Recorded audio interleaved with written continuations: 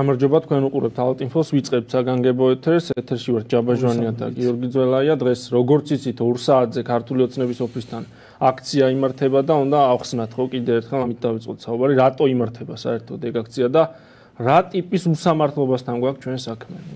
როგორც არაერთხელ უკვე მოგვიყოლია და აგვიხსნია 8 აპრილს პარტია კონსერვატიული მოძრაობა საჯარო რეესტრმა გაუქმა რეგისტრაცია ხო პარტია, რომელიც დაახლოებით 3 წლის წინ შეიქმნა, რომელიც თავის დროზე დარეგისტრირდა, რომელსაც ჯარიმას უწერდნენ რაღაცა სადამსჯელო ღონისძიებებს ატარებენ რომელმაც ბანკში ანგარიშები გახსნა და ეგ ანგარიშები მე დაუბლოკეს. პარტია რომელიც CSKO-ში მივიდა და იქიდან ბლანკები წამოიღო 25000-ის ნაცვლად 50000 ხელმოწერაში აგროვა და უკან რო დააბრუნა ეს ბლანკები 50000 ხელმოწერი CSKO-ში და იმის მაგივრად რომ ცენტრალური საარჩევნო კომისიის თავმჯდომარის ხელი მოეწერა და პარტიისთვის საარჩევნო რეგისტრაცია გაეტარებინა საჯარო რეესტრიდან მოვიდა ესეთი ინფორმაცია რომ პარტიას 3 წლის წინ დაახლოებით რაღაცა რეგისტრაციის პროცესში ხარვეზები იყო და გაუქმდა რეგისტრაცია. ნუ აი ეს არის ყველაზე დიდი პოლიტიკური უსამართლობა.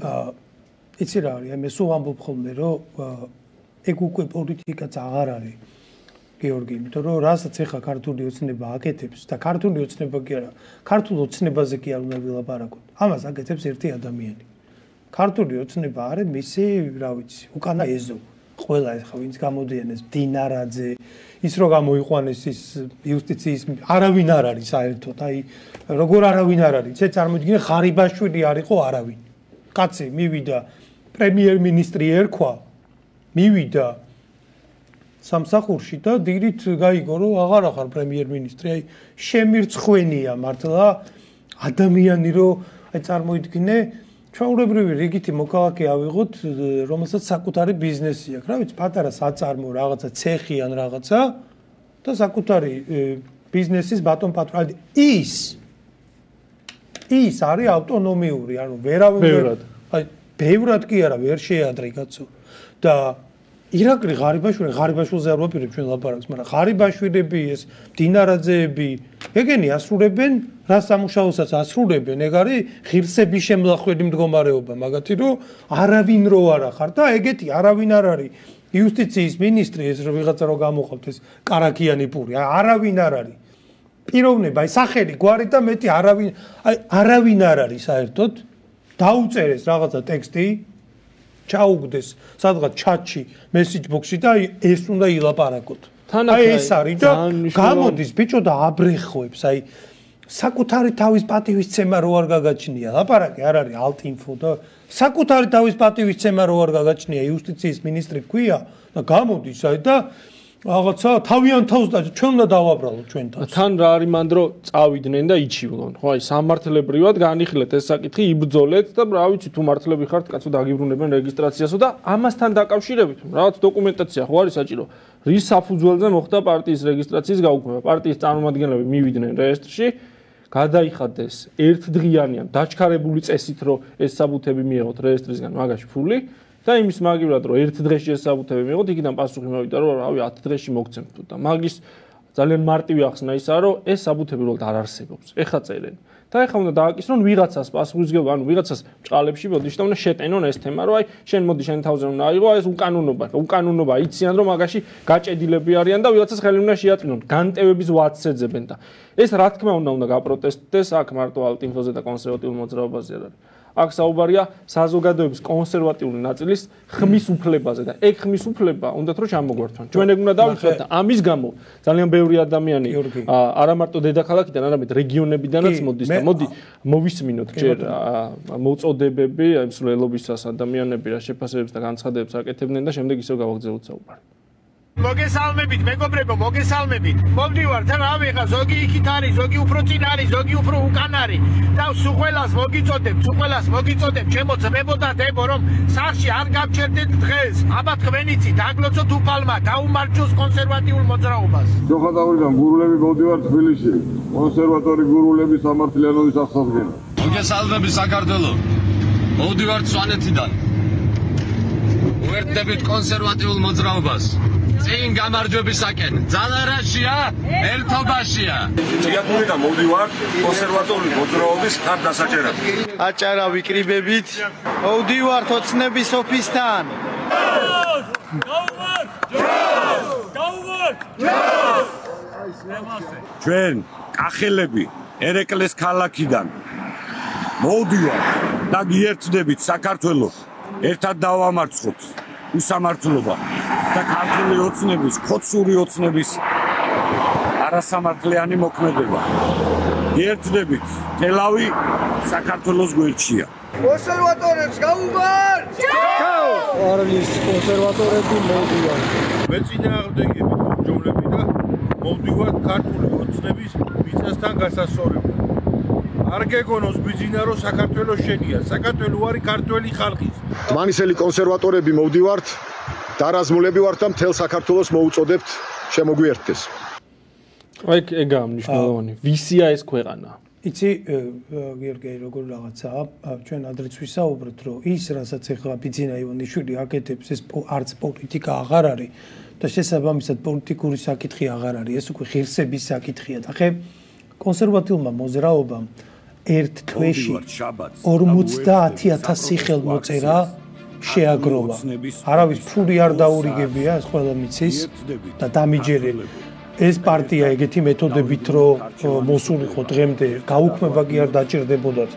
აი მაგიებს დაგიდებდნენ როგორც კომპრომატებს და პოლიტიკურად კუდარი ხარ. ან ვერაფერი ვერ დაუპირისპირა და ამ კაცმა რა ჩათვალა, იცი რო ბიჭო, საქართველოს არის ჩემი, რავი, აი თითზე და რასაც მინდა იმას ვიზამ და აი ხო შეიძლება რომ ცოტა სხვა მეთოდებით რაღაცა დაეხა ყველაფერს ველოდი. მე პირად დაახარვეზებდნენ 50000 ხელმოწერას რაღაცა ეს არის ადიქი და პარტია გააუქმე გრასტიშნავს იცი? სულ ცოტა იმ 50000 ადამიანს რომელმაც ხელი მოვაწერა რომ კონსერვატიულმა მოძრაობამ მიიღოს არჩევნებში მონაწილეობა უთხრა რომ თქვენი არჩევანი ფეხებზე მგიდია, თქვენ რა გინდათ ფეხებზე მგიდია და არა მარტო იმ 50000. სრულიად საქართველოს უთხრა ეს. ყველას აბსოლუტურად შეიძლება საერთოდ არ არის ალტინფოს მომხრე, შეიძლება საერთოდ რაც შორის ლიბერალსაც უთხრა. იმიტომ რომ ნახე, ეხა ბიძინამ ამით რა გააკეთა? ეს რას ნიშნავს? ბიძინამ ამით დააფიქსირა პოლიტიკური ჭერი. ამიგე ანუ ამით გითხრა რომ ეს არის ღვარი. ამის იქით ვერ მიდიხარ. ნებისმიერ პარტია რისთვის იქნება, რომ გაძლიერდეს ხარდამჭერე უფრო და უფრო მეტი ყავდეს, შემოიკრიბოს ხალხი და ნუ მე არჩევნებში მიიღოს მონაწილეობა და იქ დააფიქსიროს მაქსიმალური შედეგი, ხო, ხა პარტია მეტი რისთვის არის, ხო? ხო და აი ბიზინა მე ხა დაგვიწესა ჭერი, აი განგვისაზღვრა პირდაპირ. ნებისმიერი პარტია, ეს ყოველთვის სიგნალია, ეს არ არის ერთი პარტიის მიმართ განხორციელებული რაღაცა უკანონობის აქტი. ეგ ყველას უთხრა რომ ნებისმიერი პარტია რომელიც მიუახლოვდება იმ ნიშნულს რომ არჩევნებზე დადებს შედეგს რაც ბიზნესთვის მიუღებელია აგერ მექანიზმია კაცო გავაუქმებ. ეგ ყველასთვის გზავნილია. თან მანდ არის ეგეთი მნიშვნელოვანი თემა ხო თუ ეს პარტია ხელისუფლების შენარჩუნების გზაზე და ყველაფერს რო აკეთებენ იმისთვის რომ სკამები შეინარჩუნონ მაგ პროცესში ყოფ ქართულოცნებას ხელს უშლის და ვერაფერს ვერ უხერხებ იმიტომ რომ რეპრესიები ახლა გუშინ და გუშინ წინ ხო არ დაწყებულა პირველი დღიდან რეპრესიებია პარტიას ანგარიშებს უბლოკავდნენ, მათ შორის ტელევიზიას, ტელევიზიას არის ცილკნეზე გამორთეს და კაციშვილმა არის. პირადი ანგარიშები დაგვიბლოკეს. წარმოგიდგენია, რომ პირადი ანგარიში არის. თან აი, რაზეა ცნობარი, მათივე იდეოლოგიაში ეს არასწორია. დღეს კი კონსერვატორები არიან ვითომ ესე, ფასადურად, მაგრამ სინამდვილეში არიან ჩვეულებრივი ლიბერალები და მანდარი არასწორი, მათივე იდეოლოგიაში, ანუ საკუთრების უფლება, სიტყვისა და გამოხატვის თავისუფლება, არჩევანის უფლება, ანუ თავარი საკითხი, ხო? აი ამ ფუნდამენტურ ღირებულებებს უარყოფენ ისინი, იმიტომ იმიტომ რომ უკვე აზრი არ აქვს. ლოგიკიდან აცდენილები არიან გავიდნენ სამართლებრივი ჩარჩოდან და მარტივია რეაქციული ნაბიჯია. უნდა შეუშალო პარტიას ხელი არაფერი არ გამოდის ესე ამ ინსტრუმენტების გამოყენებით მოდი კიდევ უფრო უარესი გავაკეთოთ მას რეგისტრაცია გავუქმოთ და მე რეიდაუნ თავარია არჩევნებზე ვერ გავიდეს პარტია თორე. მე მაგ რეგისტრაციას უკან დააბრუნებენ. ეგ არის მაგათი მიდგომა და იმისთვის რომ ჩვენ აი ამ პროცესში მას ხელი შეუშალოთ და ჩვენი ხმის ფლება დაუბრუნოთ ნიშნულოვანია ზეწოლა. ხელისუფლებაზე სამართლიანი პროტესტი სამართლებრივი პროტესტი და ამ პროტესტში არა მარტო თბილისიდან როგორც უკვე მე ვთქვი, არამედ რეგიონებიდან ხალხი მოდის ჩვენ ერთი ნაწილი ვნახეთ ამ განცხადებისა. მოდი ვნახოთ ახლა გორიდან როგორი შემართებით მოემართებიან. ნუ ქალაქი არ არის რომ ხალხი არ მოდის, ყველა მოდის.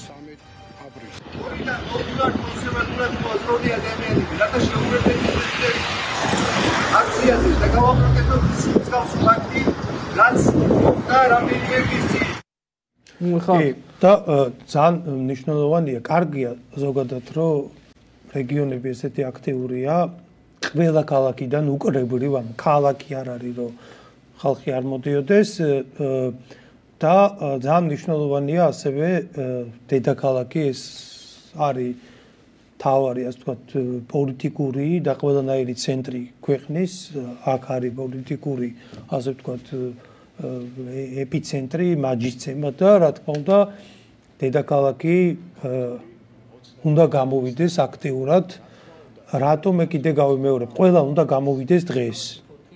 პოლიტიკური კუთვნილების მიუხედავად იმიტომ რომ ეს უკვე პოლიტიკას გაცდა კაცო ეგეთი პრაქტიკა ეს თუ გაუვიდა ქართულ ოცნებას ამ ქვეყანაში რჩება მარტო ერთი დაცული პარტია ეს არის ქართული ოცნება. მორჩა სხვა დანარჩენი ნებისმიერი რომელსაც პოლიტიკური წარმატება ექნება აი ყველა აბსოლუტურად ვისაც პოლიტიკური წარმატება ექნება ვისაც ბევრი მხარდამჭერი ეყურება ვინც წარადგენს საზოგადოებისთვის მისაღებ პროგრამას ვინც გახდება ავტორიტეტი აა, ჩაატარებს ბიძინა გამოკითხვებს თუ დაინახავს რომ ეს ბევრ ხმებს აიღებს ამ მოახლოებულ არჩევნებზე ადგება და ჩახსნის გააუქმებს და თქვენ სამართალს ვერ იპოვით. ახლა ცხადება აი დღევანდელი დღე არის გადამწყვეტი ეს თუ გაუვიდა ბიძინა ივანიშვილს ჩათვალეთ რომ ერთმანეთის მიყოლებით გააუქმებს ყველა პარტიას რომელიც ძალას მოიკრებს ამიტომ უნდა გამოვიდეს ყველა დღეს 2 საათზე ქართული ოცნების სათაო ოფისთან ეს მშვიდობიანი აქცია. არავის არ ეგონოს რომ აქ რაღაცა შტურმი და რაღაცა ცეცხლი და ცეცხლის სამკიდებლები და იმების დამშენები მეორე მხარეა ყველამ ვიცით დასავლეთიდან მართული მარგინალური უმცირესობა და ჩვენ ვართ კონსტრუქციული ხალხი.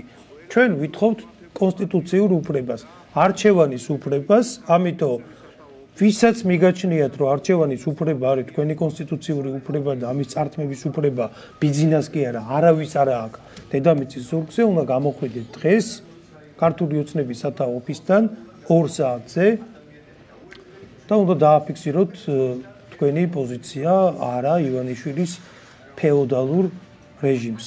ეს არის სხვათაშორის აი ამ დღეებმა კიდე ერთი საინტერესო რაღაცა აჩვენა დაბლოკვები ხა საბანკო ანგარიშების და ეს ყველამ ვიცოდით რომ ქართული ოცნების ხელწერაა, ყველამ ვიცით რომ სილქნეტი ქართულმა ოცნებამ გაგვითიშა. აა მაგრამ აი სოციალურ ქსელებს რო გვიბლოკავდნენ აი მანდ ა, ეგეც გამოჩნდა რომ ამასაც ქართული ოცნება აკეთებს.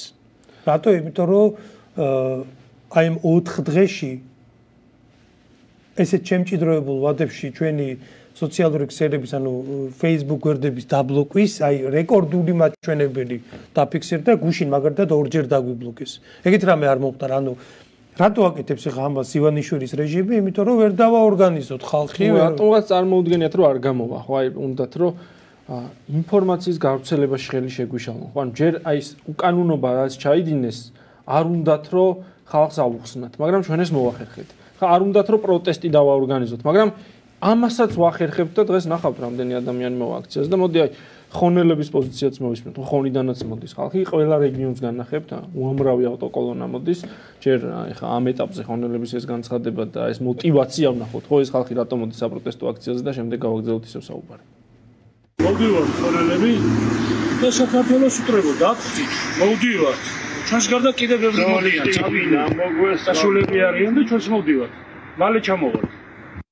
აქ მნიშვნელოვანი რა არის, იცი რომ ჯერ ერთი აი პოლიტიკურმა პროცესებმა თავი მოიყარა მხოლოდ თბილისში. ანუ თბილისში მართავდნენ ამ პროცესს და რა გადაწყვეტილებასაც უნდათ იმას იღებდნენ მარტო თბილისს უხსნიდნენ და მორჩა დამთავრებული იყო. რაღაცა ბეჭედი ქონდა დასმული. რეგიონები გათიშეს აი ამ თამაშიდან. ხო თითქოს იქ ხალხი არ ცხოვრობს. თითქოს იქ ხალხს რაღაც არჩევანის უფლება საერთოდ არ აქვს და ამ ადამიანებს ისე უყურებენ რომ რასაც ეტყვიან იმას უნდა დათანხმდნენ. ეგ ეგრე არაა. ჩვენ ვართ სრულფასოვანი მოქალაქეები, ჩვენი უფლებები ზუსტად ისევეა გაწერილი კონსტიტუციით და კანონით, როგორც ნებისმიერი სხვა ამ ქვეყნის მოქალაქის, ვისაც ქართული ოცნება ჩვენზე აღმატებულად ექცევა. ხო, ვისაც ესი არ ბლოკავს და ესი არ ვგუდავს და ჩვენ ეს უფლება კი ფურცელზე წერია, მაგრამ პრაქტიკაში უნდათ რომ ჩამოგვართვან და ამ უფლებას დავიცავთ, დავიბრუნებთ და ამ უფლების გამოყენებით აი ამ პოლიტიკურ დღის წესრიგზე მოვახდენთ გავლენას, თან ისეთ გავლენას, რომ ხო ესე იცვლება, ანუ ვინ წარმოიდგენდა რომ 3 წლის წინ ასეთი ცვლილებები იქნებოდა 2020 წელს, მაგრამ ეს პრაქტიკაში განხორციელდა, იმიტომ რომ ბევრი ვიბრძოლეთ და ეხლა ამათ უნდათ რომ ბრძოლა ჩაგვიყარონ წყალში, არ გამოვა. ჩვენ არავის არ ვიცებთ იმის საშუალებას, რომ ჩვენს ქვეყანაში რაღაცა ემიგრანტებად გვაქციონ. არავის არ ვიცებთ იმის საშუალებას, რომ ესეთი არჩევანი დაგვიყენონ, ან ამას შეეგვეთ, ან წადით. არავინ არსად არაპირებს წასვლას. ძალიან ბევრი ადამიანია ემიგრანტებიც გვეხმაურებიან, რა თქმა უნდა, ისინი საფიქსირებენ პოზიციას, გააქციეს ქვეყნიდან, იმიტომ რომ აქ ოჯახის შენახვა შეუძლებელი. ის კი არა რომ ჩვენ წავიდეთ, ის ხალხიც დასაბრუნებელია და აქ ეგეთი ქვეყანა უნდა მოვაწყოთ, სადაც ყველა ქართველისთვის იქნება ისეთი პირობები შექმნილი, რომ შრომას ფასი დაედება და ჩვენი შრომით ღირსეული სამართლიან პირობებში შრომით მოახერხებთ საკუთარი ოჯახების შენახვას და საკუთარ ქვეყანაში რეალიზებას. იმას კი არა რომ ვიღაცები ჩამოყავთ და აქ უნდათ რომ თავზე დაგვასვან.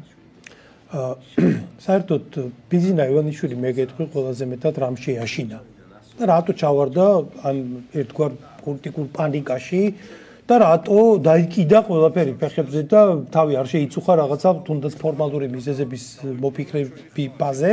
პირდაპირ თქვა რომ გააუქმეთ კაცო რა ისათ არა ქვია რეგისტრაცია არა ისა. გააუქმეთ პირდაპირ. ანუ ეს არის აქ აშკარად იგრძნობა ხა ამ ადამიანის პანიკა და შიში იგრძნობა ამ ყველაფერში. რამ შეაშინა? თავარი. ხშირად ამბობენ ხა და ოპოზიციამაც ამ ნაცსექტაც ამბობს რომ კონსერვატიული ანუ პრორუსული ელექტორატის ხმები უნდა ბიძინა ივანიშვილს და ამიტომ ჩაგხსნა ჩვენ რომ თვითონ იცი რა არის ალტინფოს მხარდამჭერების 99% ეხა მით უფრო ვერ იქნება ქართული ოცნების ანუ ადამიანი რომელმაც რომელიც ელოდება რომ ეს პარტია დარეგისტრირდება და მე ამას უნდა მივწე ხმა და ამ დროს ადგა ეს ფეოდალი და ეს პარტია უბრალოდ გააუქმა იმ ადამიანს პირიქით აგრესია იზრდება. რანაირად ეხა ის ივანიშვილის ამ ფეოდალურ რეჟიმის ხარდამჭერი გამორიცხულია.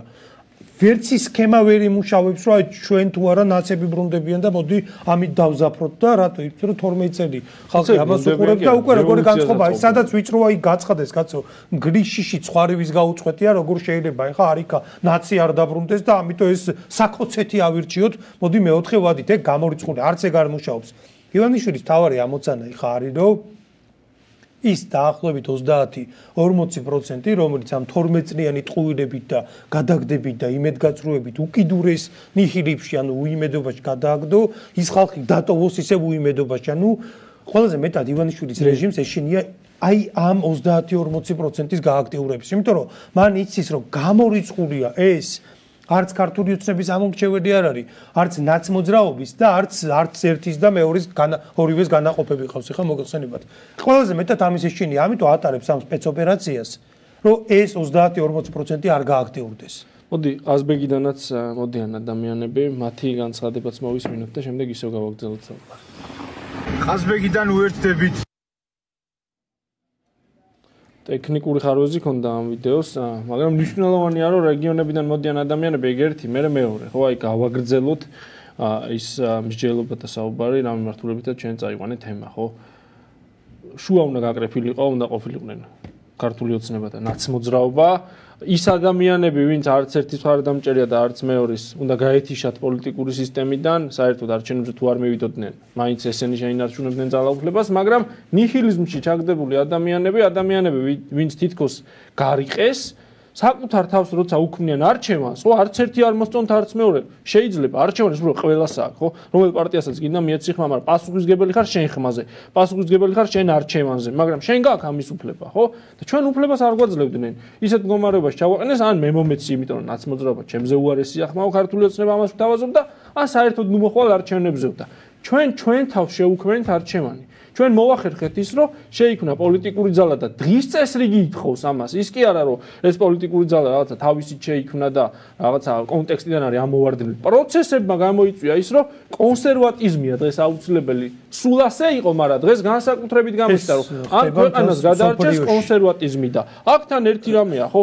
ეხლა ამ ვითარებაში ქართულოცნებას უნდა კონსერვატორობა და ჩვენ ხმის უფლება ისევ არ უნდა გქონდეთ. ნიჰილიზმში ჩავარდნილი ადამიანები, მაგაზე საუბრობთ. ნიჰილიზმში ჩაგდებული ადამიანები, რომ რომლებმაც საკუთარ თავს არჩევანი შეუქმნეს, ახლა უნდა შეაბრუნონ ისევ იმ მდგომარეობაში. ეგ არ გამოვა. მოდი გიორგი, ნახოთ პროტესტს და აი 2 საათზე სწორედ ეგ პროტესტია. ხაზბეგიდან და მარნეულიდან მოდის ასევე ხალხი და მოდი ნახოთ ეს კადრებიც.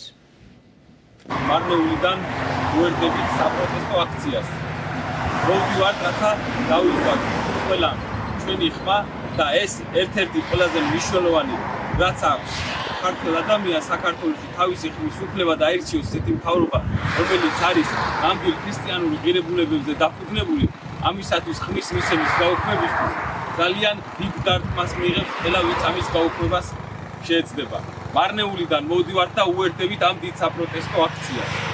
ყაზბეგიდან უერთდებით დღევანდელ აქციას ამოხევები ჩვენი ერთობითა და ლოცვით წინ დიდი გამარჯვება გველოდება ქართულ ხალხს, ნამდვილ ქართულ ხალხს.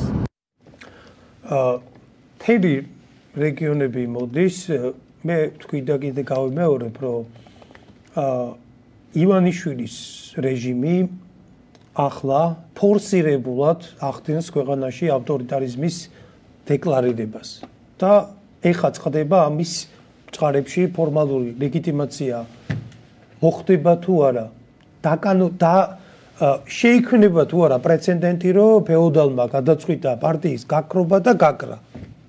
შეიქმნება თუ არა ეს როგორც პრეცედენტი თუ შედგა და აი ამ ქვეყნის მძარცველს ეგ თუ გაუვიდა ყველას ელოდება იგივე.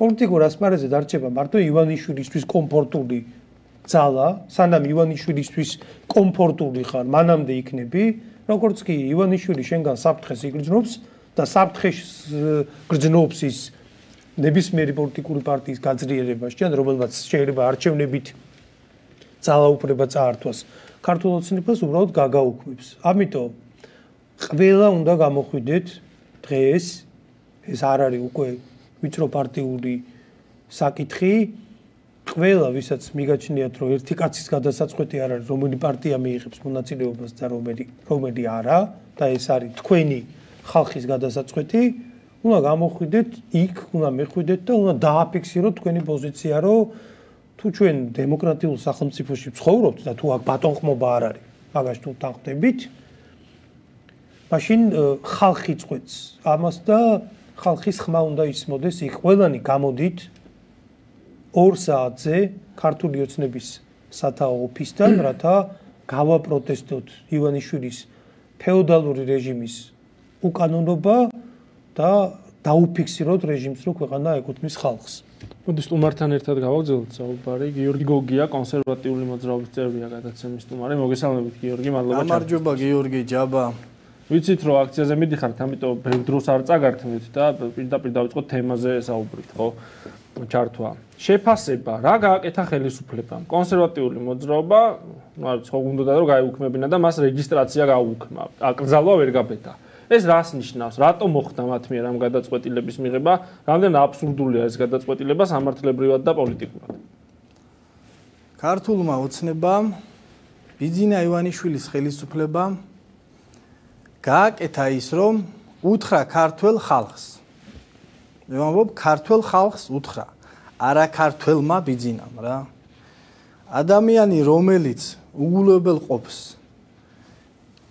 ისეთ ადამიანებს ვისთვისაც მთავარია ჩვენი ქვეყანა და ეს გვეხება იმ ერთობას ვინც ავართ აქ შემოკრებილი ეგ არავითარ შემთხვევაში არაა ქართველი და ქართულ ხალხს გაუკეთა ესეთი რაღაცა უთხრა რომ მათ ხმის მიცემის უფლება კი არა ხმის ამოღების უფლება არ აქვს უთხრა დღევანდელმა ხელისუფლებამ რომ ამ ხალხს, ანუ ჩვენ ქართველებს, საქართველოს აღარ გვეკუთვნის რა.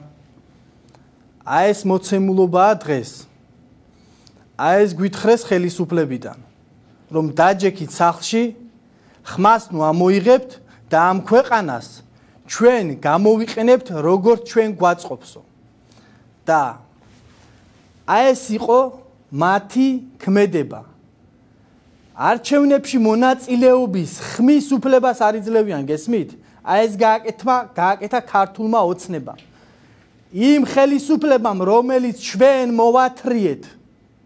და აი ამ ხელისუფლებას ჩვენ გავცემთ საკადრის პასუხს და ჩვენ მოვარტყავთ ცხვირ პირში, ისე როგორც იმსახურებენ რა.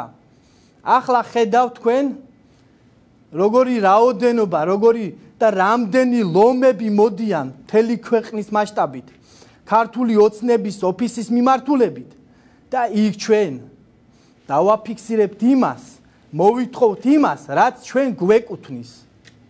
გიორგი, ეს ხდება თან მას შემდეგ, რაც პარტიამ 50000 ხელმოწერა შეიტანა, ხო, ანუ 25000 მაგრამ ორჯერ მეტი და მაინც იქ არ გამოვიდა CSKO-ში პარტიისთვის რაღაც პრობლემები შექმნა და რეგისტრაცია გააუქმეს მას. ხო, 3 წლის თავზე რაღაც აბუთებს გადახედეს.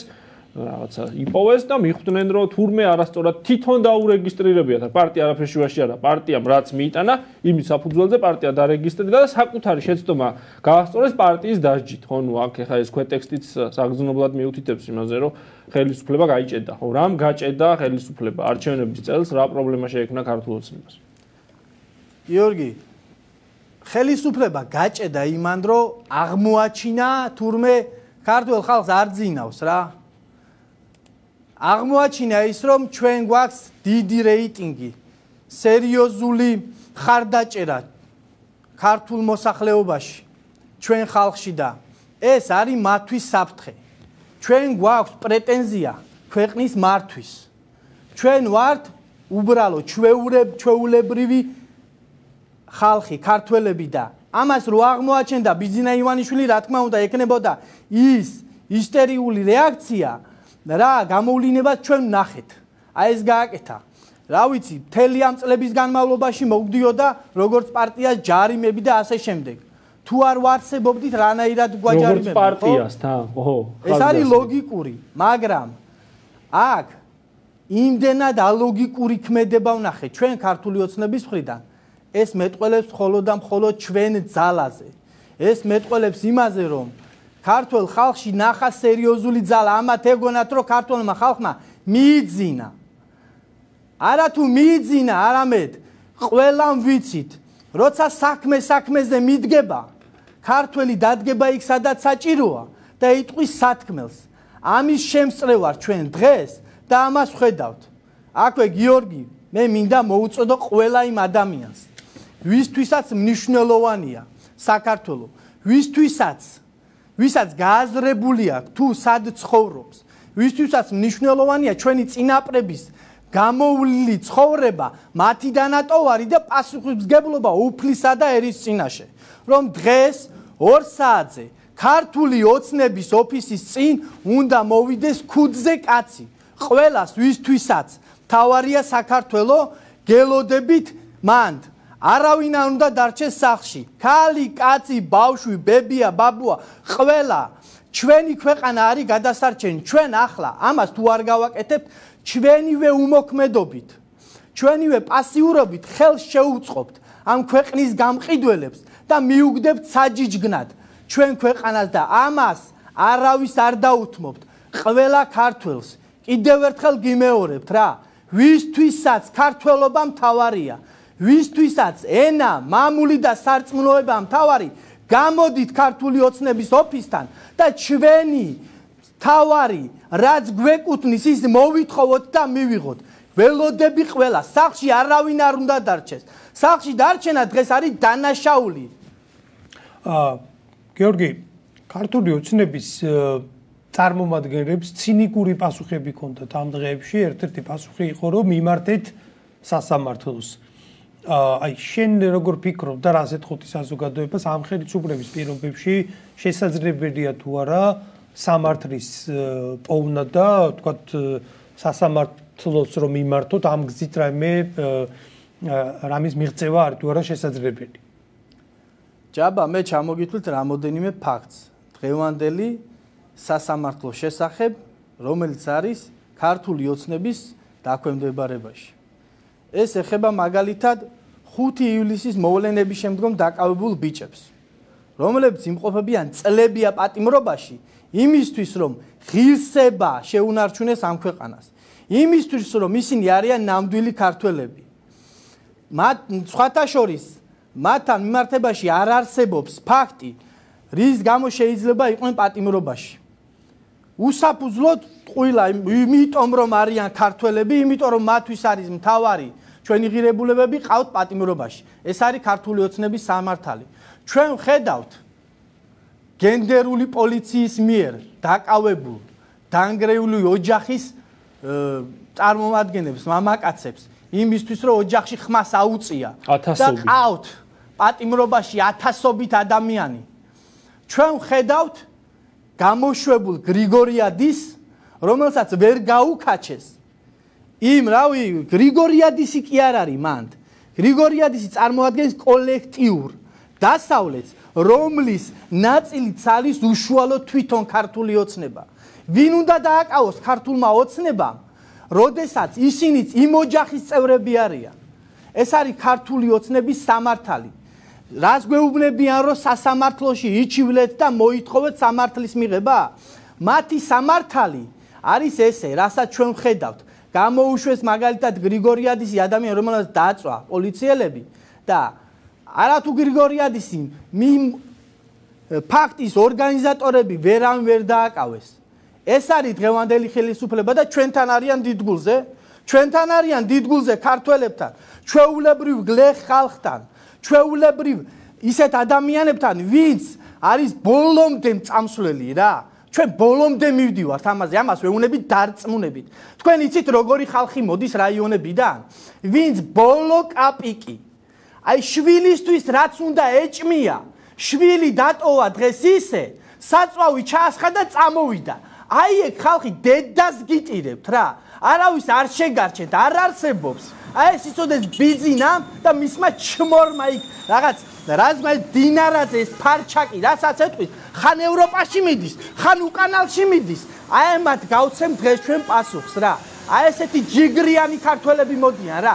ბიზნესთვის მთავარია მის მილიარდებს რამე არ დაემუქროთ. ჩვენთვის მთავარია ჩვენი წინაპრების ხსოვნა არავინ არ შეურაცხოს და ჩვენი შვილების მომავალი საფრთხის წინაშე არ დადგეს და პასუხისმგებლობა უფლის წინაშე რა.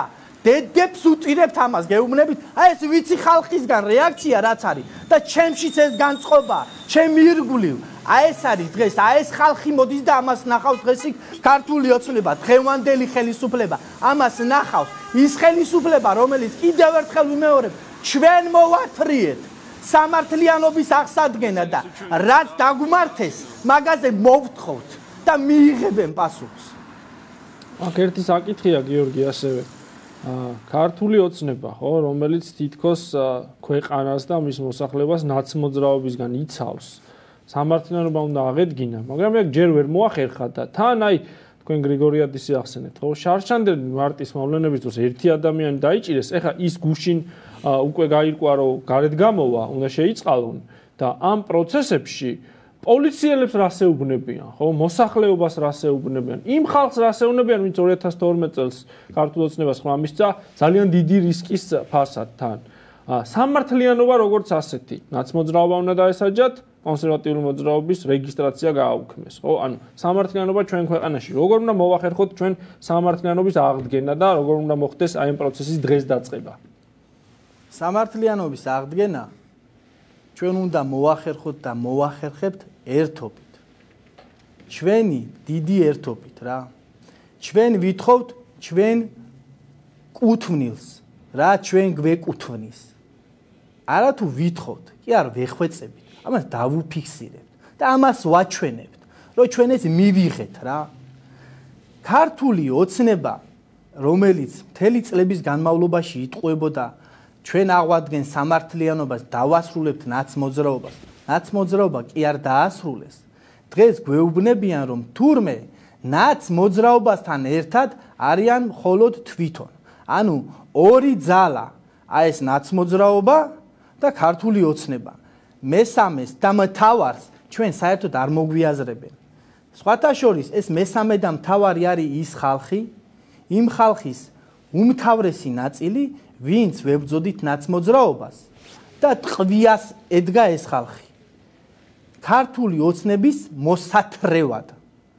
და დღეს მე რასაც ხედავ მაგალითად რაიონებში მე მაგალითად ზუგდიდში გეტყვით როგორი სიტუაცია იყო. ადამიანები რომლებიც 2012 წელს ტყვიას ედგნენ ახალაიების წინააღმდეგ ქართლის ნაცმოძრაობის წინააღმდეგ რომ ნაცმოდ ნაცის ქართული ოცნება მოთრეულიყო ეგ ხალხი გადააგდო და თანამდებობებზე დაუტოვა ნაცმოძრაობის წარმომადგენლები.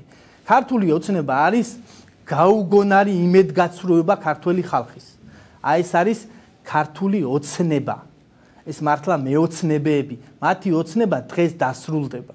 ამას ნახავს ყველა რა.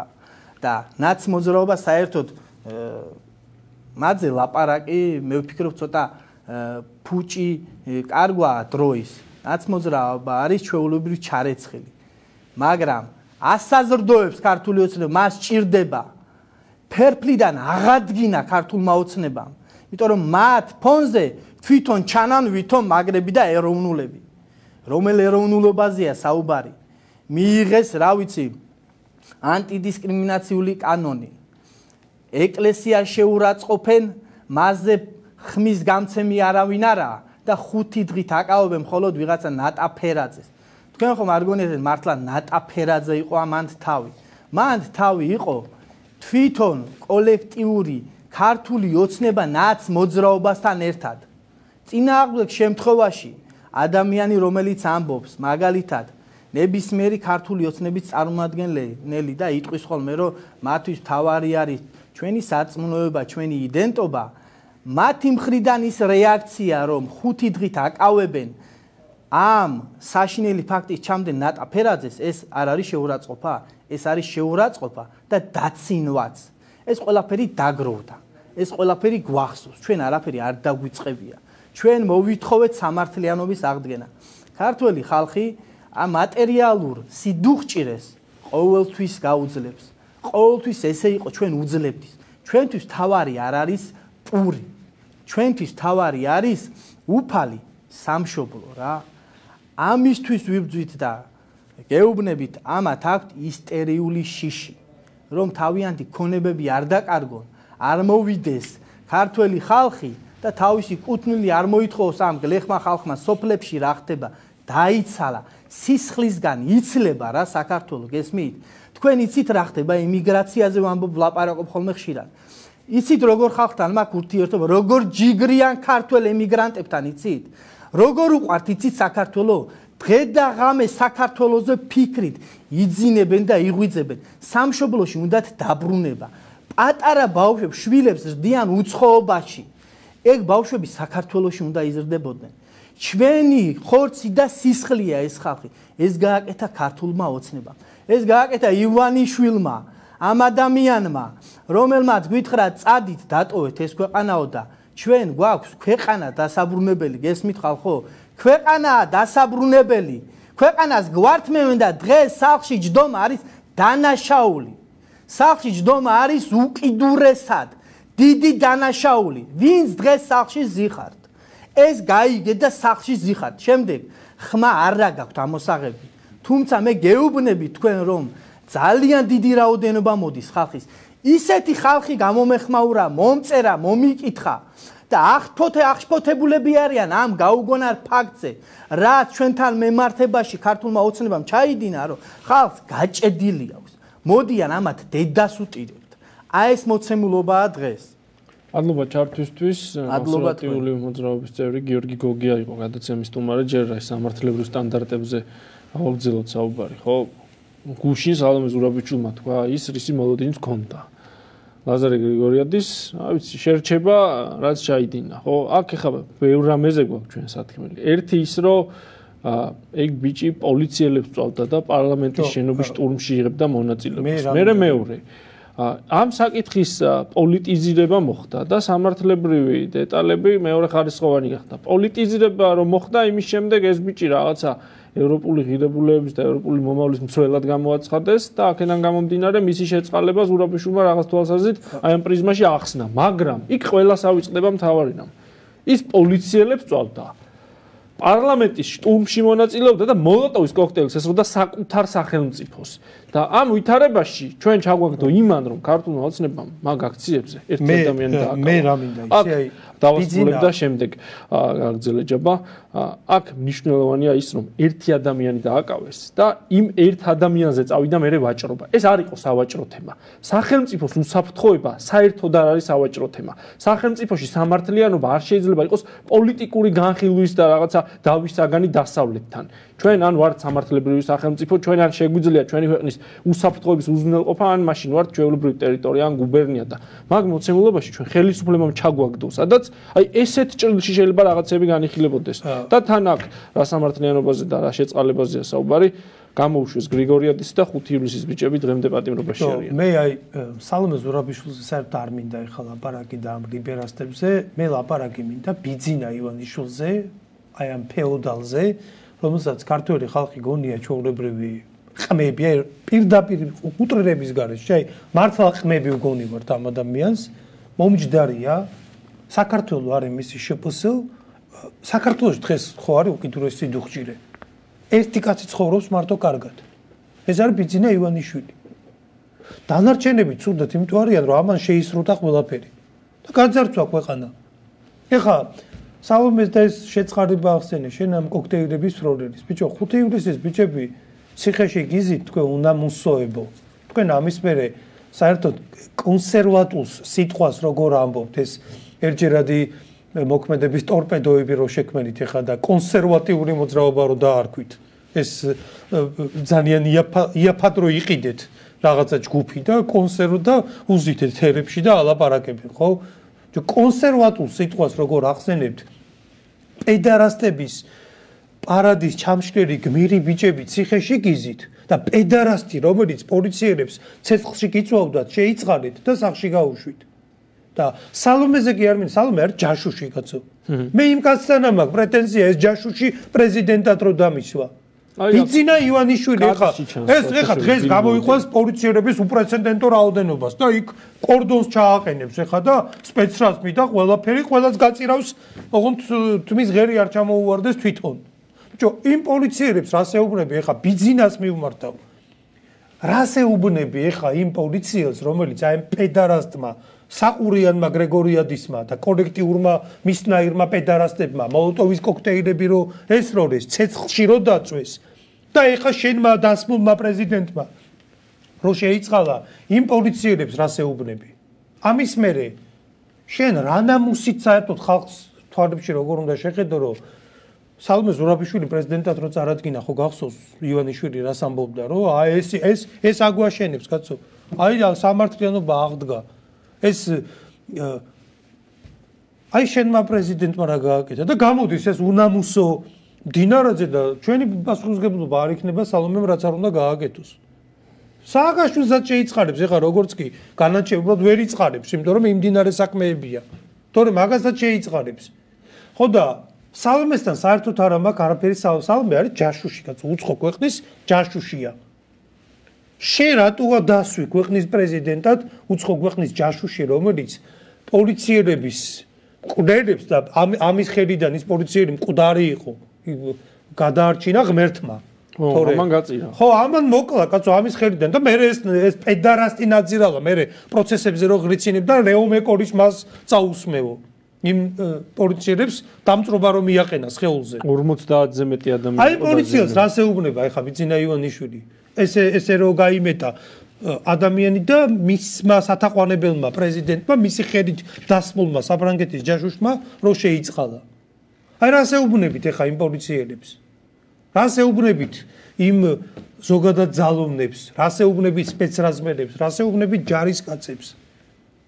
აი ესეთი სამართალი აქვს ქართულ ოცნებას.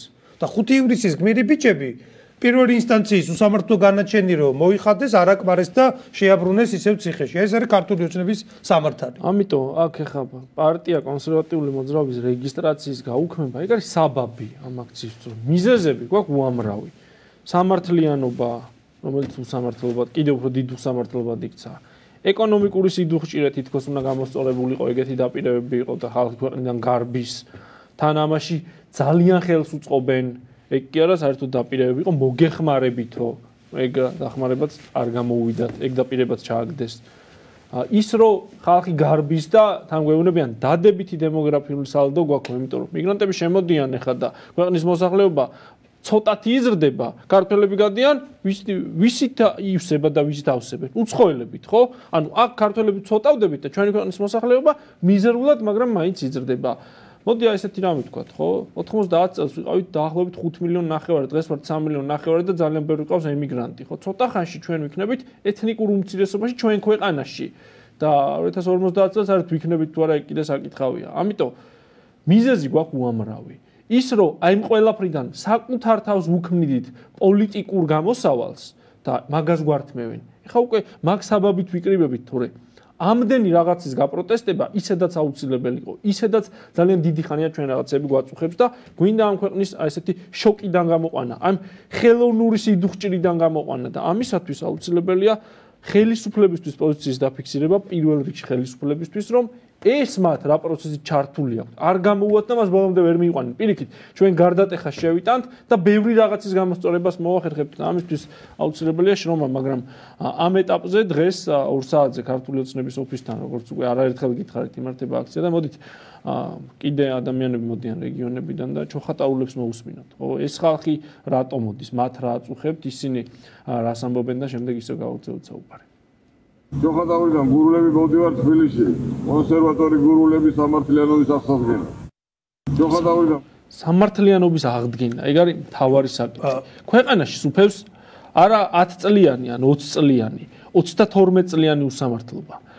ეროვნული ხელისუფლება დაამხეს დასავლეთის აგენტურა დასვეს სკამებზე და ეს ხალხი მეરે მათი პოლიტიკური შთამომავლები მართავენ ქვეყანას და ეხა ამ ადამიანებს ჩვენ რეალურად უნდა გავცეთ პასუხი გიორგი, მოდი რუსთავის და კახეთის კოლონებიც ვნახოთ და გავაგზავნოთ საუბარი. მე ჩვენ ძმებს რუსთავის ერთსაათი მანდავა საერთო კონსერვატიულ მოძრაობას. წინ გამარჯვებისკენ.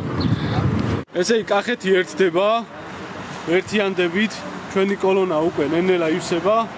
აქ ვართ ყველა თელავი, გურჯაანი, წნორი, დედოფლის წყარო, საგარეჯო, ყველა აქ ვართ. კიდევ გვემატება ველოდებით ხალხს, ძალიან მალე ვიქნებით თბილისში, თავზე გადავამტროთ ამ უსამართლობას, ქართულ ოცნებას, გაუმარჯოს საქართველოს, გაუმარჯოს ჩვენ საქმეს. შეხედეთ. აი ეს.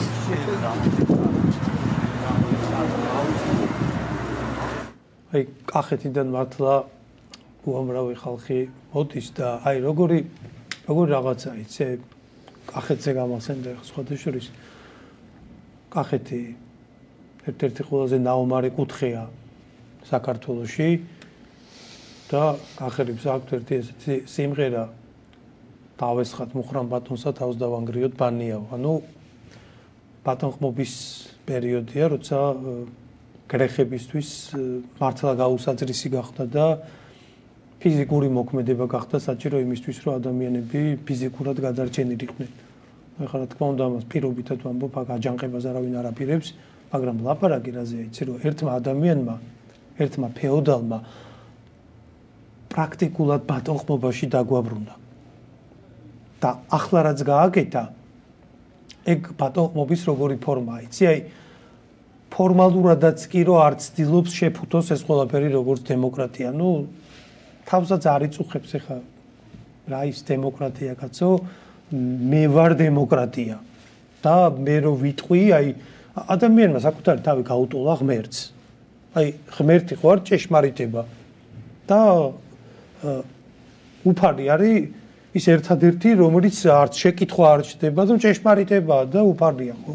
დაახლოებით მასე დააყენა ადამიანმა საკუთარი თავი ეს ამ პარტავნების ძალიან საშიში ძალიან საშიში მაჩვენებელია უკვე რომ უბრალოდ მას უნდა და ამიტომ ესეა. კანონში წერია რა კანონი კაცო. კანონი მე ვარ. მე ვამბობ ამას. აი მაგას ნიშნავს, რასაც ეხა აკეთებს ბიძინა ივანიშვილი, რომ პარტია, რომელსაც თანდაით ნახე პარალელურად როგორ ხდება, პირველად იღებს არჩევნებში მონაწილეობას. ორ თვეში 25000 ხელმოწერა უნდა შეეგროვებინა, ერთ თვეში ორჯერ მეტი წარადგინა, CSKOM დაადასტურა ნამდვილობა ამ 25000 ხელმოწერის და უნდა რეგისტრაცია რომ უნდა მომხდარიყო გაუქმებ რა. უბრალოდ გაუქმებ. და გამოდიან და ბიჭო ისეთ აბსურდულ რაღაცას გეუბნებიან, რომ თქვენ თავს დააბრალეთ დოკუმენტების შევსება ისწავლეთ, რომ დინარაძეს ამაზე პასუხი მოეთხოვება. ეს დრო მოვა დინარაძეს ნუ გონია, რომ ბიძინა აქედან აი რომ გაიქცევა დინარაძეს წაიყვანს.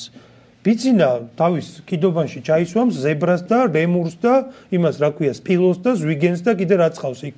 და დინარაძე იქ ვერ მოხვდება. დინარაძე აღდარჩება. და ამაზე სამართლებრივი პასუხი მოეთხოვება კაცო.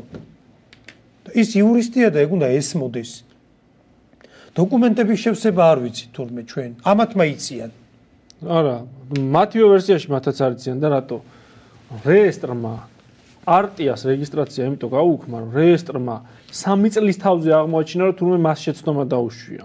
მოიხა, ეგრე არ ხდება თუ მაგ დოკუმენტაციაში თავის დროზე შეცდომა იყო, ეგ რეესტრს მაშინ უნდა ეთქვა და უნდა ჩასწორებულიყო. რეგისტრაცია გაატარე და მე რეიძახი რომ უი უი ეხლა გადავხედე და აქ შეცდომა გამპარვია და მოდი თქვენ უნდა დაგსაჯოთო, ეგრე არ გამოდის. ეგ არის პირდაპირ პოლიტიკური სარჩული ამ პროცესის და მოდი სტუმართან ერთად გავაგზავნოთ საუბარი. მერაბ გიგანი კონსერვატიული მოძრაობის წევრია ჩვენი გადაცემის სტუმარი. მოგესალმებით მერაბ, მადლობა ჩასვისთვის. გამარჯობათ, მოგესალმებით, მევესალმები. ვიცით რომ თქვენს გეჩქარებათ, ამიტომ პირდაპირ შეკითხვას დაგისვამთ კონსერვატიული მოძრაობის პარტიისთვის რეგისტრაციის გაუქმება. ხო, ბევრი ვისაუბრეთ, რა ვიცი, დიდი ხანია უკვე ეს დღეებია სულ ამაზე ვსაუბრობთ. ბევრი ახსნა განმარტებაც მოსახლეობისთვის რომ ინფორმაცია მიგვეწოდებინა, მოვიყვანეთ მაგალითები, არ ვიცი, ხო, აი უამრავი შეფასება გაკეთდა, მაგრამ თქვენ მაინც გითხავთ, ხო? ეს რით იყო გამოწვეული? რა არის პოლიტიკური მიზეზი და სამართლებრივად როგორ იქნა ეს პოლიტიკური მიზეზი შეფუთული? Ну პირველ რიგში ეს იყო პოლიტიკური გადაწყვეტილება რომ კარგად რო გაიგოს ხალხმა აქ არანაირი სამართლებრივი ხარვეზი არ არსებობდა იმიტომ რომ სამი წლის წინ როდესაც დაფუძნდა კონსერვატიული მოძრაობა ალტინფო ჩატარდა კანონისრული დასვრით ყრილობას საკმაოდ მრავალრიცხოვანი ყრილობა თავის დელეგატებით თავისი ნოტარიუსით ოფიციალურად სრული კანონმდებლობის დაცვით მოვედით დღემდე. ეხლა დღეს საჯარო რეესტრი გაგვაუქმა არც არაფერს არ გვეუბნება სხვათა შორის ჩვენ ოფიციალურად მივწერეთ და დაჩქარებული წესით 10 დღეში გვეტყვიან. კი, ჩვენ საფასური გადავიხადეთ, რომ ერთ დღეში დაჩქარებული წესით მოეწოდათ დოკუმენტაცია თუ რისაფუძველზე მოხდა კონსერვატული მოძრაობის ესე გაუქმება. მათ საღამოს გვითხრეს, რომ 10 დღეში მოგაწვით, იმიტომ რომ არც 10 დღეში აქვს მაგათ არა რამე მოსაწოდებელი დარღვევა ჩვენთვის, არც ერთ დღეში არ ქონდათ და არც არასდროს არ ექნებათ. ეს არის манипуляция ჩვეულებრივი. თავის არიდების პროცესი მიდის ქართული ოცნების მხრიდან. ახლა მოგეხსენებათ საჯარო რეესტრი არის საჯარო სამართლის იურიდიული პირი და ექვემდებარება სახელმწიფოს. ქართულ ოცნება მართავს ამ სახელმწიფოს და კი ვხედავთ როგორ უსამართლოდ და უკანონოდ მართავს ყველანაირი კანონიერების დარღვევით და ეს ერთი ხელის მოსმით გაგვაუქმეს და რატო მოხდა ეს გაუქმება და მიზეზი არის ყველაზე მთავარი აქ რომ საკმაოდ მზარდი პოლიტიკური ძალა აღმოჩნდით მათ დაუნებურად, იმიტომ რომ თავიდან როდესაც დავა დაფუნძდა ჩვენი მოძრაობა, აი ჩვეულებრივი უბრალო წესიერი ქართველი ხალხით დაიწყო თავიდანვე, რომელიც არასდროს არ ყოფილა პოლიტიკაში და გასრული არ იყო და მაგათმა იფიქრეს, რომ აქ რაღაცა ბნელები და გაუნათლებელი და არაინტელექტუალი ხალხი შეიყარა და არ არ მიიჩნევდნენ საფრთხეს, თუმცა უკვე როდესაც წლების განმავლობაში დაინახეს, რომ იზრდებოდა და ესე ნაბიჯ-ნაბიჯ, სწორი ნაბიჯებით სწორი მესიჯებით საზოგადოებაზე მიწოდებული ჩვენი მხრიდან გავხდით რამდენიმე ასეული ათასი.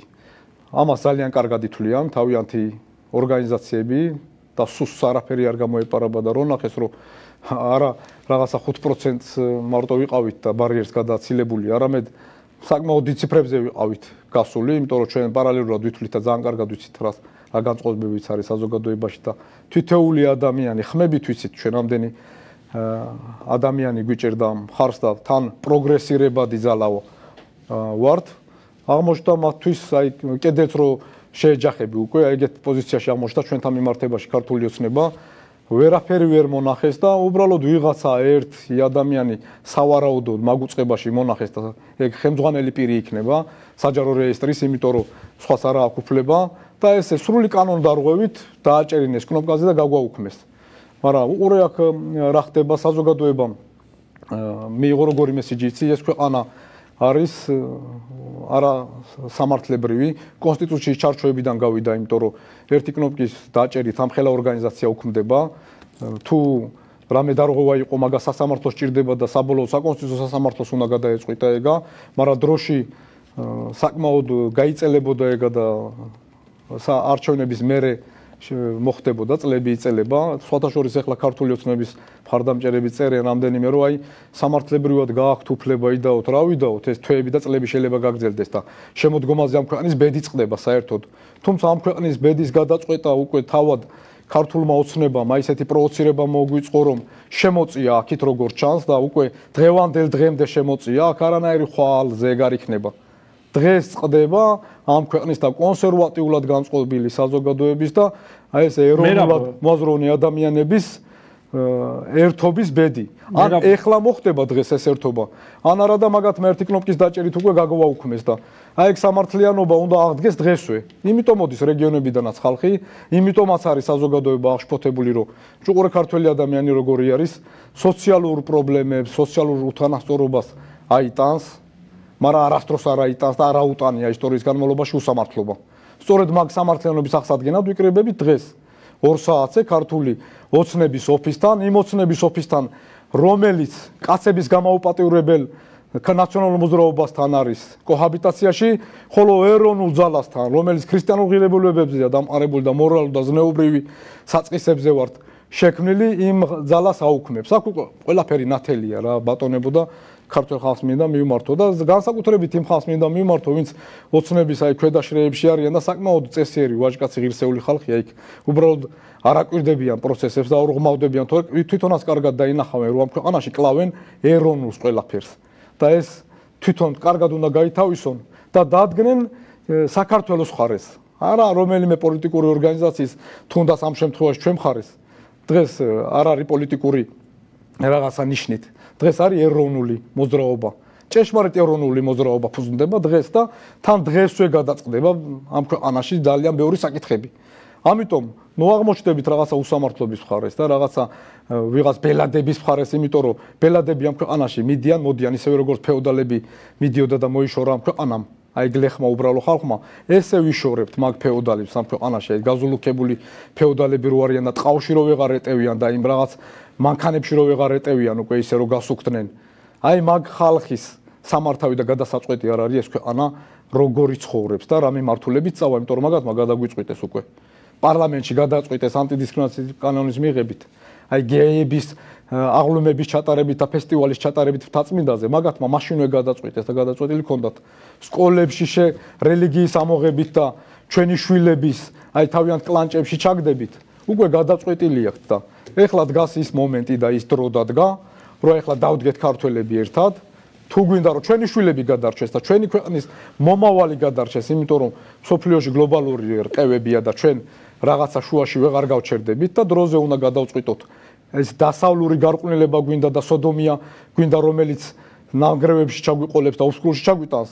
თუ გვინდა ღირსეული ქრისტიანული მორალური და ზნეობრივად ჯანსაღი საქართველოს რომელმაც 2000 წელი წელი ახალი აღთქმით ცხოვრობს და კიდე ათეულობით ათასი წელი უნდა იცხოვროს ამ ქვეყანან. იმიტომ უნდა იცხოვროს, რომ ამ ქვეყნის მიწა წყალზე და ეს მიწა გაჟღენთილია ქართველი ჩვენი წინაპრების სისხლით და მასულებზე ვდგავართ ახლა და მათთან მისასვლელი პირი აღარ გვექნება იცოდეთ. აი ამას ვეუბნები იმ ხალხს, ვინც კიდე შუაში დგანან და კიდე ფიქრობენ, რომ რაღაცა იქ ბაღიდან არ გამოაგდონ თავისი და და თავისი დედა სადაც დამლაგებლად მუშაობს ვიღაც ფეოდალის დაწესებულებაში და э, ის რო არ გამოაგდონ, ამიტომ საქართველოს ხარეს ვერ დგებიან. დაფიქრდით უბრალოდ აი აქიდან ადამიანურ უბრალოდ გულწრფელ ჩევას გაძლევთ, რომ ეს ქვეყანა დამიჯერეთ, э, არც э, სააკაშვილი შეუქმნია, არც ბიძინა ივანიშვილი შეუქმნია, ესენი მიდიან და მოდიან. აი ეს ქართული ღირსება, წესიერება და ქრისტიანობა უნდა არსებობდეს ამ ქვეყანაში კიდე რამდენიმე ათასი წლეული და ეს დღე წდება სხვათა შორის დღეს. ამ ერთობით თუ გადაუტეხავთ ამ ყველაფერს, თუ არა ინდივიდუალურად ყველას ოჯახში მიაკითხავს და მე გვიანი იქნება დამიჯერეთ. დაფიქრდით და ყველას მოგიწოდებთ რომ ამ ერთობა შემოუერთდეთ 2 საათზე ერეკლე მეორის მოედანზე სამ ნომერში საპატრიარქოს გვერდზე შუშის თხითთან ვიკრიბებით, რომ ერთხელ და სამუდამოდ ამ უსამართლობას უარი უთხრათ. და ერთხელ და სამუდამოდ გადაწყდეს ეს ქვეყანა გვეკუთვნის ჩვენ, წესი ღირსეულ ქართველებს, თუ ეკუთვნის ვიღაც ერთ ფეოდალს და ვიღაცა სოდომიტ იმ მამათმავლებს, რომელიც პრეზიდენტმა გუშინ შეიწყალა, იმათ ეკუთვნით თუ გვეკუთვნის ჩვენ, წესი ღირსეულ უბრალო გლეხ ქართველებს. მადლობა, მადლობა ჩარჩისთვის, ნერაბიგანი კონსერვატიული მოძრაობის წევრი იყო გადაცემის სტუმარი. აქ უკვე უნდა ითქვას ისიც, რომ ქართული ოცნების ოფისთან პოლიცია მობილიზებული, ხო, ანუ პირველ რიგში პრეცედენტოდ ბევრი სხვათა შორის ახლა მე ხედავდი გიორგი რომ იქ დაბლად არაპირებს სამართლის ჩარჩოდან გასვლას მაგრამ ნუ ქართულ ოცნებას მაინც ეშინია და ხალხის პროტესტის რატო ეშინიათ მე ცოტა მაგის გაგება მიჭირს. მე წეგან ზუსტად ეგ გამახსენდა ახლა კადრებს რო უყურებდი რომ აი ეს პოლიციელები იყვნენ ცეცხლში რო წავდნენ კოლექტიური გრიგორიადისები და ივანიშვილის ხელისუფლებამ შეიწყალა ივანიშვილის მიერ დანიშნულმა საფრანგეთის ჯაშუშმა, როგორც დღეს პრეზიდენტად გვიზის, საიმ პოლიციელების ცეცხლში დამწველი შეიწყალა. აი ეს არის და რასეუბნება ეხა ამ პოლიციელებს ძალიან მაინტერესებს და პოლიცieლებმა უნდა იცოდნენ, რომ ამ ხელისუფლებისთვის და პირადად ფეოდალ ივანიშვილისთვის მათი სიცოცხლე კაპიკად არღებს. აი ივანიშვილს არაფრად არ არ უღირხართ და ამას მოწმობს თუნდაც იქივე როგორი ანაზღაურება აქვს პოლიციელებს რაღაცა გროშებზე რო ამუშავებენ. და ასე შემდეგ და ასე შემდეგ. პანიკა, შიში, ხელისუფლების იგრძნობა ინახე ქვემოთ სანაპიროზე დგანონ პირდაპირ.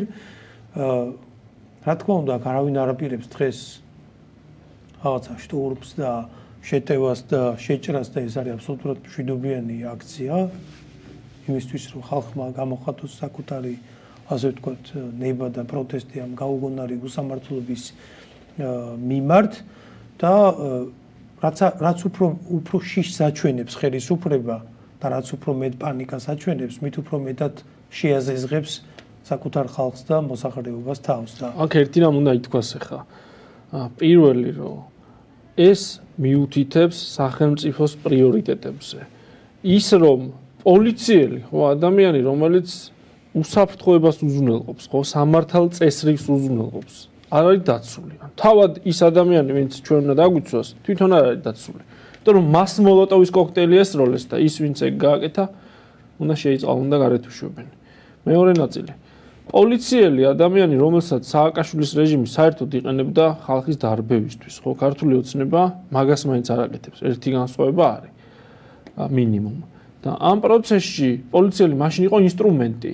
და დღეს პოლიციელის ფუნქცია არის მორღვეული, ხო? პოლიციელი არის რაღაცა დაცვის სამსახურად წარმოქმნილი და ამ ადამიანებს ღირსეულად უნდა მოიქცეთ. მათ სამხედროებს, ნებისმიერ იმ ადამიანს, ვინც სახელმწიფო სამსახურშია და ამ ქვეყნის უსაფრთხოებისთვის და ამ ქვეყანაში წესრიგის არსებობისთვის და წესრიგის დამყარებისთვის სიცოცხლეს წირავს. ჩვენ ამ ადამიანებს უნდა ვაფასებდეთ და ჩვენ ამას, აი ამ უფლებას უნდა ვახორციელებდეთ ხელისუფლების გამოყენებით, ხო? ან ჩვენი მოთხოვნა ეს არის, ჩვენი დაკვეთა ესა. ხელისუფლება უნდა უფასებდეს მათ, რა ვიცი, ფინანსურად იქნება, რაღაც პირობების შექმნით იქნება თუ ზოგადად, ხო? მათი ფუნქცია მოვალეობის მოვალეობის შესრულების პროცესში მათ ნამი დამოკიდებულებით და როცა მათ დაცვა სჭირდებათ, კიდე მათი დაცვით და ამ ხალხს მოლოტოვი ესროლეს და არაფერი ის კაცო გმირად უნდათ რომ გამოაცხადონ. აი ეგ არის სახელმწიფოს მიდგომა და პრიორიტეტები და რატო? იმიტომ რომ ეგ არის პოლიტიკური მიდგომა, სკამის შენარჩუნებაზე ორიენტირებული მიდგომა, სადაც პოლიციელის სიცოცხლის საფრთხეზე რაღაცა პასუხისგებლობა იცვლება დასავლეთის მიერ არ კრიტიკაში. ოღონდ გაჩუმდნენ. ოღონდ რაღაცა მოახერხონ შეთანხმება და შეიძლება რომ ეგეთი ღირებულებები ფეხქვეშ გაითელოს და აქ არავის არაფერს არ ეშინია, ხო? ეს ადამიანები ხა იქ დარწმუნებული ვარ, რომ არაბის მიმართ არ გამოიყენებენ ძალას, იმიტომ რომ ჯერ ერთი მათ ამის საფუძველი და საბაბი არ ექნებათ და მე მეორე პოლიციელებმა ძალიან კარგად იციან, როცა ჩვენ აქციებს მართავთ, ჩვენ როგორი დამოკიდებულება გვაქვს მათ და მითხა ჩვენ რას ვიცავთ. აქ ისევ ღირებულებებზეა საუბარი. თუ გარყვნილების პროპაგანდის პრაიდების ჩაშლა დანაშაულია, თუ ეროვნული ღირსების პოლიტიკურ დონეზე, სახელმწიფოებრივ დონეზე აყვანა დანაშაულია, თუ გეოპოლიტიკური პრობლემების განხილვა და ალტერნატივების შემოთავაზება და ამ პროცესების სწორად შეფასება დანაშაულია და ეგ ისჯება პარტიის გაუქმებით და იმ ადამიანებისთვის, ვინც ამ პროცესში, აი ამ იდეას და ამ პოლიტიკურ ხაზს მხარს უჭერს, ამ ადამიანების თამაშიდან გათიშვით, მაშინ ჩვენ უნდა გამოხატოთ პროტესტი და ამ პროტესტის გამოხატვას ჯერ ერთი ალტერნატივა არ აქვს. მე მეორე არავის არ აქვს იმის უფლება, რომ ჩვენ პროტესტის გამოხატვა დაგვიშალოს და ჩვენი პასუხისგებლობა რომ ჩვენ არ გავჩუნდეთ, იმიტომ რომ ჩვენ თუ გავჩუნდებით, უარეს გავგვიბედავენ, ხო? ეს მათი მხრიდან მორიგ ეტაპზე გადასვლა და აი მორიგ ეტაპის დასაწყისია და ეს პროცესი აქ უნდა ჩაიჭრას და ჩაიჭეხოს. არ შეიძლება ჩვენი სახელმწიფო ამ მიმართულებით განვითარდეს, იმიტომ რომ ჯერ ერთი აქ ისედაც ლიბერალური ტოტალიტარიზმია დამყარებული და მე საერთოდ ეს მიიღებს უკიდურესი დიქტატურის სახეს და დაცვა. არავინ არ იქნება დაცვა არც პოლიციელი და არც რიგითი მოქალაქე. ავტორიტარიზმთან კომპრომისზე წასვლა არ შეიძლება იმიტომ რომ ავტორიტარიზმი ყოველთვის მიდრეკილია უფრო და უფრო ასე ვთქვათ გამწვავებისკენ გართულებისკენ და დამძიმებისკენ. ამიტომ საერთოდ აი ფეოდალ ივანიშვილს აი რომ დავაკვირდეთ მის ამ 12 წლიან მართლობას მას საზოგადოება დაყოფილი აქვს და მისთვის არსებობს გარკვეული ასე ვთქვათ სეგმენტები, როგორც არის ანუ დაბალი ღობეები. პირველი დაბალი ღობე ეს არის ეროვნულად მოაზროვნე ხალხი. ეს არის აა ქრისტიანული ტრადიციული საზოგადოება, ვინც საჭადრაკო და პაიკის რანგის ფიგურა. და მათ რიგებში არიან შორის ძალოვნებიც, პოლიციელებიც. ანუ აა ეს არის ის სეგმენტი, რომელიც ივანიშვილის რეჟიმს მიაჩნია, რომ აი ამათი უფლებების დარღვევის ხარჯზე დასავლეთის და მარგინალური ლიბერალური უმცირესობის გულის მოგება ყოველთვის შეიძლება. ყოველთვის შეიძლება, მაგალითად, პოლიციის ცეცხლში დამწველი გამოუშვა, შეიწყალო და ამით დასავლეთთან რაღაც გულები დაიწერო. პედარასტების დროშის ჩამომხსნელი დაიჭირო 5 წლის ციხეში გაუშვა და ამით რაღაცა გულები დაიწერო. შვიდობიანი მიტინგები დაარბიო კონსერვატორების შეკრების და ამით ქურები დაიწერო. აბსურდული მიზეზით რაღაცა თითიდან გამოწვეული მიზეზით კონსერვატული პარტია დააჯარიმო ასეთ გააუქმო და ამით ქურები დაიწერო. ან რატო აკეთებს ამას? იმიტომ რომ ამ ფლანგისგან ხელისუფლება საფრთხეს ვერ გრძნობს ამიტომ მიიჩნია ქართული ხალხი დაბალ ღობედ დღეს ჩვენი ვარია თუ არ გვინდა რომ დაბალღობით აღგვიქვამდეს ერთი ადამიანი ფეოდალი ჩვენი ვარია გამოვიდეთ ეხლა სადაც ხედავთ ამ ეს არის ქართული ოცნების სათაო ოფისთან სააკაძის მოედანზე უნდა მივიდეთ უბრალოდ ბევრი. ყველა უნდა გამო აი ვისაც მიგაჩნიათ რომ თქვენ არ ხართ დაბალი ხობე და ფეოდალ ივანიშვილს არ ეკუთვნის ეს ქვეყანა თქვენი შვილი მისი შვილის ყმა არ უნდა იყოს ვისაც მიგაჩნიათ, ყველა უნდა გამოხვიდეთ. ეს არის მშვიდობიანი შეკრება, რომელიც არის ჩვენი კონსტიტუციური უფლება. უნდა გამოვიდეთ და დავაფიქსიროთ, რომ ჩვენ არა ვართ ყმები. ივანიშვილიც არ არის ეს ქვეყანა. ეს ქვეყანა არის ქართულების, საქართველოს მოსახლეობის და არავის არ აქვს უფლება აქ ყველაფერი გადაწყვიტოს ჩვენ მაგივრად. მე საერთოდ არ მესმის ხელისუფლებას რისიაშინა და რატომ? როგორ შეიძლება იმ ადამიანების გეშინოდეს, ვინც როცა აქ სახელმწიფო გადატრიალებას აწყობდნენ, ანტიმაიდანს აორგანიზებდა და იმ ადამიანების გეშინოდეს, ვინც ანტიმაიდანის სიებში ეწერებოდა. როგორ შეიძლება საერთოდ იმ ადამიანების გეშინოდეს, ვინც 90-იან წლებს გაუძლო ომებს, სამოქალაქო ომებს, სახელმწიფო გადატრიალებას და ქვეყნიდან არ წასულა. ამ ქვეყანაში დარჩნენ. დღეს კი უნდათ ამ ხალხის აქედან გაყარა, ჩვენი აქედან გაყარა კი უნდათ, მაგრამ როგორ შეიძლება ამ ხალხის გვეშინოდეს, ხო? რომელი ხალხი, რომელიც არის ამ სახელმწიფოს ფუნდამენტი და დასაყრდენი. ხალხი, რომელიც სამართლიანობას ითხოვს. ხალხი, რომელიც ითხოვს ღირსეულ სამუშაო ადგილებს, ამ ადგილების შექმნას და მეორე ამ სამუშაო შექმნილ სამუშაო ადგილებზე დასაქმების უფლებას. ხალხი, რომელსაც განათლების მიღების უფლება აქვს, ჯანდაცვის სისტემა უნდა იყოს გამართული, მაგრამ ესეთი რაღაცები არ ხდება. ჩვენ უნდა ვიყოთ დაცულები, მაგრამ ხედავთ ხო აი რაში გამოიყენება თავდაცვის და შინაგან საქმეთა სამინისტროს ბიუჯეტი, განათლების სამინისტროს ბიუჯეტი, ჩანდაცვის სამინისტროს ბიუჯეტი. ეხლა საერთოდ ისეთი ინფორმაციები გავრცელდა, რომ რავი ბიუჯეტიდან პირდაპირ ვიღაცები რაღაც გადასახადებს იხდიან, ხო? ეს ხალხის ფულია. თუ ადრე მაგალითად საბჭოთა პერიოდში ვიღაც ფულს იპარავდა და ეგ მაშინ დაშვებული იყო, ეგ მაშინ იყო ეგეთი შეხედულება, ეგეც შეიძლება არასწორი იყო, ვიღაცისთვის შეიძლება სწორი იყო, მაგრამ დღეს დამოუკიდებელი სახელმწიფო ვართ და ჩვენი ქვეყნის ბიუჯეტი არის თითოეული ჩვენი ქვეყნის მოქალაქის ჯიბიდან ამოღებული ფული და ამ ფულს ახლა ვის აქვს იმის უფლება, რომ ამ ფულს საკუთარი მიზანშეწონილობით იყენებდეს და რაღაცეებში ფულს იხდიდნენ და რა ვიცი, ამით იმდიდრდებოდნენ. ამიტომ ქართველმა ხალხმა უნდა დააფიქსიროს პოზიცია. და ქართველი ხალხის წინააღმდეგ გვერავინ ვერ დადგება. ხო ვის როგორი რაღაცა განათლებაც არ უნდა კონდეს ვინ როგორი არ ვიცი ხო რაღაცა სხვადასხვა პოლიტიკური ხრიკების მფლობელიც და არ ვიცი გამომყენებელიც არ უნდა იყოს. ჩვენ ყველას უნდა გვესმოდეს რომ რეალურად ამ პროცესში ჩვენ პოზიცია უნდა დავაფიქსიროთ იმიტომ რომ ქვეყანა დღეს კი არა 30 წლის წინ წაგვართვეს დღეს ამ ქვეყნის დაბრუნებასთან ყველაზე ახლოს ვდგავართ და ეს შანსი უნდა დღეს რომ წაგვართვან და ამიტომ ამ ვითარებაში ჩვენ პოზიცია უნდა დავაფიქსიროთ და მე დარწმუნებული ვარ რომ ჩვენ პოზიციას დავაფიქსირებთ და თან დღეს არაერთი მოწოდება გაკეთდა და თითქმის ყველა განცხადებაში იმას ვისმენდით რომ იწება ახალი თანამედროვე ეროვნულ განმათავისუფლებელი მოძრაობა. მოძრაობა რომელსაც ყველა უნდა მოიცვას და ადრე თუ გვიან ყველა ადამიანი ხო ვისაც შეიძლება არ მოწონს ალტინფო, არ მოწონს კონსერვატიული მოძრაობა, არ მოსწონს ისაც ჩვენ ვიძახით. ეჭვს ვეღარ შეიტანს იმაში, რასაც ჩვენ ვამბობთ და ჩვენ ვთავაზობთ, იმიტომ რომ ეს საჭიროა. ეს აუცილებელი აქ ჩემზე და ჯაბაზე არა და არც იმ ადამიანებზე, ვინც აქციაზე მიდის. აქ ქვეყანაზე და ჩვენი პასუხისგებლობა და ვალდებულება რომ ეს ქვეყანა დავიცვათ. ასე ხდებოდა. ეს ისტორიის წიგნებში წერია, რომ თავის დროზე, როცა საჭირო იყო ქართველი კაცი და ქართველი ქალი ყოველთვის ხმას იმაღლებდა უსამართლობის წინაშე. ჩვენ ვახერხებდით ასეთი მძიმე კრიზისების გადალახვას და დღეს ერთ-ერთი ასეთი ეტაპია. ერთ-ერთმა ჩვენმა სტუმარმა ხაზი გაუსვა და მინდა მეც აღნიშნო, რომ ქართულს აქვს განსაკუთრებით გამძაფრებული ღირსების გრძნობა მე არც ერთ სხვა ერს რა თქმა უნდა შეურაცხყოფას არ ვაყენებ, მაგრამ ჩვენი ისტორია არის ღირსებისთვის, ქრისტიანობისთვის, სამშობლოსთვის და ეროვნული იდენტობის თვითყოფადობის გადარჩენისთვის ბრძოლა. ქართველი მოითმენს ყველაფერს, ქართველი მოითმენს შიმშილს, ქართველი მოითმენს, რა ვიცი, უშუქობას, უწყლობას 90-იანები გამოვიარეთ ბოლო-ბოლო. აა სხვა უფრო შორეულმა წარსულმა ციცის არანაკრებ ასე ვთქვათ რთული და მძიმე და ასე ვთქვათ ესე ძნელბედობის პერიოდები ქართველი მოითმენს ყველაფერს, ქართველი ვერ და არ მოითმენს არასოდეს ერთ რამეს.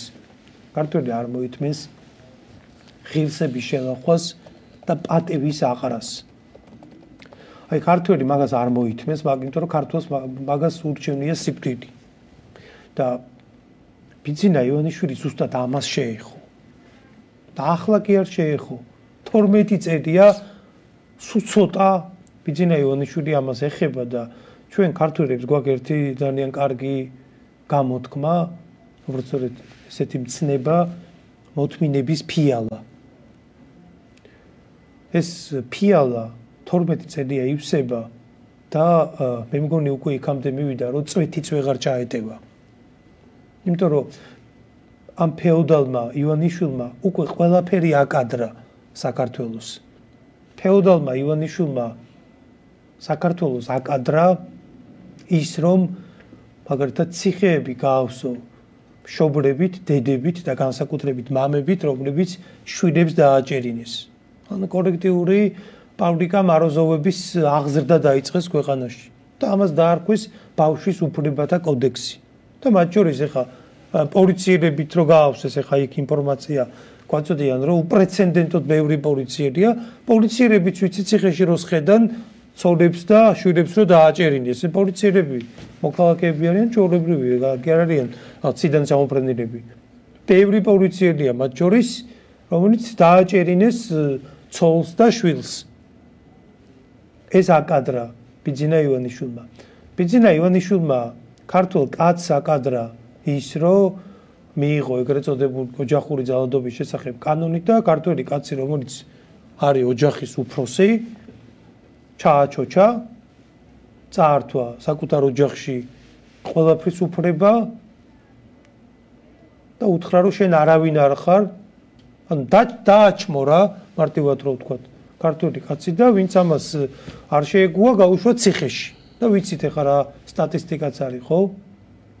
ბიძინა ივანიშვილმა ქართულ ახალგაზრდობას გამოუტანა სასიკვდილო განაჩენი. მოახდინა ნარკოპოლიტიკის ლიბერალიზაცია ეგრეთ წოდებული მსუბუქი ნარკოტიკის მოხმარების დეკრიმინალიზაცია და ნუ ეს არის ახალგაზრდებისთვის სასიკვდილო განაჩენი.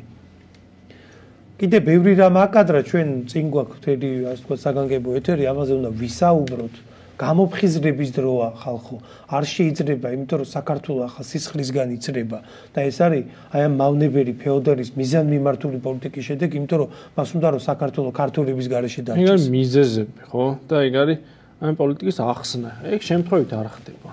ეგ გაწერილია ჯერ შეკვეთილია. მე ეგ შეკვეთა როგორ შესრულებული იყო გაწერილია და ეხა ნელ-ნელა ეტაპობრივად სრულდება და ამ ეტაპზე სადაც ჩვენ მოვედით, ხო გვეუბნებიან რომ ჩვენ არ გვაქვს ამის გაპროტესტების და ამის შეცვლის უფლება, მაგრამ გვაქვს და ამ უფლებას აუცილებლად დავიბრუნებთ. და აქ აუცილებელია ასევე იმის თქმა რომ აქცია იმართება 2 საათზე ქართული ოცნების ოფისთან. ცოტა ხანში დაიწყება ეს აქცია მაგრამ იქამდე ჩვენ შეგვიძლია ოცნების მიმდებარე ტერიტორიიდან ჩვენი ჟურნალისტი ჩავრთოთ დიანა ჩხეიძე მოგესალმებით დიანა მადლობა ჩართვისთვის გავითარება ამ წუთისთვის რამდენად უკვე მოდიან აქციის მონაწილეები და საერთოდ რა პოზიციები ჟღერდება მათი მიმართ გიორგი ქართული ოცნების ოფისთან აქცია უნდა დაიწყოს ზუსტად 2 საათზე, როგორც ჩვენთვის არის ცნობილი, მოქალაქეები მთელი ქვეყნის მასშტაბით კოლონებით მოემართებიან დედაქალაქისკენ, რათა ქართულ ქართული ოცნების ოფისთან აქციას 2 საათზე შემოუერთდნენ. ყველა მათგანის მთავარი მოთხოვნა არის ის, რომ ქართულმა ოცნებამ დაუბრუნოს არჩევანის თავისუფლება. აქ ადგილზე მოდიან ნელ-ნელა უკვე აქციის მონაწილეები, როგორც უკვე გითხარით, მათ მალე შემოუერთდებიან უკვე რეგიონებიდან კოლონები. ჩვენ საშუალება გვაქვს, რომ პირდაპირ ეთერში გიორგი კვატაშიძეს გავესაუბროთ. გიორგი, გამარჯობა. რო გითხრა კიდევ ერთხელ, რა არის მთავარი მიზანი, რის გამოც ძალიან ბევრი ადამიანი დღეს აპირებს 2 საათზე ქართული ოცნების ოფისთან მოსვლას? მთავარი მიზანი გახლავთ, რომ ამ ქვეყანაში ყველას დავანახო და ყველას დაუმტკიცოთ, რომ ამ ქვეყანაში არის კიდევ ძალა, რომლისთვისაც სულ ერთი არ არის ამ ქვეყნის მომავალი, რომლისთვისაც მნიშვნელოვანია ღირსება, ქართული ტრადიციები და ქრისტიანობა და ჩვენ აი ამ ყველას უნდა დავანახოთ, რომ საქართველოს გაუქმება, როგორც ახლა მაგათმა მოახერხეს, ხო, ვითომ კონსერვატიული მოძრაობის გაუქმება, საქართველოს გაუქმება შეუძლებელია და აქ ჯერ კიდევ ყავს ჩვენ ხალხი, ვისთვისაც, ვისაც შეუძლია იბრძოლოს ამ ქვეყნისთვის და დაიცვას ის ყველაფერი სუფთა, წმინდა, რაც ზოგადად ქართველებს გაგვაჩნია. მთელი ამ დღეების განმავლობაში ჩვენ ვაკვირდებოდით მოქალაქეების პოზიციებს, მათ განწყობებს, ამაზეც რომ თქვათ ერთი ორი სიტყვა, პირველად ხდება საერთოდ პარტიის გაუქმება ქვეყანაში. რა შეგიძლია თქვა, როგორი არის მოლოდინები ხალხის ასეთი შემართება შედეგს რამდენად გამოიღებს ოცნებისთვის? ჩვენ სოციალურ ქსელებში ვადევნებდით თვალყურს ხო რა ხდებოდა ზოგადად როგორია ხალხის შემართება. მთელი საქართველოსდან გვერდებიან კოლონები დღეს იქნება ქართული ზეიმის დღე. განწყობა არის საბრძოლო და ჩვენ აუცილებლად დავამტკიცებთ და დავანახებთ თელ საქართველოს თელ სალიბერასტეც ვინ არის ქართველი ხალხი რა შეუძლია ქართულ ხალხს და რამდენი ვართ დღეს რა და რამდენი შევიკრიბებით დღეს ჩვენგან დიდი მადლობა გიორგი კვატაშიძეს ვუსმენდით. საშუალება გვაქვს ახლა რომ გავესაუბროთ. ადგილზე იმყოფება უკვე نيكოლოზ ლომიძეც. نيكოლოზ გამარჯობა. რომ გითხრა, როგორი არის შემართება, როგორი არის განწყობა და თავარი სათქმელი რა არის დღევანდელი დღის? პირველ რიგში საზოგადოების აღშფოთება გამოწვეული გამომდინარე აკუმულაცია ჩაინის სურია და არაკონსტიტუციური მეთოდს საზოგადოების მნიშვნელოვან ნაწილს შეუზღუდა და აუკრძალა. ნომერ პირველი კონსტიტუციური უფლება არჩევნების გზით საქართველოს და სახელმწიფოს პოლიტიკურ ცხოვრებაში მონაწილეობას. ფონის ჩვენ ხედავთ საზოგადოების მომართულია პასუხი მიიღოს იმ კითხვაზე თუ რატომ წავიდა ქართული ოცნება მსგავს ნაბიჯზე რა არის ის მოტივი რატომ გახდა საჭირო ესეთი არადეკლარირებული ბრძოლის გამოცხადება ჩანსა საღადმოაზროვნე პოლიტიკურ ორგანიზაციას. აქედან გამომდინარე დღეს ჩვენ ხედავთ დღეს არის შეკრების პიკი, მთელი ქვეყნიდან იკრიბება საზოგადოება, რეგიონებიდან ჩამოდის ხალხი იმის დასაფიქსირებლად რომ ქართული ხალხი არავის არ გაუტარებს და აპატიებს თავხედობას, რომელიც შეიძლება გამოვლინდეს მის წინაშე და ესეთი მსგავსი სრულიად ამოვარნილი პარაკონსტიტუციური მოქმედება არის ყოველდღიურად მიუღებელი თითოეული მოქალაქისა. დიდი მადლობა თქვენ უსმენდით ნიკოლოზ ლომიდეს, როგორც უკვე გითხარით, მთელი ქვეყნის მასშტაბით კოლონები რეგიონებიდან მოემართებიან თბილისისკენ. დღეს 2 საათზე დაიწყება აქცია ქართული ოცნების ოფისთან და ადამიანები, რომლებიც მოდიან დღეს აქ, მთავარი მოთხოვნა მათი არის ის, რომ ქართულმა ოცნებამ დაუბრუნოს წართმეული არჩევანის უფლება. მე ვხედავ ახლა რომ აქციაზე მოვიდა რევაზ კილასონია რაც შეგვიძლია რომ მასაც გავესაუბროთ რევას გამარჯობა.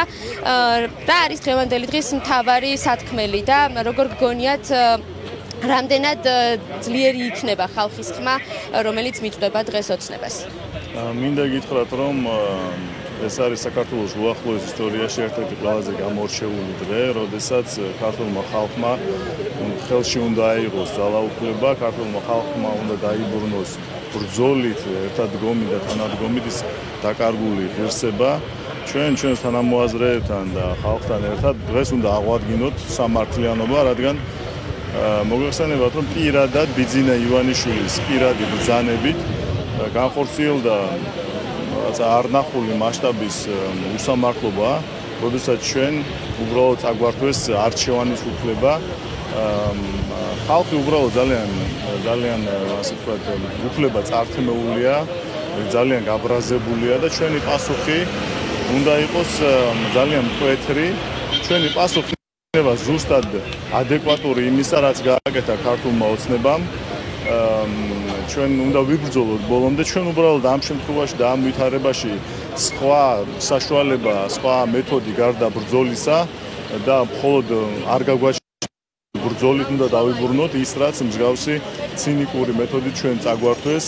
და ბოლოს მინდა გითხრათ და ვისარგებლო შემთხვევით კიდევ ერთხელ და თქვენი ეთერით და მოუწოდო მოსახლეობას რომ ნუ დარჩებიან საფში, ნუ იქნებიან გულგრილნი, შემოგვიერთნენ და ერთად ვიბრძოლოთ და დავიბრუნოთ ჩვენი მომავალი ერთად ვიბრძოლოთ უკეთესი საქართველოსი.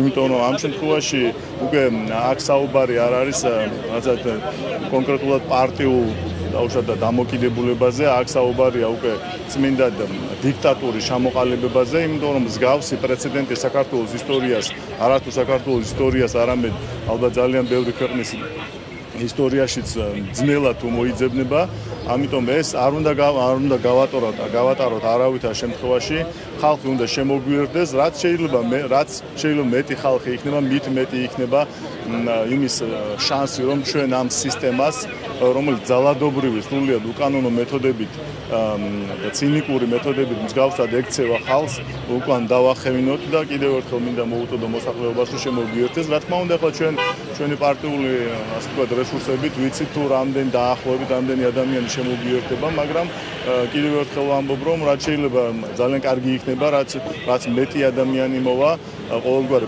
პარტიული კუთვნილების მიუხედავად ჩვენ ყველას ვეპატიჟებით და ყველას ვეპატიჟებით აი ამ ღირსეულ ბრძოლაში მინდა გითხრათ.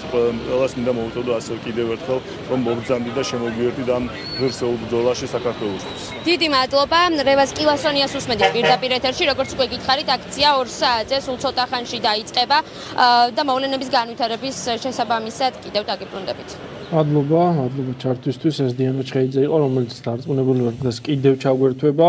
აქცია, ну, ჯერ არ დაწყებულა, მაგრამ მოქალაქეები უკვე იკრიბებიან და მოდი აი ლევოს კილასონიას სიტყვებით გავაგზავნოთ საუბარი, ხო? ეს შეიძლება არის პოლიტიკური პარტიის გაუქმებით გამოწვეული პროტესტი, მაგრამ ეს არის საბაბი. მიზეზები გვაქვს უამრავი და ეს ეხება ყველა პოლიტიკურ პარტიას, ყველა კონსერვატიულ პოლიტიკურ ძალას, ყველა კონსერვატიულად მოაზროვნე ადამიანს და ამიტომ აუცილებელია რომ ბევრი ადამიანი გამოვიდეს აქციაზე, იმიტომ რომ ჩვენ თუ წაგვართვეს არჩევანის უფლება, ხო, მაშინ ყველას წაართმევენ. ეს პანდორას ყუთი იხსნება და პანდორას ყუთი უნდა დავხუროთ და არავის არ უნდა მივცეთ იმის საშუალება, რომ ვინმეს ილუზია კონდეს, რომ ამას გააკეთებს, ეს გამოუვა და ამას გაატარებინებს მოსახლეობას, ხო? ჩვენ არ უნდა გავუტაროთ ეს არავის. სამართლიანი სამართლებრივი პროტესტი და ხელისუფლებას უნდა ვაიძულოთ, რომ უკან დაიხოს, იმიტომ რომ მათ სამართლებრივად სიგიჟე გააკეთეს. პოლიტიკურად ეგ არის ანტისახელმწიფოებრივი მოქმედება და ორივე ამ მიმართულებაზე პასუხი უნდა გაეცეთ. საერთოდ აი როგორ რაღაცა იცი, როცა სისტემა აა იწખებს ძალადობას და არა თუ რეაგირებით ძალადობას, არამედ თვითონ ინიციატივას იჩენს და თვითონ გიტევს და თვითონ ასე ვთქვათ იწખებს ქვეყანაში ყველანაირი განსხვავებული აზრის და პოლიტიკური ჯგუფების განეიტრალებას და თვითონ იქმნის მისთვის კომფორტულ პოლიტიკურ ველს, მათ შორის ოპოზიციურსაც, როცა ის იწખებს მხოლოდ მისთვის კომფორტული ოპოზიციის დატოვებას და ვინც მის მიერ კონტროლდებადი არ არის, უბრალოდ მის გაქრობას აა მაგ დროს არჩევანი აღარ გრჩება. საერთოდ ჩვენი არჩევანი არასდროს არ ყოფილა ქუჩაში გამოსვლა. აი დააკვირდით ვიღაცები ხა ვისაც გონია და ხელისუფლების პროპაგანდა ხა აქტიურად სოციალურ ქსელებში იქნება თუ მათ მიერ კონტროლდებათ მედიებში რომ ჩვენ ვართ დესტრუქციული ძალა, რადიკალები. მოდი თქვენ შეხედეთ საზოგადოებას მიმართავ. თქვენ შეხედეთ ეხა თუნდაც ამ მოვლენების ქრონოლოგიას. ჩვენ რისთვის ვემზადებოდით? საერთოდ აი აზრათ არ მოსულია არავის ქუჩის აქცია. კვირა დაიწყო თუ არა?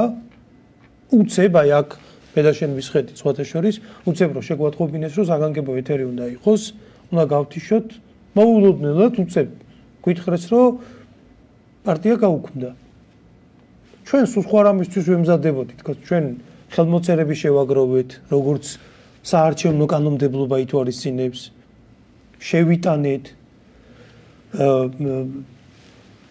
ორჯერ მეტი ორჯერ ნაკლებ დროში. მე უნდა მიგვიღო რეგისტრაცია უნდა გაგვევლო? მე საარჩევნო ნომრის მინ როგორც ხდება კანონმდებლობით?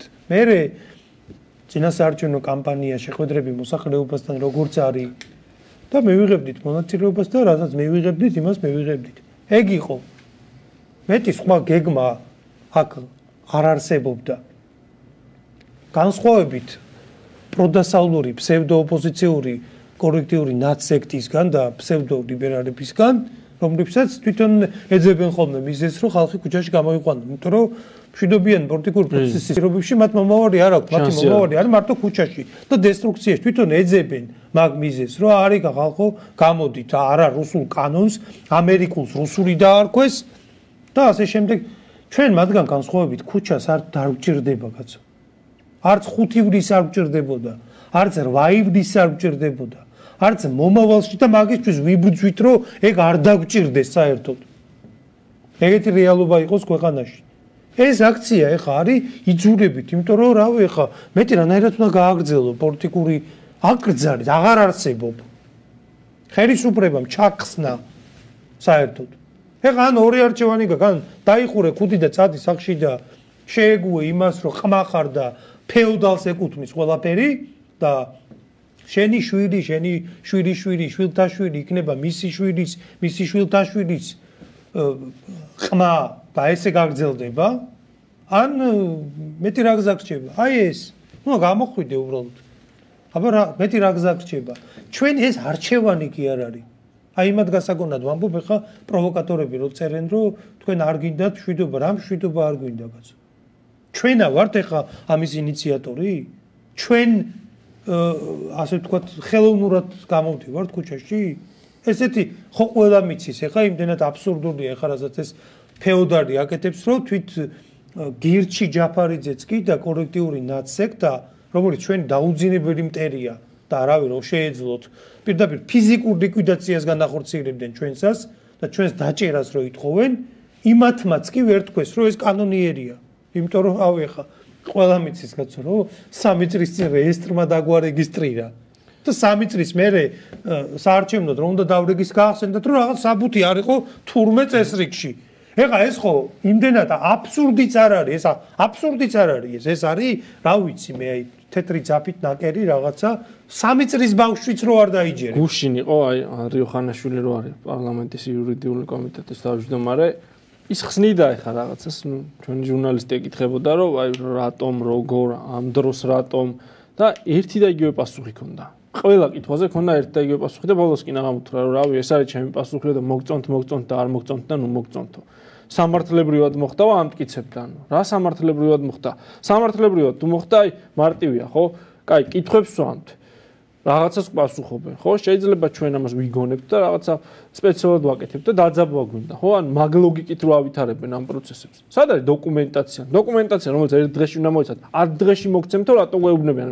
რას წერენ ისეთ, რაც ვერ დაწერეს და როგორ უნდა აიხსნას თან მე ეგეც არ მესმის. ხო, აი ეს უკანონობა ფურცელზე როგორ უნდა გადაიტანონ? რა თქმა უნდა ვერ გადაიტანენ. იქაც რაღაცა სისულელეს დაწერენ, მე იუსტიციის სახლს უნდა ედაო, თუ არა და სასამართლოში უნდა წახვიდე და არჩევნების მერე გეტყვიან რომ შეგვეშალა. თავარია რომ არჩევნებში არ მიგვაღებინონ მონაწილეობა და ეგ ყველას უნდა ესმოდეს რომ ამ თემაზე პროტესტი უნდა გამოხატოთ და ზოგადად ხო ეხა აი ეს აქცია არის ხელისუფლების მიერ ჩვენგან მოთხოვნილი. ანუ ხელისუფლება მიგვიყვანა აქამდე რომ აქცია უნდა გაგვემართა თორე არავინ არ დარბოდა ქუჩა-ქუჩა ზოგიერთივით ხო მოლოტოვის კოქტეილს არავინ არ ისროდა პოლიციელებს არავინ არ წვამდა, არავინ არავის შეურაცხყოფას არ აყენებდა, ამათ გამოიწვიეს ეს, რომ პარტიას გაუქმეს რეგისტრაცია და ამაზე ხა ჩვენ რეაქცია უნდა გქონდეს და სამართლებრივი და სამართლიანი პროტესტი უნდა გამოიხატოს და ამასთან დაკავშირებით ათონის მდიდანაც კეთდება განცხადებები, ხო?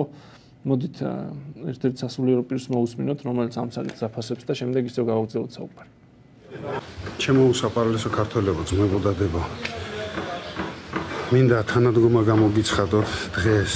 მართლაც უბოროტესი უბოროტესი ძალის ლიბერალიზმის წინააღმდეგ ხექმედებებში იმის ხარდასაჭერად წერა ვიდეოს რომ ხარდაჭერა არა მარტო ჩემი მთელი ქართველობის უმრავლესობა ქართველობის რომელიც ათონის თაზე ვიმყოფებით ხარდაჭერა კონსერვატიულ მოძრაობას იმაში რომ მათ მიეცეთ უფლება მონაწილეობა მიიღონ არჩევნებში ჩვენ ერთადერთი რაც შეგვიძლია აქედან ლოცვა, ღმერთმა დაგლოცოთ, გაგაძლიეროთ და ყველა მართალ და სწორ საქმეში. თანადგომა და ვერჩი დგომა არ მოგიშალოთ უფლისა, გაიხარეთ. უკაცრავად სასულიერო პირის შემთხვევით გამოვაცხადე ამ წამს ჩაგვიგდეს ეს ვიდეო? ერისკაცია ეს ადამიანი, მაგრამ პროტესტი რო რეალურად ანუ პოლიტიკურ ჩარჩოებს გაცდა და მან აბსოლუტურად საზოგადოებრივი ხასიათი მიიღო და ეს რო ყველას აწუხებს ჩანს, ხო, უამრავი ადამიანი ეხმაურება ამას. მათ შორის სასულიერო პირებმაც დააფიქსირეს პოზიცია აქ. ჩვენ უნდა გვესმოდეს, რომ ეს არც ერთ პარტიას ეხება, არც ერთ ადამიანს ეხება და არც რაცა კონკრეტულ პოლიტიკურ ორგანიზაციას, რომელსაც აბრალებენ იმას, რომ თურმე ეს პოლიტიკური ორგანიზაცია მიზეზებს ეძებს, რომ ქუჩაში გამოვიდეს. ხო, აი, მოდი გავიხსენოთ აქციები. ეს აქცია ახსენით რითი იყო გამოწვეული. 13 იანვრის აქცია, ხო? რომელიც ხატის შეურაცხყოფის თემაზე გამოხატეთ პროტესტი, ხო? იქ რა თქმა უნდა, იმასაც სახელმწიფოებრივი მნიშვნელობა ჰქონდა, ისიც პოლიტიკურ საზღვრებს გაცილებული იყო, იმიტომ რომ პოლიტიკური პარტია არ აპროტესტებდა იმ ფაქტს, იმას აპროტესტებდნენ ერი და ბერი ერთად, იმიტომ რომ ხატის და ჩვენი რელიგიური გზნობების შეურაცხყოფა რა თქმა უნდა გასაპროტესტებელია. იქამდე მაგალითად 8 ივლისის აქცია, რომელიც პედოფილიის ფესტივალის არ ჩატარებას ემსახურებოდა და მიზანი მიღწეული იქნა საერთოდ ხო? ნებისმიერი ასეთი შეკრება არის ჩვენი მხრიდან რეაქცია. რეაქცია იმაზე რასაც ჩვენ ქვეყანას და ჩვენ საზოგადოებას უკეთებენ. იმ განზრახვებზე რა პოლიტიკაც არის ზოგადად ხო? ეხლა როგორ შეიძლება ხატის შეურაცხყოფა გავატაროთ? როგორ შეიძლება პოლიტიკური პოზიციის არ ქონას რომ რაღაცა სამართლებრივად გვიფუთავენ და გვიკრძალავენ ეგ გავატაროთ? როგორ შეიძლება რომ პედოფილიის ფესტივალი დავუშვათ როგორ შეიძლება რომ პერვერტები ქუჩაში დაარბოდნენ, მოლოტოვებს ისროდნენ და ისინი მე გმირებად ცხადდებოდნენ. ამ ყველაფერზე პოზიციის დაფიქსირება, რა თქმა უნდა, ჩვენი უფლებაა და ამას ვერავინ ვერ აგვიკრძალავს. ხო ვისაც როგორ არ უნდა უნდოდეს და როგორც არ უნდა ცდილობდნენ თუნდაც სპეცსამსახურები და თუნდაც ძალოვანი უწყებების წარმომადგენლების გამოყენებით ხალხის შეშინებას. ხო ასეთ დროს ვერავის ვერავინ ვერ შეაშინებს. ხო ჩვენ გვახსოვს პარტია და მის ლიდერები როცა რეგიონებში მარდამჭერებში ხვდებოდნენ იქ რაღაცა საზოგადოებას აშინებდნენ, ხო, ხმას არ ვცელებდნენ, რომ მაგათთან არ მიხვიდეთ, რაღაცა დაფიქრდით, ზეწოლის სხვადასხვა ინსტრუმენტები აქვს. და ამის გამოყენებით უნდათ რომ პარტიის ფუნქციონირებაში ხელი შეეშალოთ, მის განვითარებასა და გაძლიერებაში ხელი შეეშალოთ, მაგრამ ნუ მაგარ რო არ გაამართლა, ბოლოს რა გააკეთეს, იცი რომ ჩაჩეხეს. პარტიის განვითარების გზა, აჯახით, ჩაჭრეს და მივიდნენ იქამდე რომ გაუქმეს რეგისტრაცია. ესეთი რამ არ მომხდარა, აი მოდი კიდე ერთი მაგალითი მოვიყვანთ, რომელიც მე მგონი ყველა თქვა ხო ამ ეთერში. ეროვნული მოძრაობა არ გაუქმებია კომუნისტურ პარტიას. საბჭოთა კავშირია, ანუ საბჭოთა კავშირია ის სახელმწიფო, რომელშიც ერთპარტიული სისტემა იყო. მაგ ერთპარტიულ სისტემაში დაიშვა მრავალპარტიული არჩევნები, რომელშიც გამარჯვა ეროვნულმა მოძრაობამ, რგვალმა მაგიდამ, ხო? და მათ შორის მაგ პოლიტიკური პროცესის მიმდინარეობით და გამოყენებით მოხერხდა საქართველოს დამოუკიდებლობის აღდგენა. და მაშინ კომუნისტებმა ეგ ვერ გაუბედეს ქართულ ხალხს. და დღეს ქართული ოცნება როცა აი გასაოცარ დემოკრატიას ვაშენებთ ამდენი წელია ვაშენებთ გასაოცარ დემოკრატიას. მივედით აქამდე რომ პოლიტიკური პარტია, რომელსაც მათივე შეფასებით რეიტინგი არ აქვს, რომელსაც მათივე შეფასებით რაღაცა ხედვები აქვს, რომელიც რეალობას ააცდენილი, რომელსაც რა თქმა უნდა მხარი დამჭერები არ აქვს, გააუქმეს. ანუ რა ლოგიკა გაქვთ ეგეთი, სადაც ესეც ამის ლაპარაკიც მოსულა და ეგცევათ და იგი ორივე იხსნება. პირველ რიგში ამათ პრობლემა ეხა აქვს საკუთარ ამორჩევლებს ვერ ეუბნებიან. ნაც მოძრაობას კძალობენ და კონსერვატიული მოძრაობა გააუქმეს. ანუ საერთოდ რასთან გვაქვს ჩვენ საქმე? სახელმწიფოში ვინ არის დაცული? ვინ არის დაცვის გარანტია და რამე რომ მოხდეს, ვინ არის პასუხისგებელი? ხო, ვისი იმედი უნდა გქონდეს? მეორე ფრონტზე ვსაუბრობთ ამდენი ხანია. სახელმწიფო გადატრიალებაზე ვსაუბრობთ ამდენი ხანია, ხო აი. მოქალაქეებს ვისი იმედი უნდა გქონდეთ? ვინ არის აქ უსაფრთხოების გარანტი? ვინ არის აქ იმის გარანტი, რომ გეი პრაიდი და პედოფილის ფესტივალი არ ჩატარდება? ვინ არის აქ იმის გარანტი, რომ ხვალდაზე ის გიჟები არ გამოცვიდებიან ქუჩაში და მოლოტოვის კოქტეილის როლს არ დაიწყებენ და თუ დაიწყებენ მე მაგათ პასუხი გაეცემათ და ყველა სამართალ დამღოს დაიჭერენ ვინ არის მაგისი გარანტი? თუ ეგეთი რაღაცების დახურდავება და კონვერტირება შეიძლება და დასავლეთთან ვაჭრობაში გამოყენება. ამიტომ ჩვენ ამაზე პოზიციონად დავაფიქსიროთ ხო? როგორც არ უნდა უნდოდეთ რომ ჩვენ მივიძინოთ თუ თამაშიდან გავხდიშონ ნუ ეგ შეუძლებელია. პრაქტიკაში არის შეუძლებელი მაგის განხორციელება და კონსერვატიული მოძრაობა, ეს შეხედულებები, ეს იდეოლოგია, ეს იდეები, ეს სტრატეგიული და ტაქტიკური ხედვა აუცილებლად იქნება არჩევნებზე წარმოდგენილი, იმიტომ რომ ამას ხალხი ითხოვს. და ხალხის მოთხოვნის აი ესე მიჩქმალვა, ხო, უბრალოდ არავის არ შეუძლია. აქამდე ისტორიას არ ახსოვს ეგეთი რამე და რავი, რატომ უნდა გამოვიდეს ქართულ ოცნებას. ქართული ოცნება გახდა ღიად რეპრესიული ძალა. ბიძინა ივანიშვილმა გამოუცხადა ომი ქართულ ხალხს და ბიძინა ივანიშვილი ამას უკვე აგეთებს 12 წელია, მაგრამ ახლა ეს ყველაფერი დაიწყო ღია, აშკარა რეპრესიული ფორმით. ბიძინა ივანიშვილმა გვითხრა, რომ არანაირი არჩევანის უფლება ჩვენ არ აგვაქვს. ჩვენ, ვისაც მიგვაჩნია, რომ გვაქვს არჩევანის უფლება, მიუხედავად იმისა, ალტინფოს ამომრჩეველი ხარ თუ ვისი ამომრჩეველი ხარ ვისაც ღირსება აქვს დღეს უნდა გამოხვიდეთ ყველა. აი ამ აქციაზე ამ აქციის თავარი გზავნილი ხელისუფლებისადმი არის ის რომ ჩვენ ყმები არ ვართ. ჩვენ წვეთ რომელმა პარტია მიიღოს არჩევნებში მონაწილეობა და ქართული ხალხი არის პოლიტიკური მსაჯული. ამომრჩეველი არის პოლიტიკური მსაჯული. არავის ერთ ადამიანს და თუ გინდა 10 და თუ გინდა 20 ანუ ადამიანების ჯგუფს არა აქვს უფლება გადაწყვიტოს ვინ მიიღებს მონაწილეობას და ვინ არა. ამიტომ ეს ღირსების საკითხია ხალხო და გამოდით ყველა.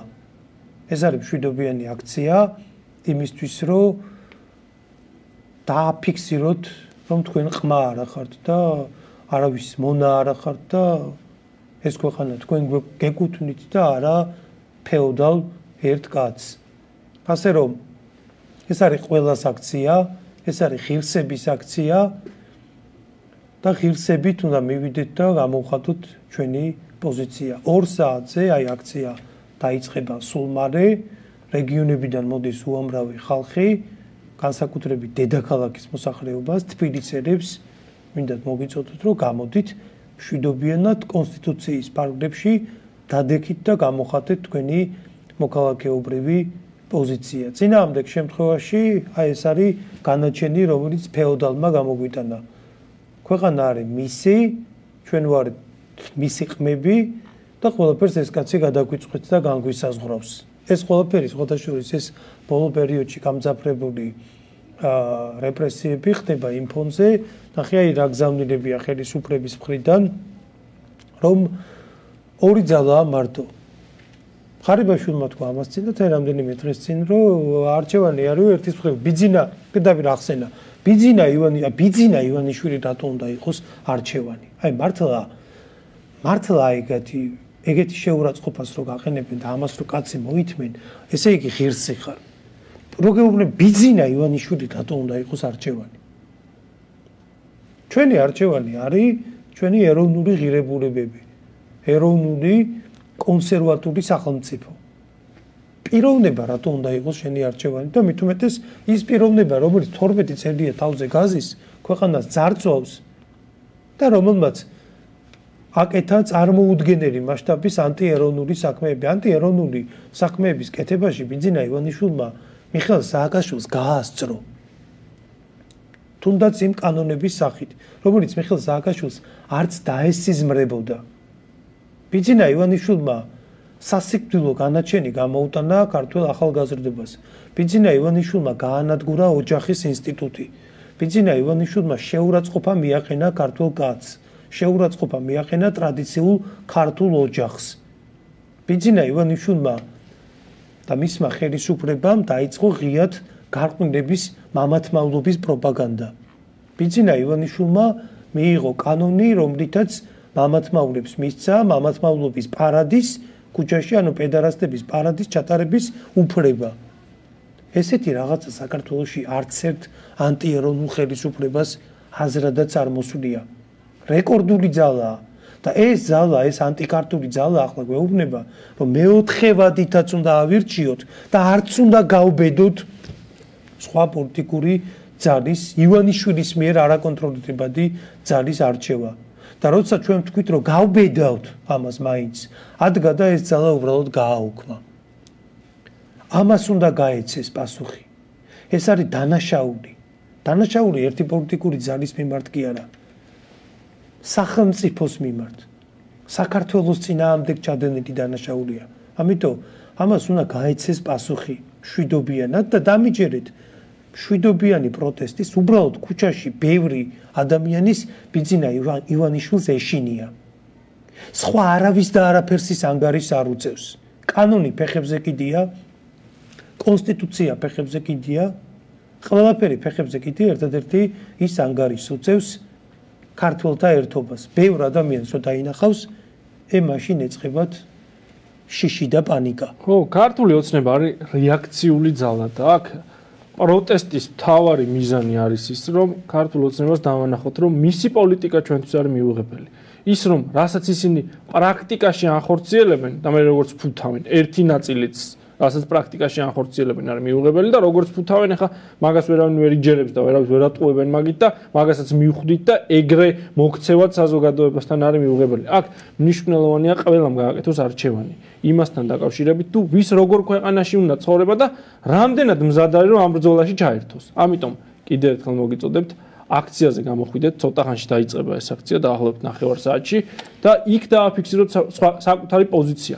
პოლიტიკურადაც როგორც სამოქალაქო პირმაც, როგორც ამ ქვეყნის რიგითმა მოქალაქემ იმ საკითხებთან დაკავშირებით, რა საკითხებს თქვენ გაწუხებთ? აქ საერთოდ საუბარი იმაზე, რომ აი კონსერვატიულ მოძრაობას უჭერთ თუ არა მხარს. რასაც ჩვენ ვამბობთ, რასაც ჩვენ ვსაუბრობთ, რაც ჩვენ გვაწუხებს, ეს თემები თუ თქვენს გაწუხებთ და ამასთან დაკავშირებით თუ თქვენ გაქვთ თქვენი შეხედულება ტაქტიკურად შეიძლება ცოტა სხვანაირი, ცოტა სხვანაირად აფასებთ ამ საკითხს, გამოსავლის გზა სხვანაირი, მაგას არ აქვს მნიშვნელობა. მაგაზე შევჯერდებით, ეგ შეთანხმებადია, მაგაზე საქართველოს მოსახლეობა ყოველთვის ახერხებდა შეთანხმებას და შეჯერებას.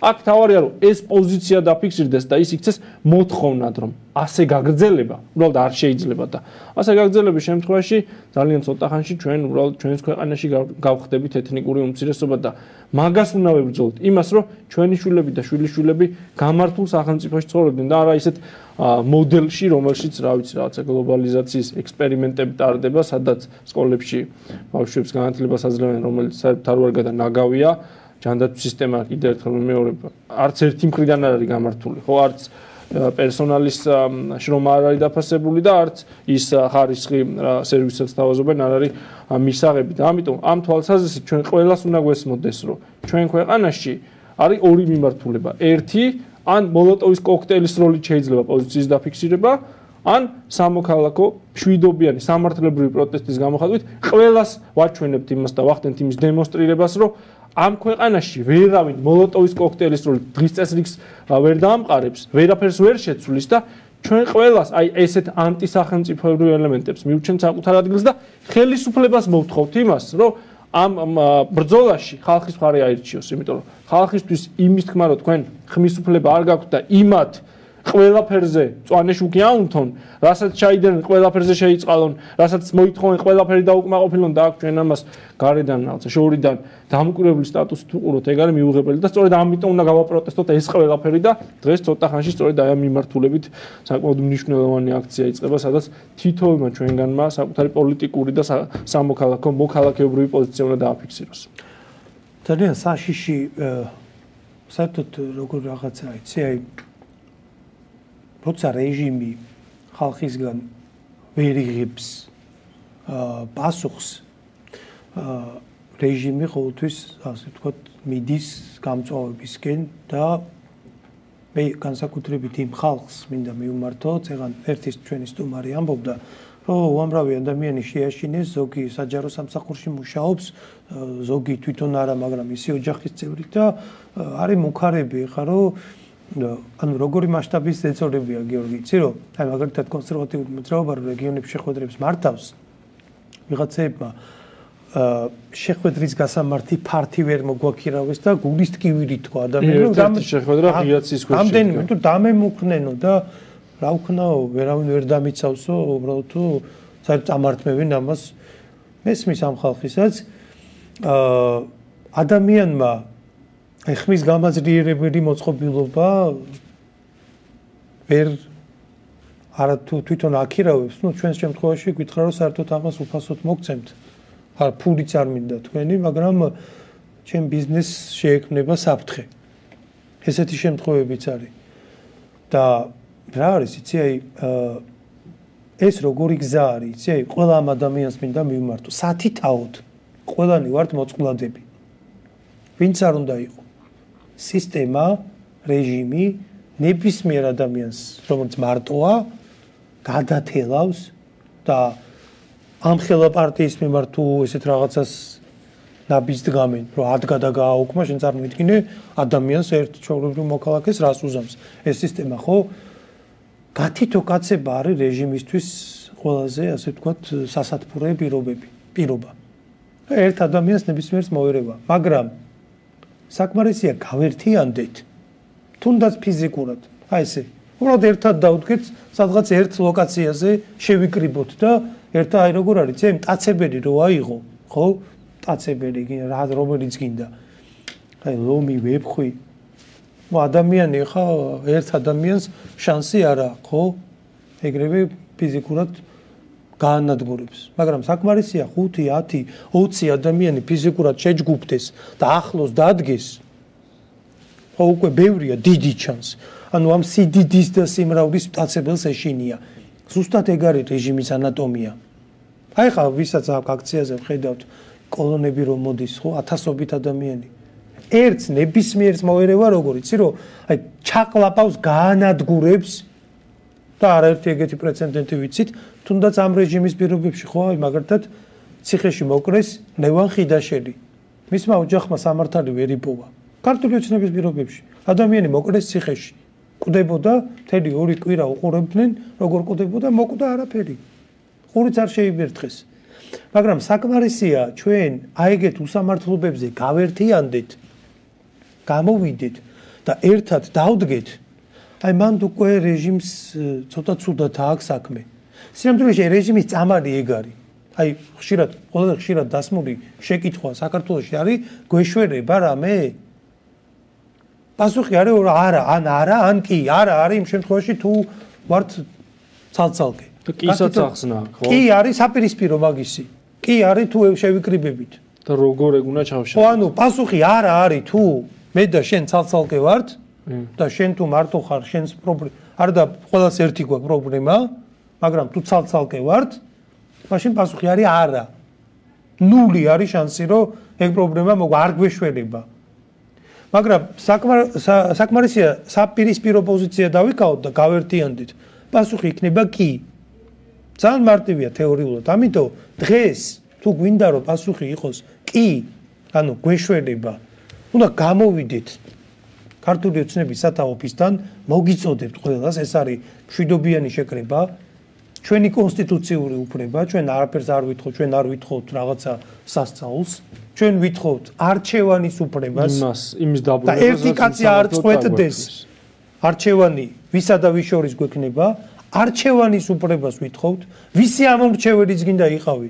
უბრალოდ გააპროტესტე რომ ერთი კაცი არ წყვეტდეს შენ ვი არჩევანი რა გექნება ვინ შემოხაზო და ვინ არა ეს გააპროტესტე გამოდი ქართული ოცნების სათაოფისთან დადეკი და უთხარი არა ივანიშვილის ფეოდალურ რეჟიმს. ან ჩვენ ქვეყანაში თამაშის წესებს უნდა განსაზღვრავდეთ ჩვენ.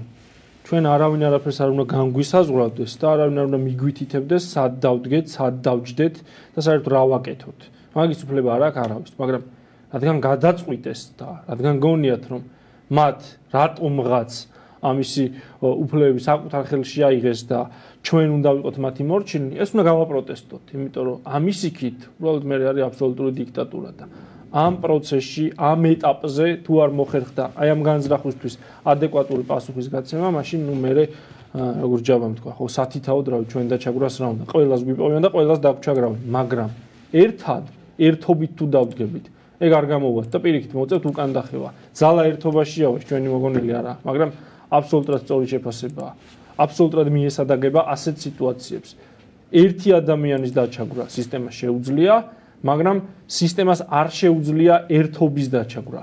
ბევრი ადამიანის, რომლებიც ერთ პოზიციაზე დგანან და ამ საკითხში ყველას პოზიცია უნდა იყოს იდენტური. არავის არ აქვს იმის უფლება, რომ ვინმეს ხმის უფლება წაართვას. არავის არ აქვს იმის უფლება, რომ ვინმეს ცხოვრებაში, პოლიტიკურ ცხოვრებაში მონაწილეობის მიღების უფლება წაართვას და ამ თვალსაზრისით, რა თქმა უნდა, მაგაზე პროტესტი არის ერთადერთი ალტერნატივა. აი ამ შექმნილი სიტუაციიდან გამოსავალი სწორედ ეგ არის და ამისათვის აუცილებელია სიმრავლე და თუ ამაზე თანხმდებით, რომ ხელისუფლებას ამის უფლება არ აქვს, მაშინ ეს ერთად უნდა გავაპროტესტოთ და ერთად უნდა შევცვალოთ ეს დღის წესრიგიც და რამდენადაც მე ვიცი, კიდევ ერთხელ გვერდება ჩვენი ჟურნალისტი დიანა ჩხეიძე ქართული ოცნების მიმდებარე ტერიტორიიდან. დიანა, ეხა რა ვითარება, რამდენად მოიმატა ხალხის რაოდენობამ და რა განცხადებები კეთდება ადგილზე?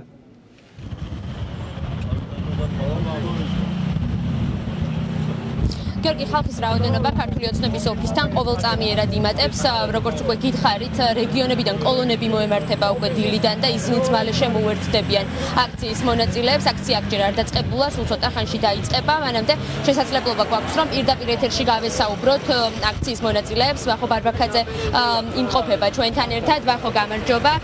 რომ გითხრა თავარი სათქმელი დღეს აქ შეკრებილი ხალხის რა იქნება პირველ რიგში მოგესალმებით მიმესალმები ალტიფოს მაყურებელს. თავი სათქმელი არის ის, რომ კონსერვატიულ მოძრაობა ალტიფოს მიეცეს არჩევნებში მონაწილეობის მიღება და აქ არის ძალიან მნიშვნელოვანი ის, რომ ამ პარტიის მხარდამჭერები აცხადებენ და გვერდში გვიდგანან, რომ მათ აქვთ არჩევანის უფლება და რომ ეს არჩევანის უფლება აი ზუსტად აი შენობაში გამომწყრეულმა ხალხმა წაართვეს. ამიტომ ჩვენი სათქმელი არის მკაფიოთ და ნათლად რომ კონსერვატიულ ფლანგს უნდა მიეცეს ხმის უფლება, რაც წაგვართვეს. ყველას მოგიწოდებთ აბსოლუტურად ნებისმიერ ადამიანს. ეს არ ეხება ჩვენ გვეთანხმებით თუ არ გვეთანხმებით. ეს არის პრეცედენტული გადაწყვეტილება რომელიც არ უნდა მივცეთ ამ ხელისუფლებას არ უნდა მივცეთ იმის საშუალება რომ ეს პრეცედენტული გადაწყვეტილება დადგეს.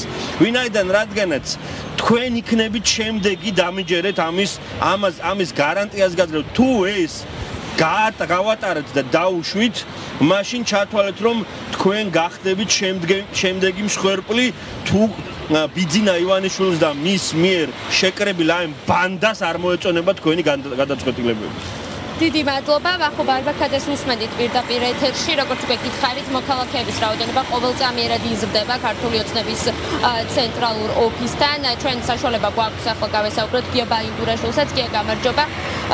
რომ უთხრა საზოგადოებას თავარი სათქმელი რა არის დღევანდელი აქციის ოცნების უპრეცედენტო სიტყვაზე საზოგადოებას ეკნება ხისტი და მყისიერი პასუხი ვიღაც გაყიდული ოლიგარქის გადასაწყვეტი არ არის საქართველოსი ქართული ქრისტიანი მოსახლეობა მართლმადიდებელი მოსახლეობა ვის მისცემს ხმას და ის გზა რომელსაც ანუ ჯალალედინის და რა ქვია თემურლენგის გზა არის მოღალატეობრივი და მაგზას უწერია დასრულება და მაგას გავაკეთეთ ჩვენ. არავის არ კონდეს იმის ილუზია დინარაძეებს და ვიღაც ივანიშვილის თუთიყუშებს რომ აქ საქართველოსი ვიღაცა გადაგვიწყვიტავს და ესე იქნება და საქართველოსი ჩამოართვევენ ყველაზე მნიშვნელოვან ხმის მიცევის და არჩევანის უფლებას. შესაბამისად, ეს ესე მარტივად არ დასრულდება და ჩვენ ძალიან ნახავთ აქ არავინ არ მოერიდება არც პოლიციას, ჯალალედისაც ისავდნენ 100.000ობით მეომრები, მაგრამ ის იმპერია აღარ არსებობს და დღეს საქართველოს ბრძოლას განაგრძობს. როგორც ჩანს, ამათ ამ მანქურთებს არ ესმით ეს და ვერ წარმოუდგენიათ, მაგრამ ჩვენ ამ ბრძოლას მივიყვანთ ბოლომდე და გამარჯვები დავასრულებ და ის მომენტი რომ თითქოს აქ ეხლა ვიღაციები არ ვიცი გარედან მოკალათდებიან ფეოდალურ რეჟიმს დაგვიმკვიდრებენ არის ჩანასახშივე შობილი მკვრა და მაგას ყველაფერს ჩვენ ნახავთ ძალიან მალე.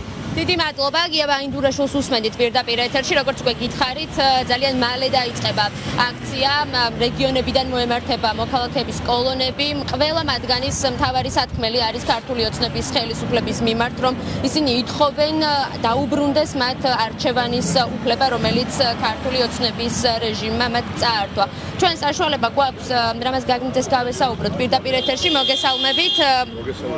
როგორი არის განწყობა რომ გითხრათ მოქალაქეები იკრიბებიან კოლონები მოემართებიან როგორც ვიცით მთელი ქვეყნის მასშტაბით რეგიონებიდან. რა იქნება დღევანდელი დღის მთავარი სათქმელი და მთავარი მიზანი რა არის? კიდევ ერთხელ რომ ვთქვათ განწყობა არის იდეალური ძალიან წინვალე ძალიან ესეთი შემართებითი ხალხი მოვა და კიდე ბევრი ხალხი მოდის ძალიან. და ეს დაიწყო დღეს. მე შემიძლია თავისუფლად განმაცხადო რომ დაიწყო დღეს ღირსებისთვის მართლმადიდებლობის და თავისუფლებისთვის ბრძოლა. დღეს დაიწყო. და აქამდე იყო რაღაც ბრძოლის ელემენტები და ნამდვილ ბრძოლა დღეს იწყება თუ ესენი ვერ გაარკვევენ კიდე ვერ გაერკვევენ ერთმანეთში თავიანთ თაღლით საჯარო რეესტრში, თავიანთ თაღლით მინისტრებში, პარლამენტარებში და თავიანთ თაღლით ბიზნესში ვერ გაერკვევიან კიდე ერთმანეთში, ხო და ვერ მიხვდებიან რა მოეყვება ამ ყველაფერს და როგორ უნდა გაუქმება ამ თავისუფლების ამ ღირსების გაუქმება, სადაც ღირსება არის ყველაზე მთავარი. ღირსებას რო გიუქმებენ შენ და ღირსება შენ პიროვნებას შენ რო გართმევენ ღირსებას, ხო აქ მორჩა უკვე საუბარი და ამ მორჩა საუბარი არ იქნება, ამას არ დავანებენ. ეგრე ეგონა იმ გათახსირებულ სააკაშვილს და მიიღო თავისი და ესენი უარეს მიიღებენ ბიძინას დამადობით კიდევ რა და აი თავარი საქმელი იქნება ეს პუნქტები რაც ახლა მე გავაჟღერე ზუსტად რა. დიდი მადლობა.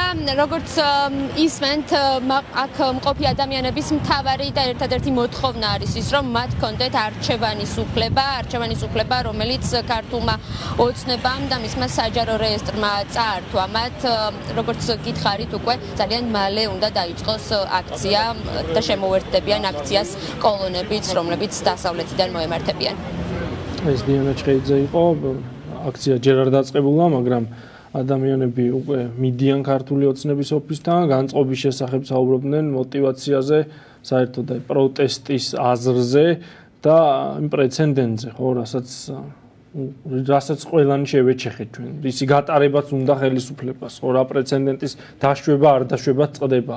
არ შეიძლება ვინმეს პოლიტიკური პოზიციის გამო აკრძალვა, და თუ საერთოდ აკრძალვაზე გვაქვს ჩვენ საუბარი, ეს უნდა გააკეთოს საკონსტიტუციო სასამართლომ და თუ ვინმე ამ ქვეყანაში ასაკრძალია, ეს არის ნაცმოძრაობა და ეგ დავალება 2012 წელს იქნა გაცემული, მაგრამ რა ვიცი, დღემდე ვერ შესრულდა და მაგის მაგივრად კონსერვატულ მოძრაობას გაუქმეს რეგისტრაცია, აკრძალვა ვერ გაუბედეს, ხო? მაგრამ ეს არის გამოწვევა, ხალხის გამოწვევა, აბა რა პოზიცია დაფიქსირდება და ნუ ამ თამაშში, ამ პოლიტიკურ თამაშში. ჩვენ ჩვენი საზოგადოებრივი სამოქალაქო პოზიცია უნდა დავაფიქსიროთ, შეეშალათ აშკარად, ხო, პოლიტიკური პარტიის გაუქმება მაგრად შეეშალათ. ნაცმოძრაობა შეიძლება, მოძრაობა ნაცმოძრაობაში წარი და კონსერვატიულ მოძრაობაში წარი, მაგრამ სხვა მოძრაობა რო გააუქმეს, ეგ ფაქტია და ხა ჩვენ არ უნდა ვიცეთ მას იმის საშუალება, რომ ესე გვეთამაშონ, ხო, სხვა უნდა გააუქმებინათ, სხვა გააუქმეს. ამ პროცესში ერთადერთი გამოსავალი რაც არის, ეს არის პროტესტი. სამართლებრივი და სამართლიანი პროტესტი, რომელსაც ექნება შედეგი და შედეგის მიღწევა სჭირდება ბევრი ადამიანის მხრიდან ამის მოთხოვნა. შენ პირო შეეშალათ და როგორ რაღაცა იცი, აი ეგ ჩვენზეა დამოკიდებული. ეხა რა გაირკვევა? ანუ შეეშალათ თუ არ შეეშალათ? თორე ივანიშვილს თავის გეგმები განსაზღვრული აქვს, ანუ არაფერი არაფერსაც არ აკეთებს. რო არ იცოდეს რას აკეთებს. ეგ ყველაფერი მიზანმიმართული პოლიტიკაა, რომ ხალხს არჩევანი არ კონდეს. აა ჩვენზეა დამოკიდებული ახლა ის ამ ყველაფერს ინანებს თუ არა და ანუ რა გაირკვევა, შეეშალა თუ არ შეეშალა. ამიტომ რაც უფრო ბევრნი ვიქნებით, რაც უფრო მეტნი გამოვალთ და უნდა გამოვიდეთ და მოგიწოდებთ ხალხო გამოდით ივანიშვილი მივა იმ დასკვნამდე რომ ხო არასწორი სტრატეგია შეურჩევია როცა ქართული ხალხი დაბალღობედ მიიჩნია თურმე შემცდარა. ეგრე არ არის. თუ არ და თუ მას თავი თავისი გაუვა, მაშინ სწორი გათვლა გაუკეთებია და დიახ მართლა დაბალი ხობე ყოფილვართ და ეს კაცი ყოფილა მართალი, როცა ჩათვალა, ჩათვალა რომ ქართული ხალხის დაჩაგვრა შესაძლებელია, როცა ეგ გამოვა. ჩათვალა რომ ხო ეგრე გამოვა, როცა ჩათვალა რომ ქართულ ხალხს შეიძლება თავზე წამოარტყა და დაჩმორდება და მე ჩემი გამივა ესე იგი სწორად გაუთვლია ამიტომ ჩვენი ამოცანა ეგ არის ხა რომ ის კაცი მივიდეს იმ დასკვნამდე რომ ვერ გათვალა სწორად. ძალიან შეეჭალა როცა ჩათვალა რომ ქართულს ესე შეიძლება მარტივად შეულახო ღირსება და ქართველი ამას შეეგუება. ჩვენზეა დამოკიდებული, ამიტომ მოგიწოდებთ, რომ გამოდით ქართული ოცნების სათა ოფისთან და უთხარით არა ივანიშვილის ფეოდალურ რეჟიმს. ჩვენ არ დაუბრუნდებით ბატონ ხმობაში და არავის არ მივცემთ საშუალებას, რომ ზედ დაგვაჭდეს და ჩვენ ყმები ვიყოთ და თვითონ ბატონი და მისი იყოს მარტო ეს ქვეყანა. რაც შეეხება იმ გამარჯვებას, ხო, როგორ უნდა იქნეს ის მიღწეული, როგორ უნდა მოვიპოვოთ გამარჯვება და საერთოდ პროცესში ჩვენ რასთან გვაქვს საქმე და როგორი ტიპის უნდა იყოს მათ შორის ეს პროტესტი, აა ამასთან დაკავშირებით ამას პირიდონის გამოხმაურება შეგვიძლია მოვისმინოთ. ხო, ის ამბობს, რომ ჩვენი გამარჯვება არის გარდაუვალი. მოვისმინოთ და შემდეგ გავაგზავნოთ საუბარი. დაფიქსირდა სერიოზული ძალა ამ ქვეყანაზე შეყარებული ადამიანთა ინტერესების გამოხატველი ძალა მაშინე სამი წლის რეგისტრირებული პოლიტიკური ძალა მოხსნეს, გააუქმეს, აღარ არსებობს. ჩვენ პრობლემებს ხედავთ ქვეყანაში და პრობლემები თავზე საყრად გვაქვს? ამას ამჟღერს ეს ფრაზა ჩვენ ვიხშოვით ამ პრობლემებში. მაშინ ამ პრობლემებს მოგვარება ჭირდება და მომგვარებელი ძალა, როდესაც ამ მომგვარებელი ძალა, როდესაც აუქმებს ხელისუფლება, სპობს მის არსებობას, ეს იმას ნიშნავს, რომ ხელისუფლება ემზადება ამ სიბიძურის გასაგზელებლად, გენოციდის გასაგზელებლად. ამიტომ ჩვენ უნდა გვეყოს ვაშკაცობა, გამბედაობა, რომ შესაბამისი პასუხი გავცეთ ყველას და ყველაფერს. საქართველოს ეს არის ყველაზე ღვთისმშობლი წიხვერდი ქვეყანა, ხოლო თითოეული ჩვენთაგანი ვართ ყოვლადწმიდა ღვთისმშობლი ჩვენი ზეციური დეტიკოს წიხვერდი ქვეყნის მსველი ჯარისკაცები და ჯარისკაცი კი ვალდებულია პირნათლად აღასრულოს თავისი მოვალეობა და ჩვენ ამ მოვალეობას პირნათლად აღვასრულებთ. ჩემო ძვირფასებო, ჩვენი გამარჯვება გარდაუვალია. დაგლოცოთ უფალმა. აქ არის ერთი საკითხი, ხო?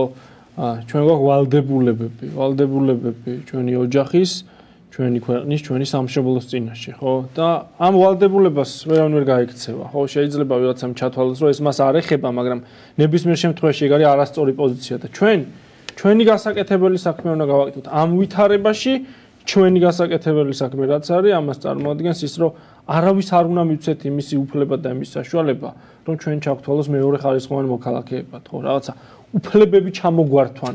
ეგეთი რაღაც არ უნდა დავუშვათ და შენ საუბრობდი ჯაბა, ხო, განზრახვებს და მიზნებზე. არასდროს გეგმები, მაგრამ ეგ გეგმები ცვალებადია იმის მიხედვით, თუ როგორი რეაქცია ამას უნდა აიღოს ხალხმა. რა თქმა უნდა. გიორგი ხელში და ეს შესაძლებელია სიმრავლით. ანუ თითქოს ძალიან მარტივია. თითქოს კი არა მარტივია სინამდვილეში. ნიჰილიზმიდან უნდა გამოვიდეთ ხალხო. თუ არა და დავკარგავთ ქვეყანას. აი ხო ხედავთ კაცო.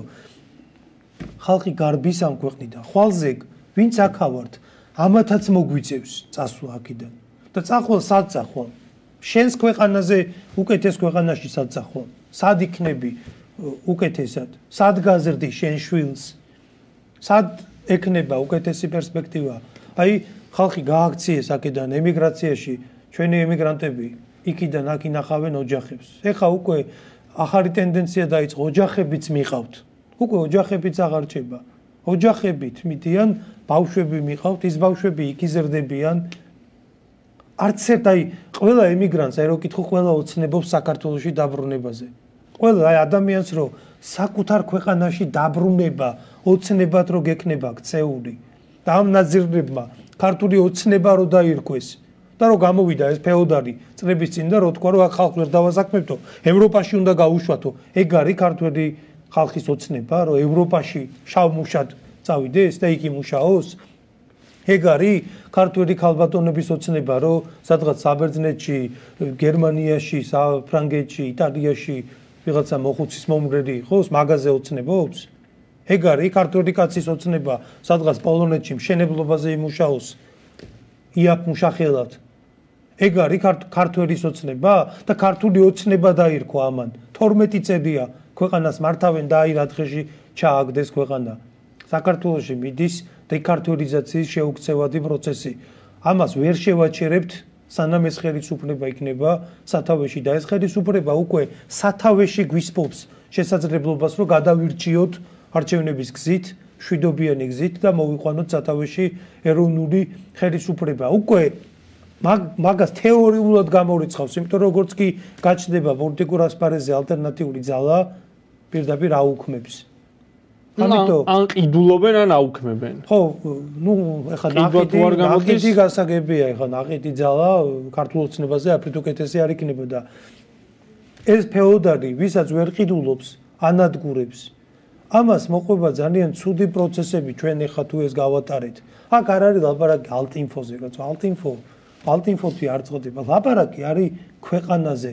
ქვეყნის მომავალზე ნებისმიერ პოლიტიკურ ძალას არ იქნება ალტინფო სხვა გაჩნდება სხვა სიგივეს უზამენ ეს ამ ოჯადოებულ წრეში დავრჩებით მუდმივად სანამ ხმას არ ამოვიღებთ სანამ ქუჩაში არ გამოვალთ ეხა მოქმედების კი არ უნდა გვეშინოდეს რამდენი პოლიციელიც და სპეცრაზმერიც არ უნდა დააყენოს ახლა უმოქმედობის უნდა გეშინოდეს იმიტომ რომ უმოქმედობის დროს ყდები და ნადგურდები და ქრები მოქმედების დროს უფარდი შეგეწევა და აუცილებლად გამოიმარჯვებ.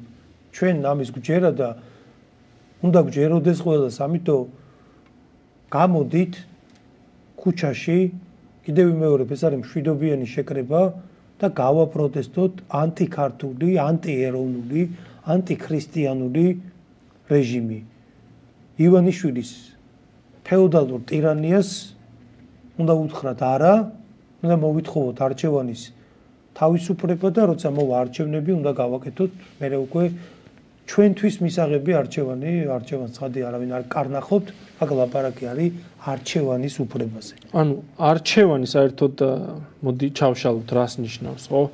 საარჩევნო ხმის უფლება არის რომ შეგვიძლია არჩევნებზე მივიდეთ და მისი რეალიზება მოვახდინოთ იმგვარად რომ ბიულეტინზე ვინც არიან წარმოადგენლები იმათგან რომელიღაც პოლიტიკური პარტია ავირჩიოთ ან ყველა გადავხაზოთ მაგრამ აქ უკვე არჩევანის ქონის უფლებაზე თუ საუბრობთ, ჩვენ მისი რეალიზაციის საშუალება ამ პირობებში უკვე აღარ გვაქვს, იმიტომ რომ როცა იმ ბიულეტინზე, მაგალითად 2020 წელს, როცა პარტიები იყვნენ წარმოდგენილი, ყველა მიუღებელი იყო, ну რა უნდა გექნა, ხო, ან არ მიხვიდოდი არჩევნებზე, ან ყველა უნდა გადაგეხაზა.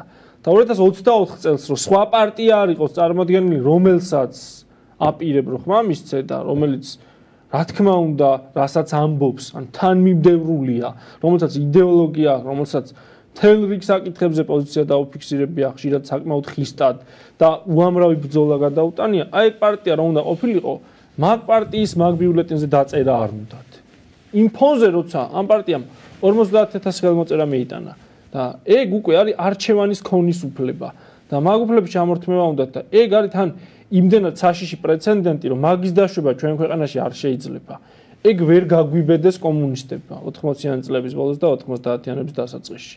და დღეს ჩვენ ამას გვიბედავს ის ხელისუფლება, რომლის ხელისუფლებაში მოყვანისთვისაც 2012 წელს და იქამდე 2011 წლიდან დაიწყო ბრძოლის პროცესი.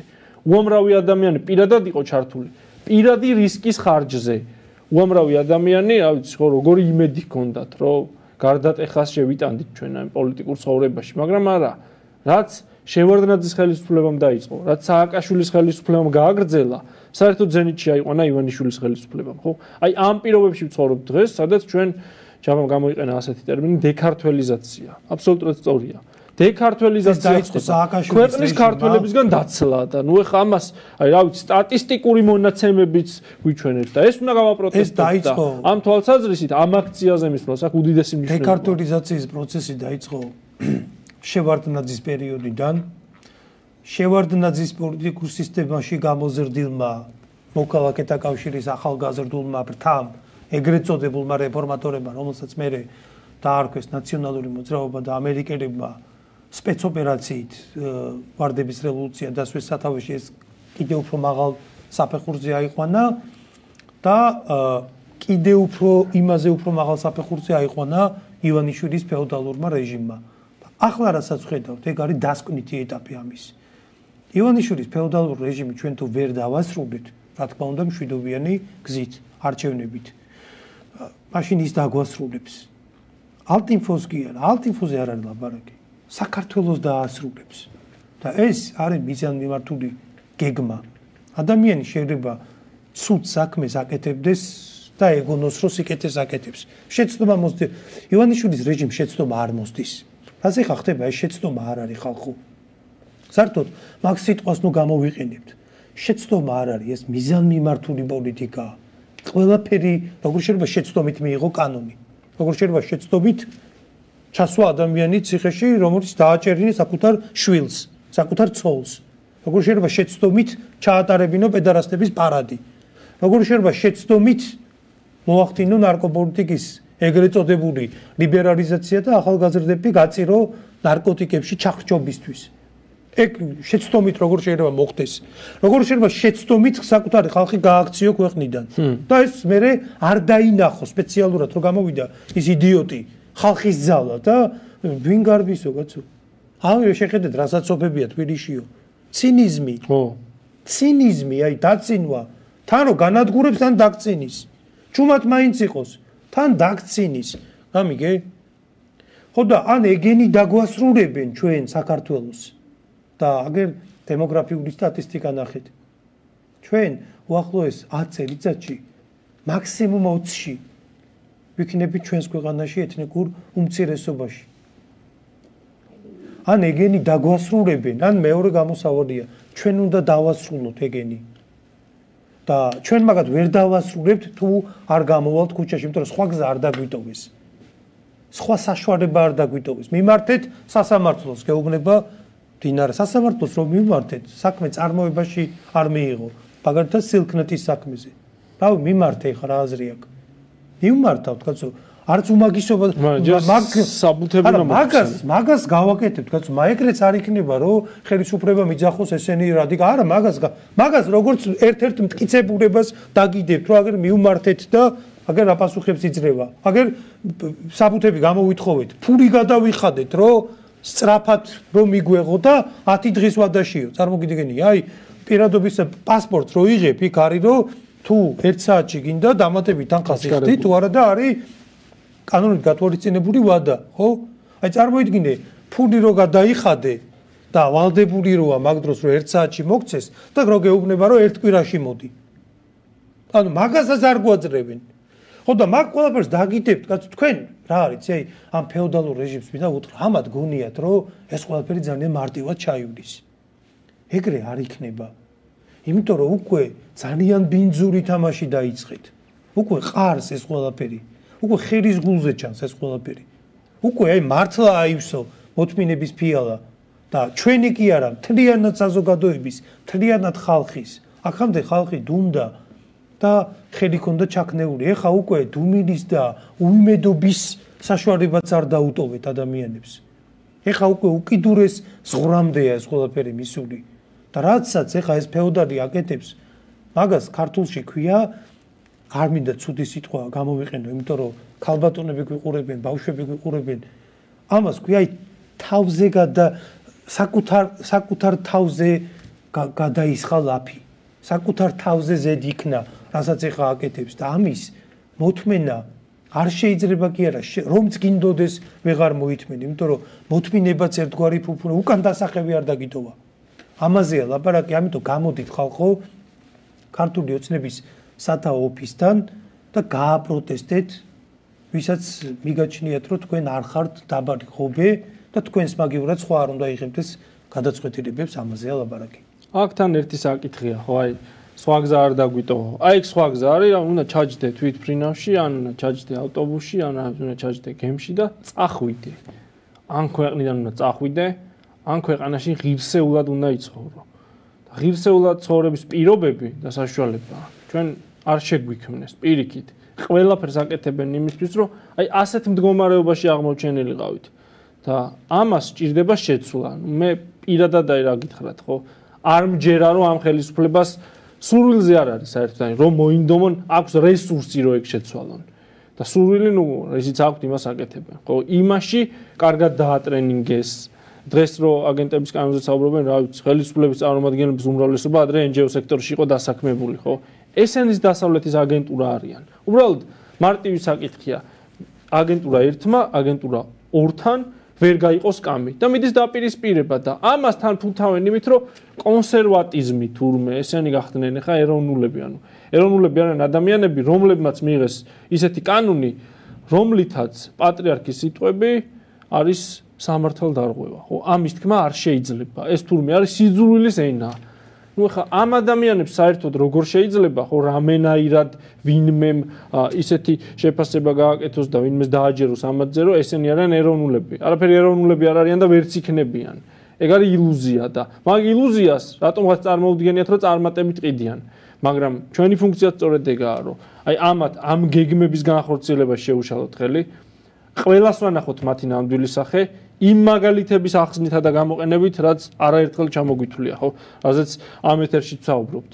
ეს ადამიანები იმისთვის, რომ საკუთარ თავზე მოირგონ ძალაუფლება და შეიქმნან თავი თავისი ოჯახების კეთილდღეობა და ეს ფინანსური შემოსავლების წყაროები შეინარჩუნონ, ამისათვის აკეთებენ ყველაფერს. ყველა კანონს იღებდნენ მაშინ იმ ლეგიტიმაციის წყაროსგან, რომელზეც იყვნენ ჩამოკიდებული, თორე აბა ნაცები რატო არ აკრძალეს?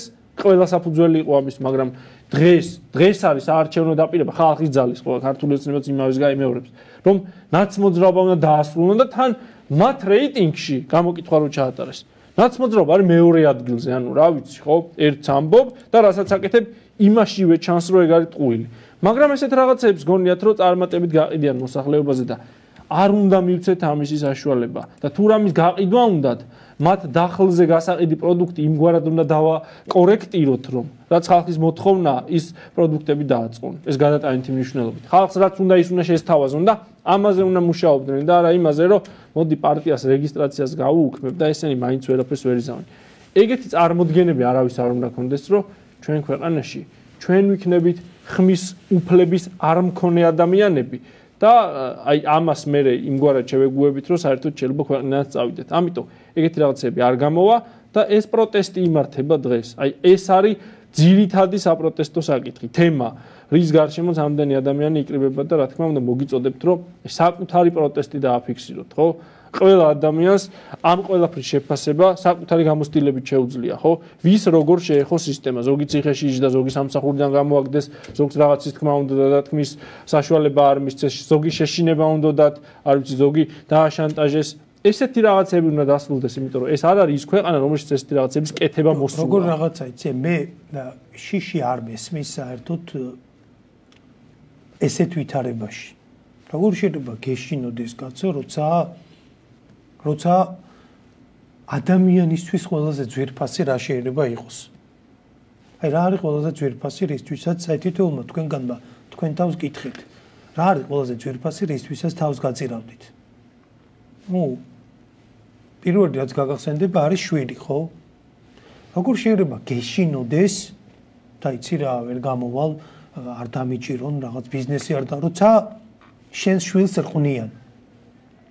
როცა იცი რომ შენს შვილს ისე გამოგტაცებენ ხედიდან შენ რომ ვერც მიხვდე. ჯაბა კარში ჩანს რომ მომიტინგები პროტესტანტები გზას კეტავენ უკვე ანუ იმდენი ადამიანების სული რომ ვეღარ ეტევიან სადაც იდგნენ. კი ბატონო, იქ ახლა კიდე მოემატება აქცია ჯერ არ დაწყებულა და ხალხი ჯერ კიდევ გზაშია, ქალაქი მოგეცნობა გადატვირთულია, საცობია და იქ მივა ძალიან ბევრი ადამიანი, რასაც ახლა ხედავთ, ეგ შეიძლება იმის ნახევარიც არ იყოს, რაც იქ ძალიან მალე მივა უახლოეს წუთებში. როგორ შეიძლება გეშინოდეს როცა ყველაზე ძვირფასი რაც არის იმას უკვე შეეხნა. შენს ოჯახს შეეხნა. როგორ შეიძლება გეშინოდეს, როცა ყველაზე ძვირფასი რაც არის, შეიძლება ოჯახზე მნიშვნელოვანიც გააჩნია ვინ როგორ აყენებს საკითხს, მორწმუნე ადამიანისთვის ყოველ შემთხვევაში ეს არის სარწმუნოება. როცა ხატი შეურაცხეს ამ ქვეყანაში და ამაში ხელისუფლების აერო თქო ეს კანონი არ გვაქვს. რატო არ მიიღეს კანონი? რა უნდა მიიღოს? სად არის ეს კანონი? ხო თქო ეს კაცო მივიღებთ რელიგიური ცნობების შეურაცხყოფაზე კანონს. ვეკითხები ხელისუფლებას. მიიღეთ? მოქმედებს უკვე კანონი? რამდენი ხანი გავიდა ეს მოხდა წლის დასაწყისში? იმის მერე გავიდა 2-3 თვე. ალტინფოს 5 წუთში გაუუქმეთ ამ ანტიკორუფციულმა ბიურო მოგმართად 5 წუთში განიხილეთ საქმე, ხარვეზი იპოვეთ და გააუქმეთ. 3 თვე კანონი ვერ მიიღეთ? და საერთოდ მიღების პროცესი მიდის კი? ფერისმა მინდა როგორ შეიძლება ამ დროს თქვა რომ ბიჭო მოთმინებას აქ დრო და ადგილი მოთმინება შეიძლება როცა რაღაცა რაც შენთვის ყველაზე ძვირფასია იმას უფრთხილდები რაც ყველაზე ძვირფასია იმას თუ უკვე შეეხდნენ რას უფრთხილდები ზუსტად ეგ არის თემა. ამაზე მინდა თქვა აი დროშებს დავაკითხე ხო საქართველოს დროშა აა დაჭარის ავტონომიური რესპუბლიკის დროშაც ამ აქციაზე ხალხი ვისი და რისი დროშებით არის მისული. და მეორე ფლანგის აქციები რო ქართული ოცნება რო ძალიან ისე დიდი გულისყურით უსმეს იმათ აქციებზე ვისი დროშებით მიდის. აი არის განსხვავება აი მაგალითად ამაცინათ რო გამართეს გიორგი ამაცინათ გაწყვეტ ამაცინათ რო გამართეს ამ ლიბერასტებმა ეგრეთ წოდებულ რუსულ კანონს რო აპროტესტებენ იქ პედარასტების დროშით იყო ერთ-ერთი მისული და სიყვარული სიყვარულიაო ლგბტ დროშით ბანერები თავისუფლება მიშა კაცო ეს ნამდვილი საქართველოა აქ არის საქართველოს ეროვნული სიმბოლიკა. ხალხი ჯვრებით და ხატებით არის მისული. ეს არის ნამდვილი საქართველო და გამოდით ხალხო შეუერთდით ამ აქციას. ეს არ არის კონკრეტული პარტიული დღის წესრიგის აქცია აქ ეხა წდება სინამდვილეში. გამარჯვებს ეროვნული საქართველოს თუ გამარჯვებს ანტიეროვნული გარედან დაფინანსებული ძალა და სინამდვილეში აქ გადაწყდება ამ ბრძოლაში გადაწყდება ან ეს მუხტი გამარჯვებს და საქართველოს დარჩება ქართველებს და საქართველოს მოქალაქეებს ან საქართველოს დარჩება ფეოდალს, რომელმაც გადაწყვიტა, რომ ეს ქვეყანა საბოლოოდ გაანადგუროს და დატოვოს საქართველოს ქართველების გარეშე. შეუერთდი ძალიან ბევრი ადამიანია უკვე, თუმცა ეს ნაწილია და უამრავი ადამიანი უახლოეს წუთებში კიდევ შეუერთდება, გამოდით განსაკუთრებით დედაქალაქის მოსახლეობას მოგიწოდებთ. რეგიონებიდან უამრავი ხალხი მოდის და რეგიონებმა არ გაჯობონ. ეს რა თქმა უნდა, ხონდობით სპორტული ინტერესები. დააპროტესტეთ ივანიშვილის ოლიგარქიული ფეოდალური რეჟიმი, რომელიც უნდა დასრულდეს უნდა რომ ამ პროგრამას მონა. ანუ აქ თან არის ღირებულებებზეც ხო სასაუბრო ხა. ამ ხალხს რა ღირებულებები აქვს და იმ ადამიანებს 9 აპრილს საერთოდ აი როგორ შეიძლება ეგეთი აქცია გამართულიყო, მაგრამ გამართა. აი იმ ადამიანებს რა ღირებულებები აქვს და ისინი რასიცავ. შეიძლება მათი დიდი ნაწილი საერთოდ შეცდომაშია შეყვანილი, ხო? ლაზარე გრიგორიადის მაგალითზე რო ხო? ეგ ადამიანი ეგეთად აღზარდეს ეგ ეგ ადამიანი აი იდეოლოგიურ პოლიტიკურ სისტემაში აღიზარდა ეგეთად შეიძლება ეგ ჩვენი სახელმწიფოს და ჩვენი ხალხის დანაშაულია რომ ის ასეთი სახით არის წარმოდგენილი და ის იქცა ერთგვარ სისტემის პროდუქტად მაგრამ ჩვენ ხო უნდა გვესმოდეს რომ მიუხედავად ამისა რომ ის ასეთად აღზარდეს მან ჩაიდინა დანაშაული. და არიან ადამიანები ვინც მას ამართლებს ხო? მაინც ნებისმიერი ჩვენი გადაწყვეტილება ეგ არის ჩვენი პასუხისგებლობა და ჩვენი პასუხისგებლობაა ის რომ ქვეყანაში აი ეს პირობები შეიცვალოს ხო? ბავშვებს არ ეუბნებოდნენ იმას რომ რომელიღაც პოლიტიკური თუ სამხედრო ორგანიზაციის ინტეგრაციისთვის ჩვენ უნდა გავიღოთ ყველაფერი და ამისთვის რაღაცა სქესი არჩევითია აი ესეთ რაღაც სიგიჟებს ყიროდეთ ამიტომ რეალურად ან არის ქართული საქართველო, ან არის გლობალიზაციის პროექტის შემადგენელი რაღაცა ექსპერიმენტების რაღაცა ველი, სადაც ცხოვრობენ ადამიანები, რომლებზეც ყველაფრის კეთება მოსულა. ეგეთი არჩევანია. და უნდა დავიცვათ ჩვენ ჩვენი ქვეყანა, უნდა დავიცვათ ჩვენ ჩვენი არჩევანი, ჩვენი ხმის უფლება და პოლიტიკა უნდა შეიცვალოს, იმიტომ რომ ამ პოლიტიკამ აქამდე მოგვიყვანა. შეუძლებელია შენი თქმის არ იყოს, რომ ესეთი რაღაცები შემთხვევით ხდებოდეს, ხო? თუ სისტემა ასე არ არის დაწერილი, თუ მისი პროგრამა და კოდი ამას არ მოიაზრებ და ეს შემთხვევით ვერ მოხდებოდა თან ამდენი ხნის მანძილზე. შეიძლება შეცდომა დაუშვა, ხო? მაქსიმუმ შეიძლება ეს შეცდომა გაიმეორო, ხო? რაღაც თვალსაზრისით ვიღაცა მიფიქროს, რომ აი არ გამოვიდა რაღაც მიზეზების გამო, მაგრამ 30 წელი აკეთებდა იმას, რომ აქამდე მოდიოდე და ამას ვერ ხედავდე, ეგ უკვე იმას ნიშნავს, რომ ამას არ ხედავენ. უბრალოდ ამას ასე ხედავენ რომ ესია საჭირო. გიორგი აი ხა უკვე იქ აქციაზე მივიდნენ ალტინგ პრო კონსერვატიული მოძრაობის ლიდერები, ალბათ აქცია დაიწყება, როგორც კი დაიწყება და იქნება ლიდერების მიმართვა რა თქმა უნდა ჩვენ პირდაპირ ეთერ ჩავთავთ და უკვე ეთერში მოისმენს სრულად აქცია გაშუქდება. კი რა თქმა უნდა. მე სხვადასხვა აი უკვე ძალიან ბევრი ხალხია და უერთდება და უერთდება დაახლოებით 1-20 წუთის წინ ამის ნახევარიც არ იყო და უცებ ძალიან ბევრი ადამიანია უკვე ხედავთ და მე როგორც მათხოვინებენ ამ წუთებში ცი ხალხი მიდის და მიდის ნაკადი სხვადასხვა აი დავინტერესდი სპეციალურად გადავავდი თვალი ქართულ საინფორმაციო სააგენტოებს აი მედიები გასუსულია არა და იქ არიან მათი ჟურნალისტები და კუცების მედია ორივე უკანალიდან სუნთქავენ რასაც კი აი ერთი ადგილიდან უშვებენ ჰაერს და ეს ჩვენ ვიცით რაზე მეტყოლებს აი მაგალითად 10 თუ 13 იანვრის აქცია ხო გახსოვს იმედი რომ მივიდა იქ და რომ გადაიღო და ყველაფერი დეტალურად ჩაწერა და აჩვენეს როგორ იცი საერთოდ კადრები არ აჩვენეს რაღაც საპატრიარქოს ფოტო დაადეს და ორი წინადადებით ეგ ვიცით სახელმწიფო არხებს და მათ შორის ნაცკოცურ მედიებს რა შემთხვევაში მოძდით ეგეთი რაღაცა როცა მათთვის არასასურველი სურათი იდება და მათი დუმილი საერთოდ ყოველთვის კარგია. ჩემს პირდაპირ ინდიკატორია თუ ეს ნაცკოცური მედიები ერთი ადგილიდან სუნთქავენ და თუ სიჩუმეა ესე იგი ცუდად აქვს საქმე და შესაბამისად ეროვნულ ფლანგს კარგად აქვს საქმე. ჯერ სათხართ. ჯერ სათხართ. ვინც საქართველოს დაბალღობეთ მიიჩნია ოლიგარქი ივანიშვილი კი არა ვაჭრები კი არა საქართველოს დამყრობლებმა ვერ გატეხეს და ჯალალედინმა ვერ გატეხა და მურვანყრუმ ვერ გატეხა და მონღოლებმა და რა ვიცი. თუ კი ვინმე დამყრობელი იყო ყველა ჩვენი განადგურება სცადა მაგრამ ვერ გატეხა. ჩვენ ის ერი ვართ რომელმაც ყოველთვის მონახა გამოსავალი და ყოველთვის იბრძოლა და ყოველთვის ბრძოლით გაიტანა ბოლომდე. და ასე მოვედი. საქართველოს 3000 წლოვანი სახელმწიფოა და ეს ქვეყანა ბრძოლებში იწვრთობოდა. ამიტომ ძალიან შეცდა ვაჭარი, ქორვაჭარი, ფეოდალი ბიძინა ივანიშვილი როცა როცა ჩათვალა რომ საქართველოს არის დაბალი ღობე. ქართველები შეიძლება ისე დააბეჭაო, რომ აღარაფრის თავი აღარ ექნება.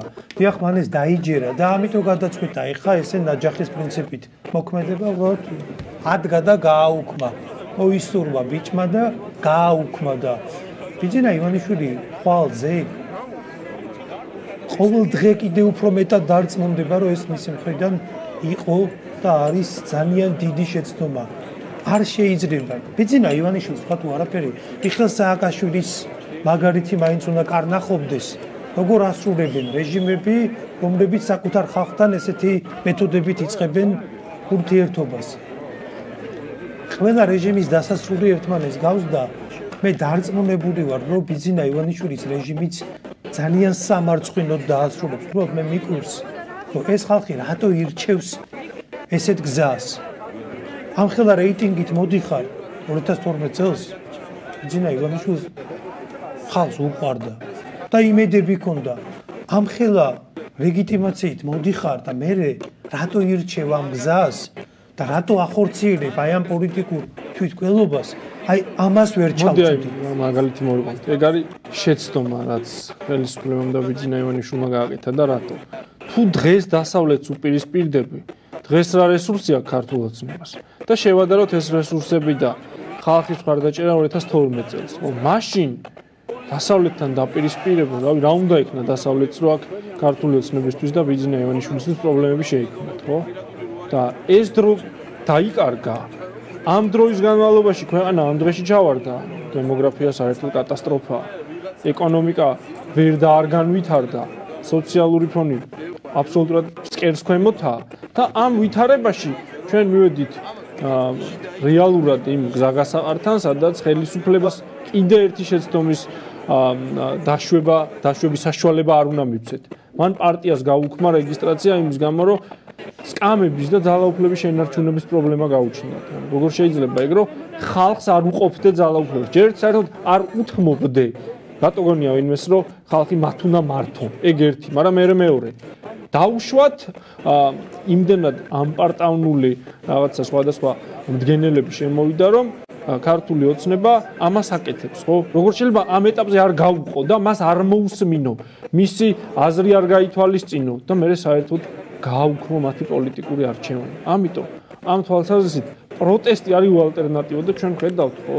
რამდენი ადამიანია უკვე შეკრებილი და კიდევ ბევრი მივეხა. ხუნდაძის თმის არ იყო საცობიო, საცობია მართლაც და ჯერ ადამიანები კიდე გზაში არიან. მივლენ ძალიან ბევრი მივა და ყველას მოგიწოდებთ რომ მიხვიდეთ, იმიტომ რომ დღეს რეალურად უნდა დაიწყოს ეროვნული მოძრაობა. ეროვნულ განმანთავისუფლებელი მოძრაობა, რომელიც აი ყველაფერს პასუხს გასცემს, ხო, რასაც ამდენი ხანია ჩვენ თვალს ვადევნებთ და რასაც ამდენი ხანია წეს უნდა ვაპროტესტებდეთ. დამოკიდებულია იმაზე, რამდენად გაითვალისწინებს ქართველი კაცი, რომ სიმართლე იყოს ჩემ ქვეყანაში. სიმართლე გამოდის იქიდან, ჩემო ძვირფასებო. იქიდან გამოდის სიმართლე, რაც რასაც თვითონ დემოკრატიას ამ მოგონილ სიტყვას ეძახიან.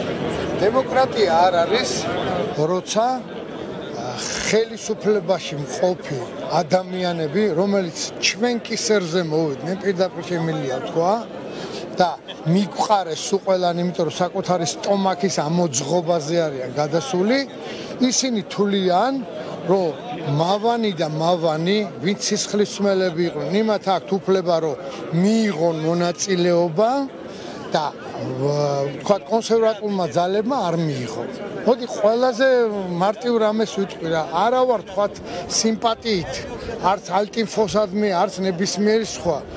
მიეცი უფლება რომ მიიღოს მონაწილეობა ამ გუნდმა, თუ თვითონ ცდებიან და რაღაცა ლიბრით აქვთ თვალები ამოვსებული და ფანტაზიებში არიან რომ ხალხი არსებობს საქართველოში ვინც კონსერვატულ ძალებს დაუჭერს. ხარს თვითონვე დარწმუნდებიან ოღონდ თქვენ უფლება მიეცით რომ ამათმა იყარონ კენჭი ელექტორატი განისაზღრო საბოლოოდ. აქედან როგორი დასკვნა არ აძლევთ უფლებას. ესე იგი გეშინიათ. გეშინიათ თქვენ მეტი არაფერი აი ეს არის ჩემი აზრი და იმიტომ მოვედი რომ საქართველოში მინდა რომ თუ ოდესმე იქნება სიმართლე მე ხა ისეთი პერიოდებია გამოვლილი სად იყვნენ რომელი პარლამენტარი ხო ფარდის იხურებდა სულ ყველა ზურგზე რომ გავიხადო გადაზრქილი მაგ ყველაფერი ამ პოლიცმაისტერებიდან მაშინ რო იყვნენ რა. ეს ზოგი თანამდებობაზეა სიმართლემ პური არაჭამა ხალხის არ დაუბრუნდა და თქვენ რაზე უნდა გელაპარაკოთ საერთოდ რა. ყველას ქართველს ვისაც ღირსება გაქვს და ნამუსი უნდა იყოთ აგძმებო იმიტომ რომ განა ალტინფოს ნებისმიერ ადამიანთან ნებისმიერ ადამიანთან დავდგები ვინც არ უნდა იყოს სადაც სიმართლე არის. დიდი მადლობა. კია კორკოტაშვილი საუბრობდა. დიახ ეგ არის ზუსტად იმიტომ რომ მე აზრით ვთქვი და კიდე გავიმეორებ. ეს არ არის უკვე არც პოლიტიკური საკითხი და უმეტეს ეს არ არის უკვე რაღაცა პარტიული თხის წესრიგი, ეს არის უკვე ღირსების საკითხი, იმიტომ რომ ერთმა ადამიანმა, რომელიც 12 წელი აქვს ქვეყანას აზის, რომელმაც 12 წელი ტყუილების მეტი არაფერი აკეთა ხალხის გადაგდების გარდა, დამნაშავეებთან პირი შეკვრის გარდა, ახლა საბოლოოდ გადაწყვიტა, რომ ქვეყანაში მოკლას ყველანაირი პოლიტიკური ალტერნატივა და მოსპოს თეორიული შესაძლებლობა რეალური ძირეული ცვლილებების. აი ეს არის და ეს საფრთხე უნდა გავაცნობიეროთ. ეს თუ გაუვიდა ბიძინა ივანიშვილს, შემდეგ იქნება საერთოდ ისედაც ქვეყანაში შეზღუდულია სიტყვის თავისუფლება, ისედაც მარტო ლიბერალური მედიებია, მაგრამ ვინც ვართ თითოეულ ამ ბჟუტავი ტელევიზიები ამათაც გაგვაქრობენ, მე საერთოდ დასჯადი გახდება ხელისუფლების კრიტიკა, აი როგორც მისი გუნდი, მისი მონების გუნდი იქ დინარაძეები და ვიღაცეები ადიდებენ და აქებენ, აი მარტო ეგეთი რიტორიკით იქნება ლაპარაკი შესაძლებელი, ანუ მოგვიწევს ბიზნეს დიდება და ვინც რამე კრიტიკულ სიტყვას ვიტყვით და ხმას ამოვიღებთ, პირდაპირ აი რეპრესიები მერე ნახეთ, ვისაც გეშინიათ. ვინც ფიქრობთ, რომ აი ახლა რომ გამოვიდე სამსახურს დავკარგავ, რაღაცა ჩემ ცოლს გამოუშვებენ სამსახურიდან, დედას გამოუშვებენ, მამას, მე თვითონ. აი თქვენ მერე ნახეთ? თქვენ მერე ნახეთ თუ ეს გაუვიდა ივანიშვილის ფეოდალურ რეჟიმს, მერე ნახეთ რეჟიმი, მერე ნახეთ ზეწოლა და მერე ნახეთ შიში და ტერორი. თავიდანვე უნდა აღმოხვა, აი როგორც დაავადება, ვირუსი, ბაქტერია ორგანიზმში, რო ჩდება რაც უფრო დროულად მიხვალ ვიქიმთან, მით უფრო დიდია შანსი რომ განეკურნო და რაც უფრო დააგვიანე პირიქით ზუსტად ეგრე დგას საკითხი. ეს უკვე არის მართლა ამის მოთმენა შეუძლებელია სანამდეც მივიდა სანამდეც დაეშვა ივანიშვილის რეჟიმი და ამას თუ პასუხი არ გაეცა მართლა ძალიან მარე ყოფნა არ ყოფნის საკითხი დაგვიდგება ამ ქვეყანაში. ჯობა ეხა ჩვენ პატარა კადრში ვხედავთ რომ ტექნიკის აწყობა უკვე დაწყებულია და აქცია ცოტა ხანში დაიწყება იქამდე კი ილიამ ეგრელიშვილი შეგვიძლია მოусმინოთ. ალტიფა კონსერვატიული მოძრაობისა ეს არის სწორედ მაგალითი და გამოძახილი აი უსამართლო, ყოვლად უკანონო და დაუსაბუთებელი გადაწყვეტილებისა მიზეზი, რამაც ეს თითოეული ადამიანი მოიყვანა ქართული ოცნების სათაო ოფისთან და ქართული ოცნება მე მგონი გაგებით უნდა მოეკიდოს ყველაფერს და რეალურად შეხედონ და სამართლიანად შეხედონ ყველაფერს, იმიტომ რომ ეს ფაქტიურად სოფლიოში ასეთი პრეცედენტი არ არსებობს, იმიტომ რომ ყოვლად დაუსაბუთებელი გადაწყვეტილება, რომელიც დიდი ეჭვია და ჩემი აზრია რომ მხოლოდ და მხოლოდ ერთპიროვნულად არის მიღებული და მე ვფიქრობ რომ ქართულმა ოცნებამ ზეწოლით საჯარო რეესტრს მიაღებინა ეს არის ძალიან ცუდის მომასწავებელი ზოგადად, მაგრამ ჩვენ იმიტომაც ვართ აქ და თითოეული ადამიანი რომ ამას რა თქმა უნდა, ესე არ გავატარებთ, ჩვენ ვიბრძოლებთ ბოლომდე და ყველაფერს გავაკეთებთ იმისთვის, რომ ქართული ოცნება ვაიძულოთ, რომ შეცვალოს თავისი აბსოლუტურად უგუნური, უსამართლო და ყოვლად გაუგონარი გადაწყვეტილება. თითოეული ადამიანი მზად არის ამისთვის. ნურავის ნუ ეგონება რომ ჩვენ უკან დავიხევთ და ამ ერთი შეკრებით დამთავრდება, ეს იქნება პერმანენტული სავარაუდოდ და ასეთი გაგრძელება ექნება მანამ სანამ აი ამ სულელურ გადაწყვეტილებას არ შეცვლის ქართული ოცნება. ნუ ეხა ზოგადად თვითონ პიროვნულად კონკრეტულად ვისგან მომდინარეობს ეს ყველაფერი დაზუსტება, დრო გაარკვევს ამას, მაგრამ არც ერთი არ ყოფი ადამიანი ამას არ შეეგუება. დიდი ალბათობით ქართულ ოცნებას ცოტა ხანში მოუწევს ამ გადაწყვეტილების შეცვლა. მე ყოველ შემთხვევაში დიდი იმედი მაქვს. მადლობა. აი ხართ. აქ ახლა მნიშვნელოვანია ხო ილიომაც ეს თქვა ეს არის დასაწყისი ანუ ამ ერთ დღეს ერთ აქციაზე არ იწება და ასრულდება პროცესი. დღეს იწება, ეს გაგრძელდება, ის მიიღოს პერმანენტულ ხასიათს და რეალურად ჩვენ უნდა მოვახერხოთ ამ სისტემის შეცვლა და დღეს სწორედ აი ერთ-ერთი გენერალური ბრძოლის დასაწყისია და უნდა გვესმოდეს რომ კონსერვატიული არჩევანი უნდა გქონდეს არჩევნებზე და ეს უნდა მოიპოვოთ აი მის მოპოვების და შემდეგ აი არჩევანის სწორად გამოყენების საშუალება საკუთარ თავს თავად უნდა მივცეთ და ამ გრძელვადიან პროცესს დღეს ჩაეყრება ფუნდამენტი. ამიტომ შეიკრიბა ამდენი ადამიანი აქ და ის პრობლემები რაც ჩვენ ჩამოთვალეთ ხო? ეგ პრობლემები უნდა იქნას მიხედილი, უნდა გამოსწორდეს ბევრი რამ და ამას ჭირდება ხედვა, სტრატეგია, ამას ჭირდება პოლიტიკური პოზიციის ქონაც და ეგ პოლიტიკური პოზიცია უნდა ფორმირდეს, რომელშიც უნდა ჩაერთოს უამრავი ადამიანი, ხო? კონსერვატიულ მოძრაობას და ალტინფოს ხალხი ეხმარება, ამდენი ხანია ხალხი მხარს უჭერს, დღესაც, როცა ჩვენ საქმე გვაქვს რასთან, ხო პარტიის რეგისტრაციის გაუქმებასთან. ამ პროტესტშიც ხალხს ეკუთვნის გარდამტეხი სიტუაცია და ჩვენ რეალურად უნდა მოახდინოთ კიდევ ერთხელ გარდატეხა და შეცვლა. ეს არის პროცესი ნამდვილად. დღეს იწყება პროცესი. იქ დარწმუნებული ვარ, აქცია რო დაიწყება, ანუ მიმართვა დაიწყება, ლიდერები დასახავენ სამოქმედო გეგმასაც და პოლიტიკური ბრძოლა ახლა იწყება. ამ ყველაფერმა მიიღო უკვე ძალიან ფართო ხასიათი, ამიტომ შეუერთდით ხალხო, ვისაც არ გინდათ, რომ ეს ქვეყანა ერთი ადამიანის ხელში იყოს და ეს ერთი ადამიანი აღრჩობდეს და აკრობდეს ყველას, ვინც მისთვის მიუღებელია, ვისაც არ გინდათ, რომ საქართველოს იყოს ერთი ადამიანის უკანა ეზო, გამოდით შვიდობიანად, კონსტიტუციურად გააპროტესტეთ და უთხარით არა უსამართლობას და ერთი ადამიანის ფეოდალურ რეჟიმს. ჩვენ ახლა გვაქვს გიორგი კარდავას განცხადება, რომელიც მან გააკეთა და მოდი მოვისმინოთ ეს განცხადებაც. თავრობას რა წარმოადგენაც ჰქონდა რომ ასე ერთი ხელის მოსმით შესაძლებელი ამდენი ათეულობით ათასი ადამიანის რაღაც დახარვეზება და გაუქმება ეგრე არ მოხდება რა. სინამდვილეში ეს არ არის ბიძინა სამფლობელო. ეს არის საქართველო და თითოეული ადამიანი, ვინც აქ მოდის, არა მარტო ჩვენს გამო მოვიდა, ან ჩვენი კონკრეტულად პარტიული ასე ვთქვათ საქმიანობიდან გამომდინარე. ეს ხალხი მოვიდა, იმიტომ რომ ხალხს უფლება წაართვეს. ყველაზე ძვირფასი რამ, რაც ჩვენ გაგვაჩნია, უფლისგან არის ჩვენთვის მინიჭებული, ეს არის თავისუფლება არჩევანის, ხო და? არჩევანის თავისუფლებას ხალხი ყოველთვის დაიცავს და აი ამ ფეოდალებს, რომლებიც ახლა აქ არიან მოკალათებულები და რატომღაც წარმოიდგინეს, რომ ეს ქვეყანა მათი რაღაც არ ვიცი ფეოდია.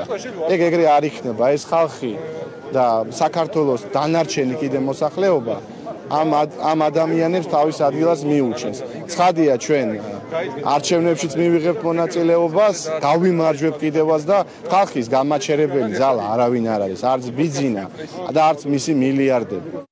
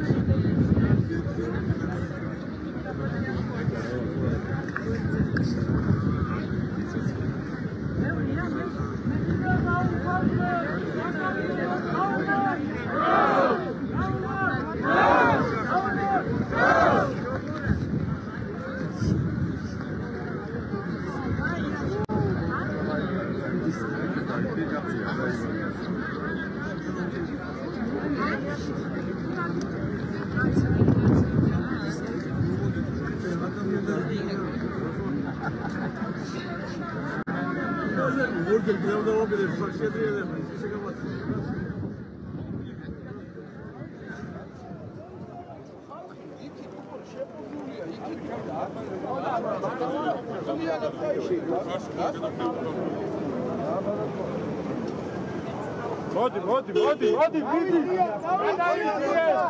ცოტა გვერდებზე გაგმარჯვება. გავისალოთ, უკან გავისალოთ ეს აზიცა.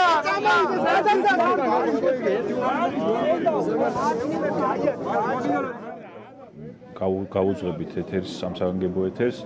ხედავთ, რომ შეკრებილია უკვე საზოგადოება ქართული ოცნების ოფისთან, აღსანიშნავია რომ უშუალოდ ოფისის წინ დროს პლასტარმია იქ ჩააყენეს პოლიციელები, იქ ხალხი არ შეუშვეს, მაგრამ როგორც ხშირად ემართებათ, უარესი მიიღეს, ხო? მოხდა ის, რომ უფრო მეტი ადამიანი დგას, ეხლა უფრო კარგად გამოჩნდა ხალხის რაოდენობა, იმიტომ რომ საზოგადოებას მოუწია სანაპიროზე ამ სავალი გზის დაკავება. გადაიკეთა ცენტრალური კი მე მოგესალმებით ძვირფასო ტელემოყურებლებო ხედავთ აქციამ როგორი ფართომასშტაბიანი ხასიათი მიიღო უამრავი უამრავი ხალხია მოსული უკვე გზას გადაიკეტა ალბათ. სცენისთვის ადგილის გიარჩება იმაგას ახლა აწყობენ სცენას. კი და კიდე გზაში არიან და უამრავი ხალხი მოდის მოკლედ და დიდი დღეა რა მართლა ისტორიული ახალი ფურცელი იწერება უახლოესი საქართველოს ისტორიაში ეს იქნება მართლა ახალი ეროვნულ გამათავისუფლებელი მოძრაობის დასაწყისი.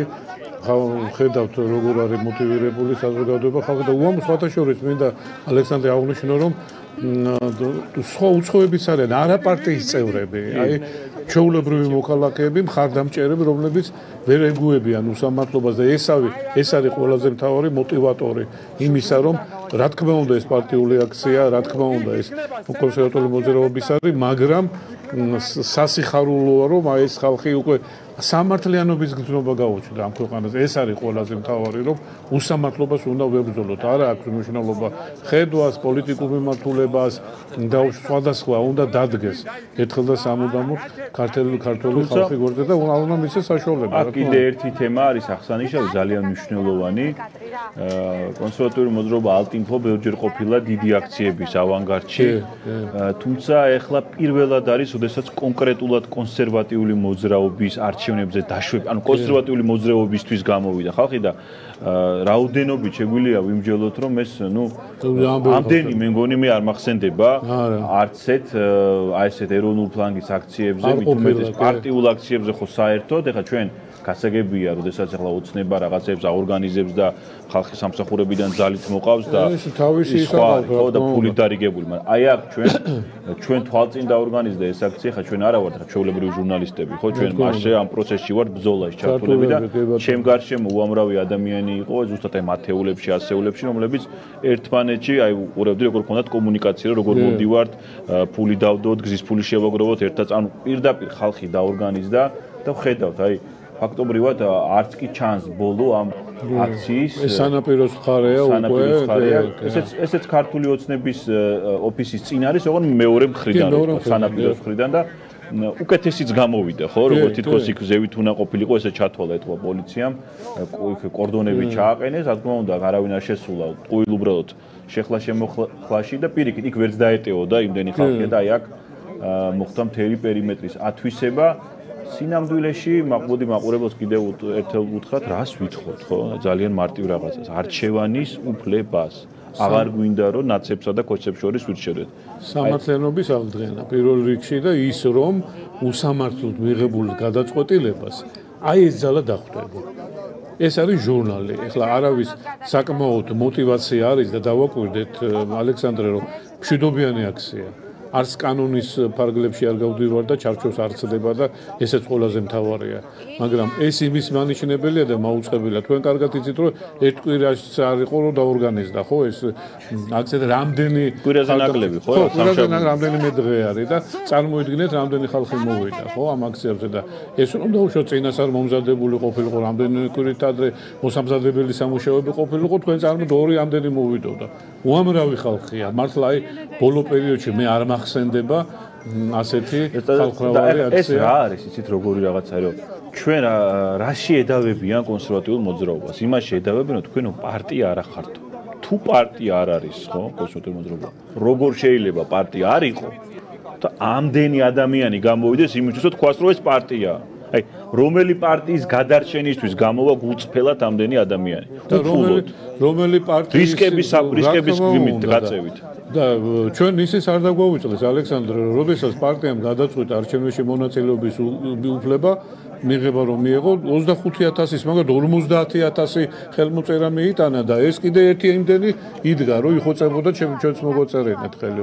ეს არ არის მანიშნებელი იყო უბრალო ხალხი არ იყო ის მოაწერა ხელი ვინც შენი მხარდამჭერია და ის მაგალითად ჩემი ოჯახის და საახლობლოს გა- გარშემო ვინც მხარდაჭერებია უბრალოდ ვეღარ მოესწრო იმიტომ რომ ერთ თვეში არ არ ეგონათ რომ უკვე უნდა მოგვეტანა მოეტანათ ბლანკები ხო ეს ეს უნიკალური რაღაცაა ასევე ბევრს საუბრობდნენ როგორ იმუშავებს ათეულების სისტემა ასეულების სისტემა ათასეულების რომელზეც ლიდერები სულ საუბრობდნენ ხო? რითიც ხდება ფაქტობრივად უკვე ტელევიზიის არსებობის უზრუნველყოფა პარტიის არსებობის უზრუნველყოფა და რამდენად იმუშავებს ეს ხო? ჩვენ ხედავთ რომ უპრეცედენტო რამ ხდება მართლა ერთი ზარით ხო? აი ეს ათასეული წელი ასეულს უგზავნის ზარს ურეკავს ასეული ათეულს ათეული თავის ათეულს და ხედავთ რაც მივიღეთ ხედავთ ის რომ უმოკლეს დროში უდიდესი რაოდენობის ადამიანის მობილიზება შეძლო. პარტიამ რომელსაც ედავებიან თქვენო პარტია არ ხართ. თქვენო არა რა პარტია ხართ? 270 პარტიაა საქართველოში. არც ერთის მიმართულებით ეს ნაბიჯი არ არ გადადგმულა ხო? და ეს დღევანდელი აქცია რას ემსახურება ვერ მიხვდებიან ეხლა რამდენი ხალხი მოვიდა ხარდასაჭერა და კიდე რამდენი მოვა დაუშვა და კიდე თუ გაგზელდა და პერმანენტული ხასიათი მიიღო ეს არის ზალა ამ ძალას არ აქვს არჩევნებში მონაწილეობის აი უფლება. ზუსტად ეს არის დემოკრატია. ეს ამის თქმა მინდოდა რომ შენ აი ამ ძალას ართმევ ხმას აი ამ ხალხს ართმევ ხმის უფლებას რაც დემოკრატიული სახელმწიფოს ერთ-ერთი ყველაზე მთავარი არის ხო? შენ საკუთარ ხმას გართმევ არა მე მესმის ესეთი ამდენი ხალხი რო გამოვიდეს, თუნდაც მეტი გამოვიდეს თეორიულად. და ის პარტია ითხოვდეს რაღაცა საშინელება, ფაშისტები იყვნენ. მესმის რომ ამ მოტივით აკრძალო, ხო? მაგრამ მიუღებელი ამდენი ხალხი დგას პარტიის უკან და შენ გძალავ იმიტომ რომ ხარვეზი სამი წლის წინ თურმე ყოფილა და შენ დრო გევალებოდა ხარვეზზე მითითება არ მიუთითე. ხო კიდე იყო თუ არა ხარვეზი და პროცედურულად რომ არ არსებობს აკძალვა შეიძლება იყვნენ ხოლ აქ ჩვენთან ადვოკატები ხოლო კონ- საკონსტიტუციო სასამართლოს მიერ. ესე ვიღაცა ჩინოვნიკის არ არის ხო რაღაც უფრო დაბალი რანგია. ხო ვიღაცა ბიუროკრატმა რაღაცა პარტიას თითი დააჭიროს და აკრძალოს გასაგებია ბიუროკრატს უბრძანებს მაგრამ ფორმალურად ხო ესე მოხდა? ვიღაცა ოპერატორმა აკრიფა რაღაცა დოკუმენტი არ მოეწონა და აკრძალა და მე როდესაც ჩვენ რატო გამოვიყვანეთ ხალხი, ხო, რატო მოუწოდებდით მათ შორის ჩვენს ხალხს გამოსვლას? იმიტომ რომ როდესაც აი იგივე დოკუმენტებზე, რომელზეც გააუქმეს პარტია, ითხოვა კონსერვატიული მოძრაობა, მომეცით ეს დოკუმენტები სასამართლოში წავიღო, იქნებ არ მეკუთვნის გაუქმება, ხო ესეთ ბილად. ვერ მოიზეეს. ის დოკუმენტები არ აგვაქვს ჩვენო საერთოდ. თუ დოკუმენტები არ აგვაქვს, როგორ გძალოთ პარტიაზე? ეს უსამართლობამ გამოიყვანა ეს ხალხი ქუჩაში.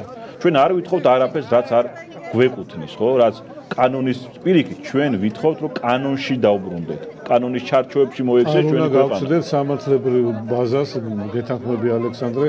ა ჩვენ არს გავდივარ სამართლებრივი სივრციდან.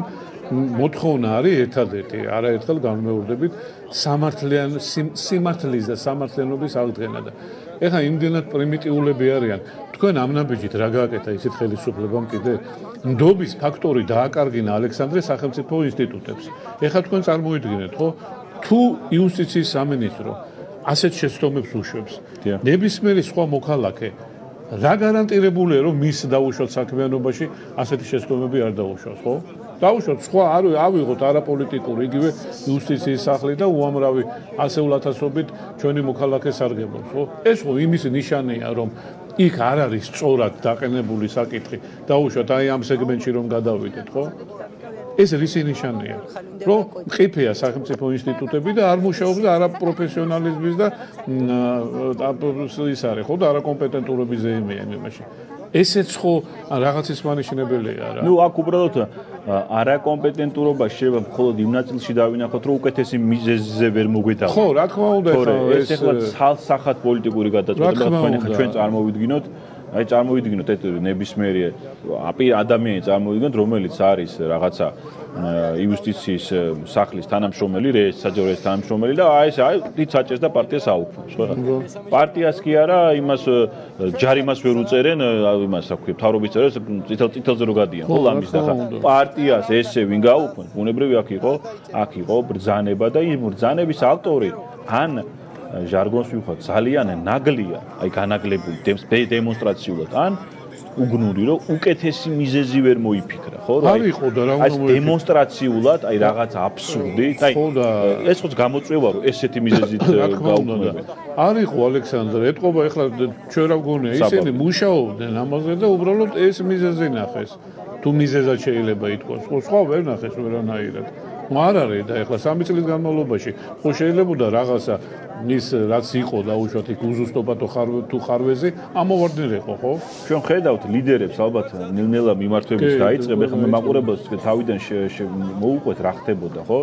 შეკრება იყო დაანონსებული ქართული ოცნების ოფისთან იქ ძალიან ბევრი ადამიანი მივიდა შემდეგ პოლიცია მოდნა ნუ შე როგორც ხდება ხომ ხო რამდენიმე მეტრით შეუცვალა მიმართულება საზოგადოებას მოუწია აი მოუწია რა რაოდენობრიდან გამომდინეს ხონდათ არც გამოვიდა და სანაპიროზე დადგომა და ამ დროს იმდენი ხალხი იყო მე მესმოდა ლაივს არამ შემოვიდა ერთმანეთს საუბრობდნენ.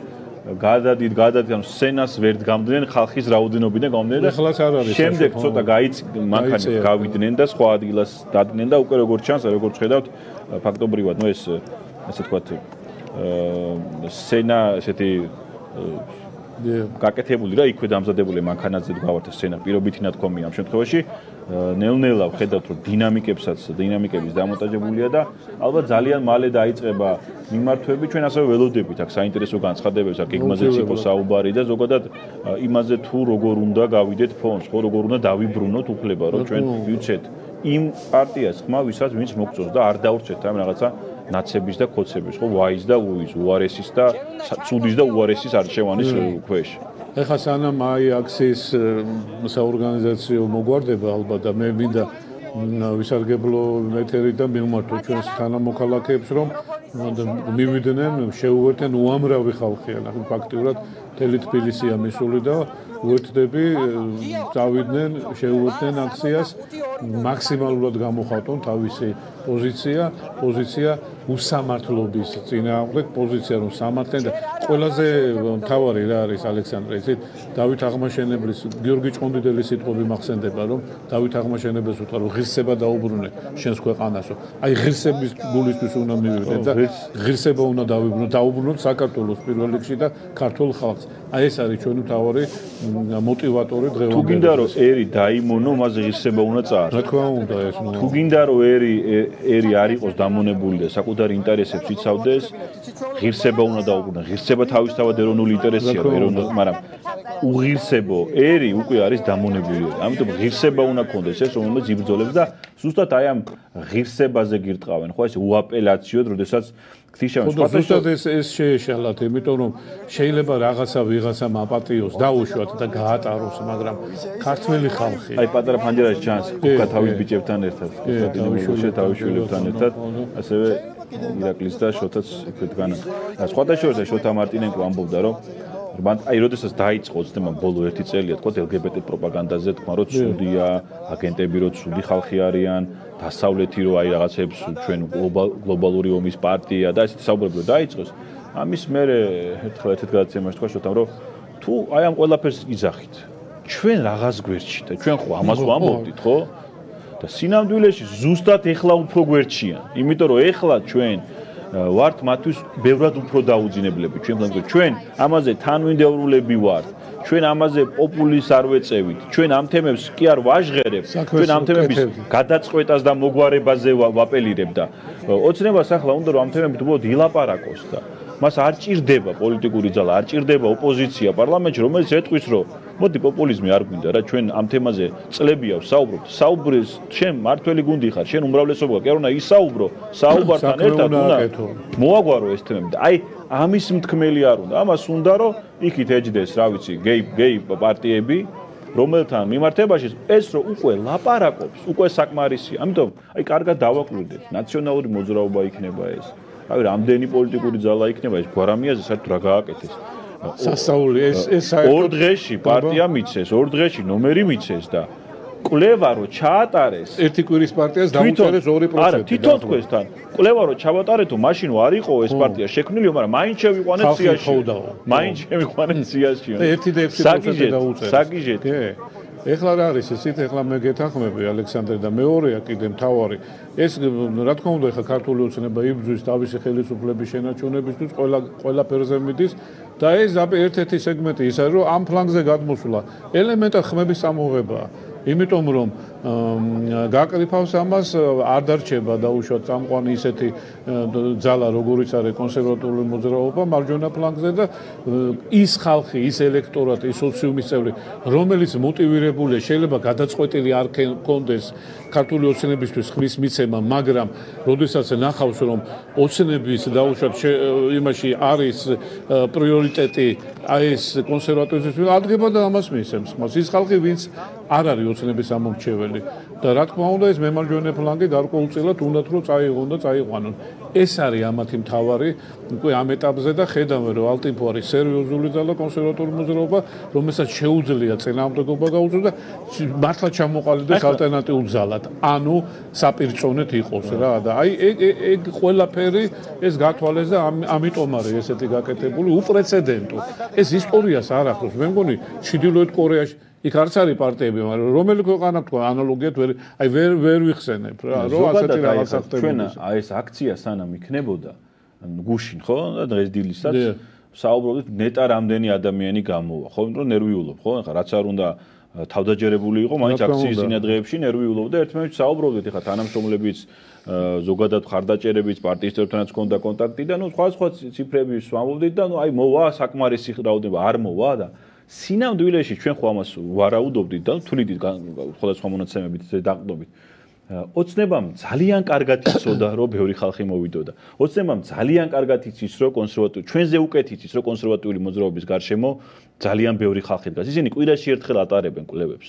მათ იციან ხალხის ჩართულობა და ეს რომ ასეთი პრობლემაა მათთვის წინასაარჩევნოთ კონსერვატიული მოძრაობა, ამიტომ გრძალავენ. იმიტომ რომ აი ამაზე იქით, ამაზე არაპოპულარული ნაბიჯი არ არსებობს, როგორც პარტიის თან ესეთი აბსურდული მიზეზით აკრძალვა არის, ხო ეს? უკიდურესი ზომა მათთვის, იმიტომ რომ არჩევნებზე როგორც როგორც მინიმუმ კონსერვატიული განწყობილი ხალხი არ მივიდეს, ესეც საქმეა. ჩვენ ხალხთან მოვუთ ხოლმე რომ რა ოცნებაზე წავა ეს ხმები რომ გაგვაუქმოს? არა, არ წავა, მაგრამ ეს ხალხი რო არ მივა, თავისთავად პროცენტი ის საერთო საერთო რაოდენობა ხმების მეტ პროცენტს დაწერს, ხო?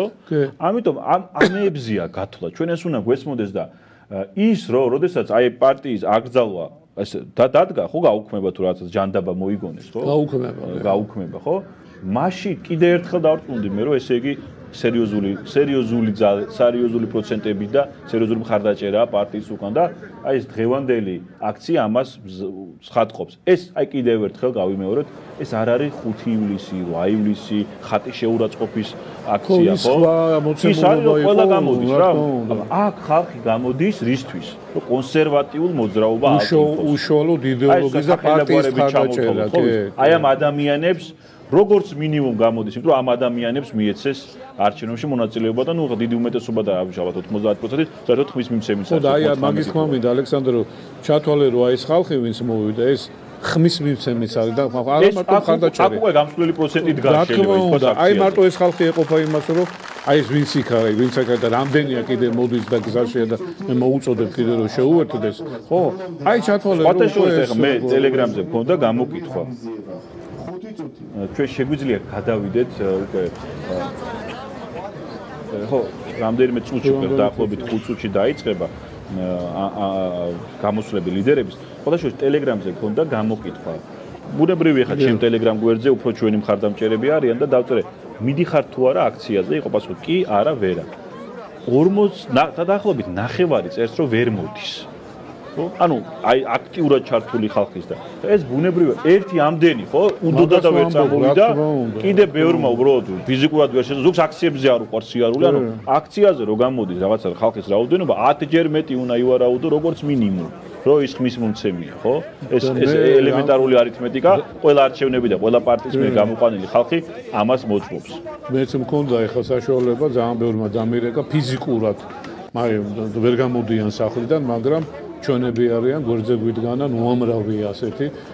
შენ სწორი თქვი დაკავებული და თან ყველაზე აი მართლა მანიშნებელი და მნიშვნელოვანია რა ეს რომ რამდენიმე დღის დაანონსებულ აქციაზე ამდენი ხალხი გამოდის ხო? ეს ეს ხო აი ამას ხო არ ჭირდება არც გამოკვლევები არ ჭირდება არანაირი რაღაცეები ხო? აი ხო ფაქტი ხო ფაქტის ახეზეა ხო? აი ეს უკვე აი იმის ნიშანია რომ გადაწყვეტილება აბსოლუტურად უსამართლო მიკერძოებული იყო და პირდაპირ იყო დარტყმა პარტიაზე, რომელიც სერიოზული ძალაა და მართლა მართლა ალტერნატივა იქნება ქართული ოცნების საპარლამენტო არჩევნებში. ესენი ამას გრძნობენ და ამიტომ მიდიან ყველანაირად, ყველა მეთოდით რომ პარტია აკრძალონ და პარტიას არ მისცენ საშუალება მიიღოს მონაწილეობა არჩევნებში, მაგრამ არ გაუვა. აი უკვე ჩვენ შეგვიძლია პირდაპირ ეთერში შევიყვანოთ აქციის გამოსვლები ზურა მახარაძე არის ზურა გამოსვლები საქართველოსთან არის ჩამოსული აქ ხალხი თითოეული კუთხიდან და ყველაზე დიდი სტიმული და ძალა ჩვენთვის არის როცა ხედავთ და ვიცით რომ საქართველოს ერთი კუთხე არ დარჩენილა საიდანაც ხალხი არ არის აქ ჩამოსული და არიზიარებს ამ საერთო სადგილს ჩვენი შეკრების მიზეზი არის მარტივი და ყველა მოიცით. არის ქვეყანაში ეგეთი მდგომარეობა. ყველას აქვს სიტყვის, გამოხატვის და პოლიტიკაში მონაწილეობის უფლება კონსერვატიული ფლანგის გარდა. კარგად რომ მიხვდეთ ახლა რა მომენტში ვართ ჩვენ? სიტუაცია არის ეგეთი. ხალხს რო ციხეში აუპატიურებდნენ და კადრები რო დაიდო ეგ პარტია შეიძლება. პრობლემა არ არის. ჩვენი პარტია გააუქმეს. პოლიციელებს აეკრო დგანან ახლა. ამათ რო მოლოტოვის კოქტეილებს ესროდა ბრბო იქიდან ერთი ვიღაცა საცოდავი პეტუხი დაიჭირეს და ისიც გარეთ არის. აი ეგ არის რეალობა რომელშიც ჩვენ ახავართ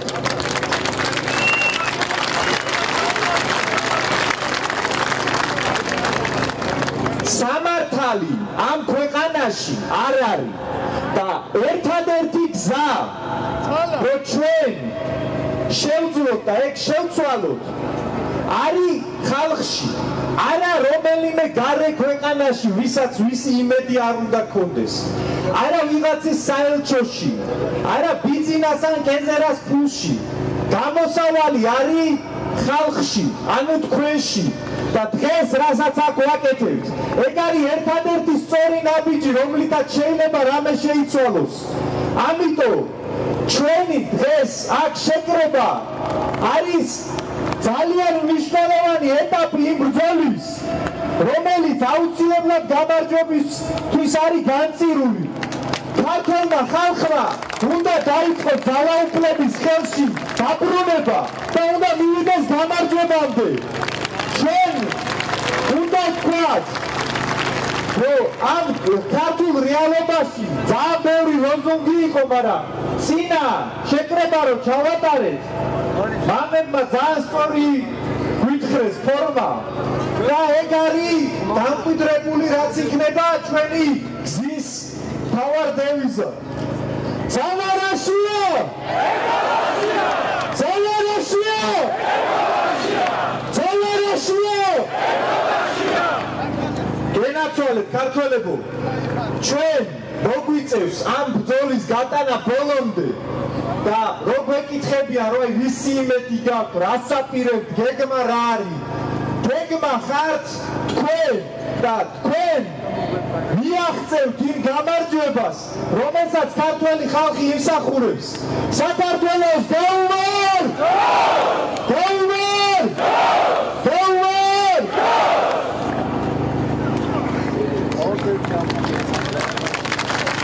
გაგიმარჯვებთ, მებო და დებო! პატარა ისტორიული ექსკურსით დავიწყოთ. მე-17 საუკუნეში აი ამ ადგილას ბინადრობდა როსტომ ხანის სასახლე და თვითონაც აქ იყო. როსტომ ხანი იყო ხო, საინტერესო და ქართველთა მეფე იყო, მაგრამ ხანი ერქვა. შახაბასის ქვეშევრდომი იყო და მის კარზე აღზრდილი იყო. სისხლით ქართველი იყო, მაგრამ რჯულით წესჩვეულებებით ყიზილბაში. ქველმოქმედებით ცდილობდა ხალხის გულის მოგებას, მაგრამ ქვეშ-ქვეშ ყიზილბაშთა კულტურას, ტრადიციას და რჯულს ამტკიცებდა და ამტკვიდრებდა ქართველებში. თანამედროვე აი ამ სასახლის მეპატრონე ბიძინა ივანიშვილი. რომელმაც რატომღაც წარმოიდგინა რომ ამ ქვეყნის 21 საუკუნის ხანია და მას უნდა ემორჩილებოდეს ქვეყნის კანონი, კონსტიტუცია და სახელმწიფო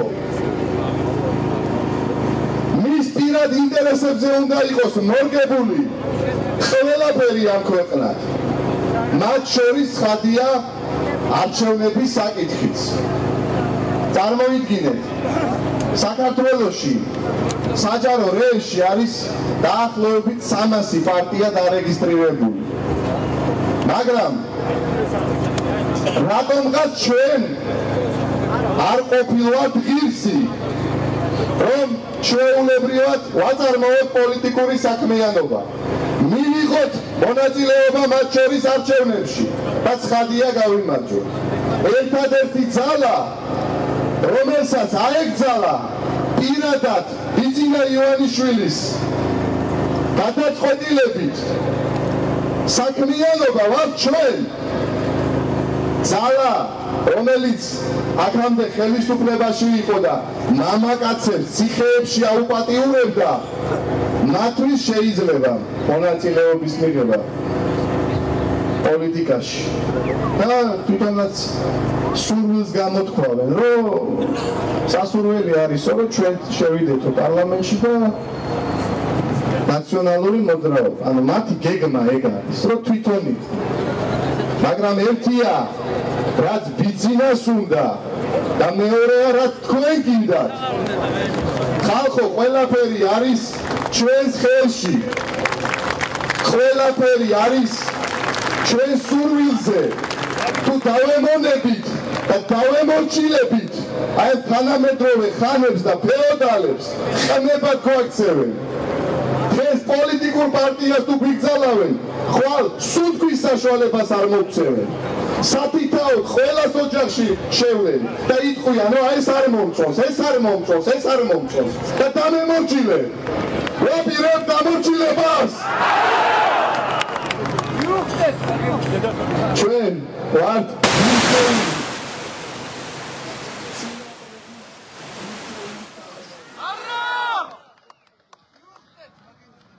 ჩვენ ვართ ღირსეული წინაპრების ღირსეული შთამომავლობა. ხო და ეს ხალხი აზრზე და ჭკუაზე თუ არ მოვა ჩვენი ღირსეული წინაპრების საგმირო საქმეებსაც გავიმეორებთ. ძალარაშია! ერთობაშია! ძალარაშია! ერთობაშია! ძალარაშია! ერთობაშია! დიდება უფას. ელა.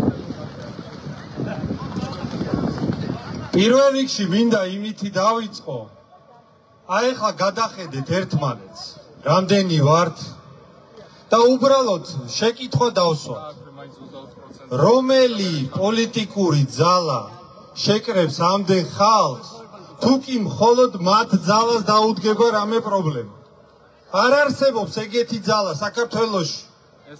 და სწორედ ამიტომ რაც ეხლა დღეს ხდება სწორედ ამ ძალის გამო ხელისუფლება ბედავს და წინა საარჩევნო ანუ არჩევნების წელს აუქმებს პოლიტიკურ ძალას რომელიც ყველაზე მეტად არის შანსი რომ მათ ჩაანაცვლებს ეს ხდება ქვეყანაში ხალხო ხო ელემენტარულია ასეთ ამდენ ხალხს ვერავინ ვერ კრიბავს და ყველაფერი ჩვენს თვალწინ ხდება.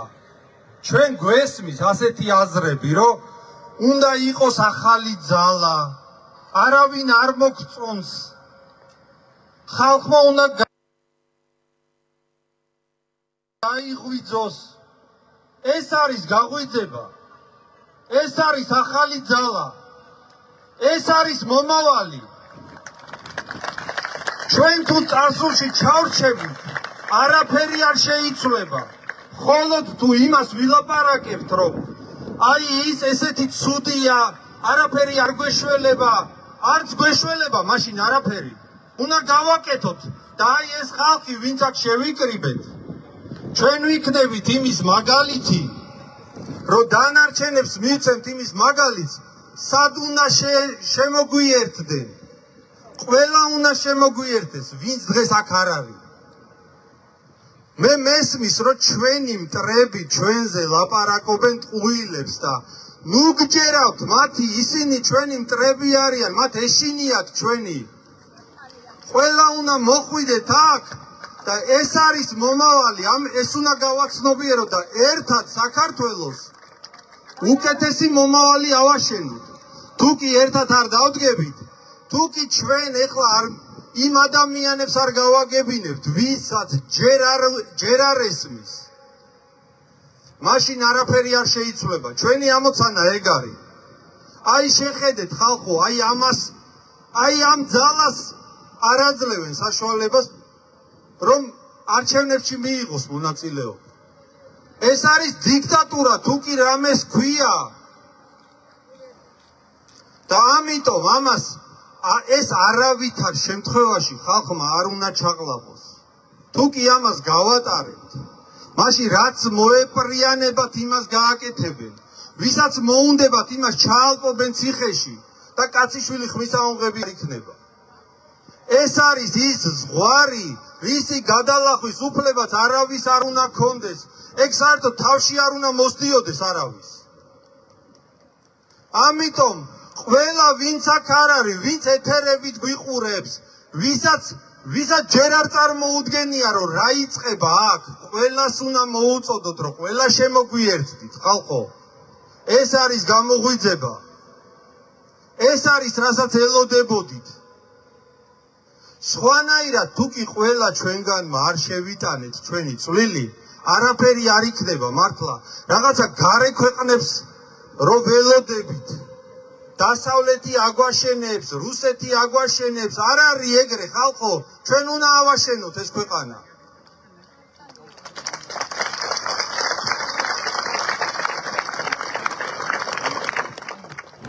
იმიტომ რომ იქ ყველა შეხედულების ხალხი შეიძლება იდგეს, ისეთებიც რომლებიც ჩვენ არ გვეთანხმებიან.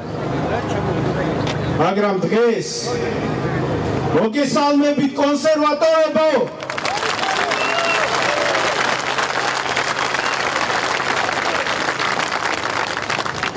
აქამდე არსებობდა ილუზია. თითქოს ჩვენ მხოლოდ ერთი მხრიდან ყავს მტერი ამ ქვეყანაში. ეს არის ლიბერალური ძალები. ხოლო ოცნება არის უბრალოდ ოპონენტი პარტია. დღეს ყველა დარწმუნდა რომ ჩვენ ორივე მხრიდან გვიტევს მტერი. ერთის მხრივ ლიბერალური ძალები რომლებიც ჩვენს გაუქმებას ითხოვენ. ხოლო მეორეს მხრივ ქართული ოცნება რომელმაც აასრულა ეს მოთხოვნა. და მაშინ როცა ციხეებში ადამიანების მწამებელი და გამაუპატიურებელი ძალა ხელშეუხებელი ამდენი ხანი მიუხედავად იმისა რომ მათი აკრძალვის მოთხოვნით მოვიყვანეთ ისინი ხელისუფლებაში. ყველამ ერთად ნაცები კი არა კონსერვატიული მოძრაობა აკრძალეს ამ ფეოდალებმა. მაშინ როცა ისინი პირობას დებენ თითქოს LGBT პროპაგანდას აკრძალავენ LGBT პროპაგანდა კი არა ის ძალა აკრძალეს რომელიც ამ წლების განმავლობაში გარყვნილების პარადის ჩატარებას არ უშვებდა ამ ქვეყანაში ეს არის ამათი ნამდვილი კონსერვატიზმი. ეს არის მათი ეროვნულობა. LGBT პროპაგანდისტები თვითონ არიან ესენი. თუ არა და მაშინ 5 ივლისის ბიჭები ციხეში როგორ გიზით ხალხო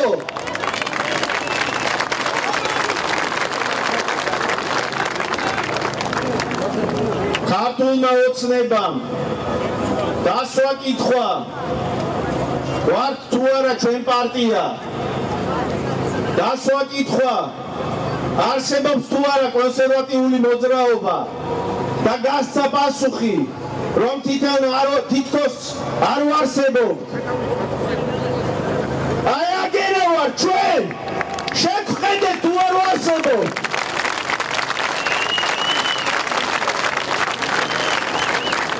მოამ ხალხს. არ გვაქვს უფლება გვერქვას პარტია.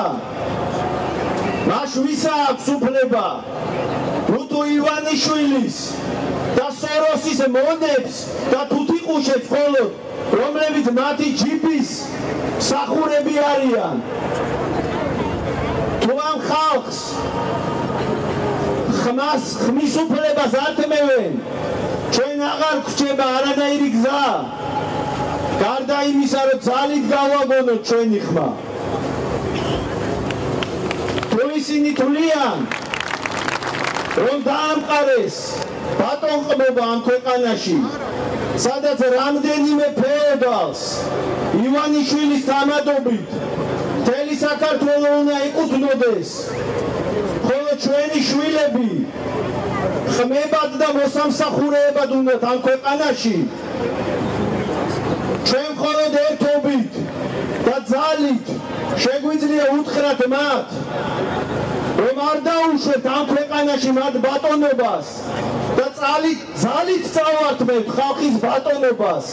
ძალით დავიბრუნეთ ამ ამ ქვეყანაში ღირსეული ცხოვრების უფლებას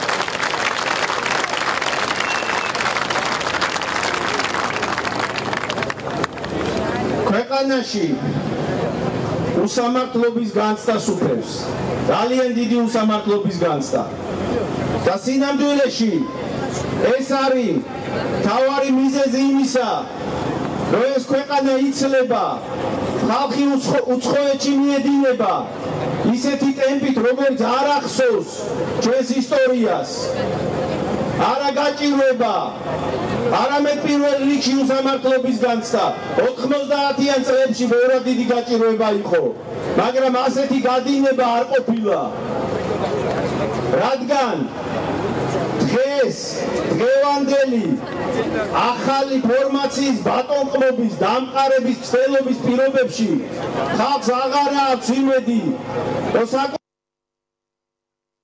საკუთარი შვილების სამართალს დაიცავს. ჩვენ თუ არ მივეცით ეს იმედი ჩვენი ერთობით თუ არ მივეცით იმედი და ჩვენი ერთობით თუ არ დაუმტკიცეთ რომ აქ ჩვეულებრივ ადამიანს აქვს უფლება იცხოვროს ღირსეულად და ამ ქვეყნის თანამესაკუთრე იყოს. სხვანაირად იმედი ყოველას ბოლომდე გადაეწურება. და აქ ქართველების გადახვეწილი ქართველების ადგილს სხვები დაიკავებენ უკვე იკავებენ იმ ქვეყნებიდან რომლებშიც ამ ბოლო პერიოდში უცნაურად უვიზო რეჟიმებს ამყარებენ და მოედინებიან სხვები ჩვენს ადგილებზე. და ჩვენ უკანასკნელ წლებს ვითვლით, როცა შემოbrunება შეგვიძლია ეხლა ამ ვითარების.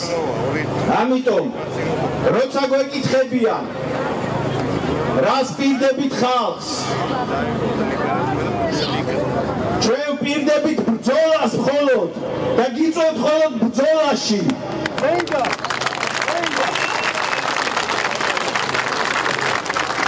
ჩვენ ხშირად გვეკითხებიან ხოლმე? ჩვენ ხშირად გვეკითხებიან. რისი იმედი გაქვთ? რა არის თქვენი мотиваცია? რატომ გონიათ? რომ გაიმარჯვებთ ამ ბრძოლაში? ჩვენ გვაქვს იმ ხალხის იმედი რომლებსაც ყბილებით გაქონდა ჩვენთან ერთად. ამ წლების განმავლობაში ებრძოლა და ამ კითხვაზე ხშირად ახსენდება და ყვები ხოლმე ერთ ამბავს. მოგეხსენებათ ჩვენ ვარსებობთ ერთადერთი პარტია ვართ რომელიც ვარსებობთ ხალხის დახმარებით და შემოწირულობებით. ეგეთი მეორე პარტია საქართველოში არ არსებობს. პირველი თეთრიდან ბოლო თეთრამდე ჩვენ ვარსებობ ჩვენი თანამებრძოლების და თანამოაზრეების დახმარებით. და გარკვეული ხნის წინ მოხდა ეგეთი ამბავი. ჩვენს ოფისში ვიყავით და მოვიდა ერთი ასაკოვანი ადამიანი. დატოვა დაახლოებით არ მახსოვს ახლა რა თანხა 30 ლარი თუ 50 მცირე თანხა და 1 კილო შაქარი ეგ ამაქვს ხოლოდ და გამოიყენებთ ამას ზოლაში ჩვენ მაგ ხალხის იმედი გვაქვს. ეგ ხალხია ჩვენ და მაგ ხალხის ღალატის უფლება არა გვაქვს. და რა პირობასაც ვიძლევით არის რომ ამ ბრძოლაში უკან არ დავიხევთ და ბოლომდე ვიბრძოლებთ სიმართლისთვის. ამ ბრძოლაში გეძახით და ვინც ამ ბრძოლაში მოგყვებით, წამოყვებით.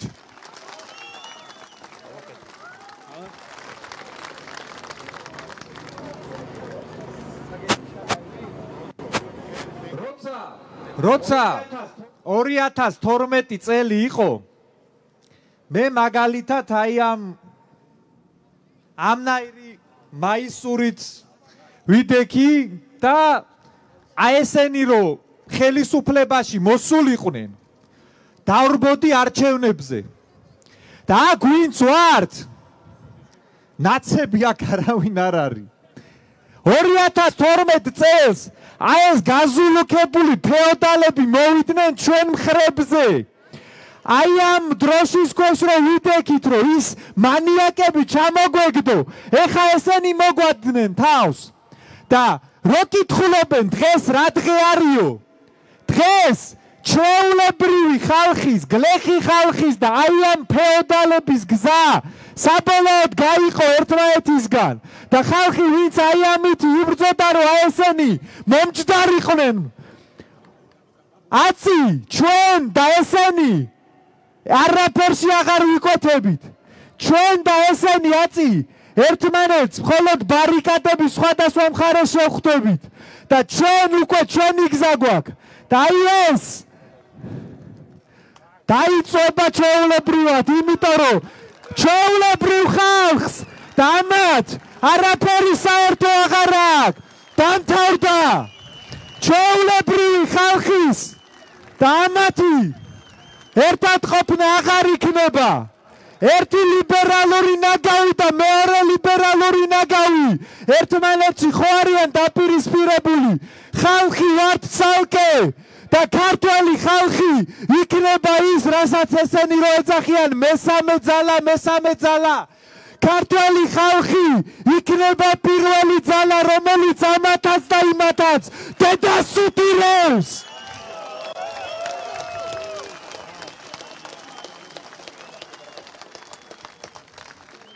დღეს ქართველი ხალხი აი ამათ ფეოდალურ რეჟიმს ეუბნება უარს.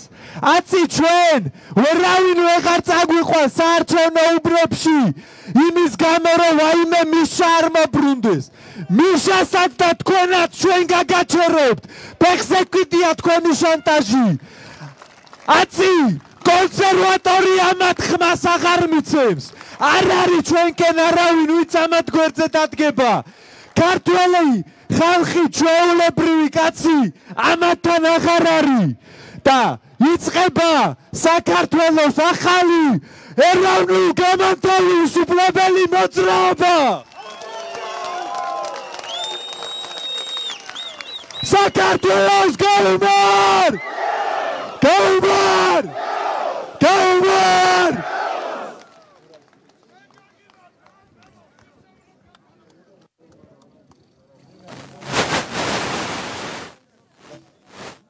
ასე დაიწובה ყველა ჩვენი მტერი. აი ასე.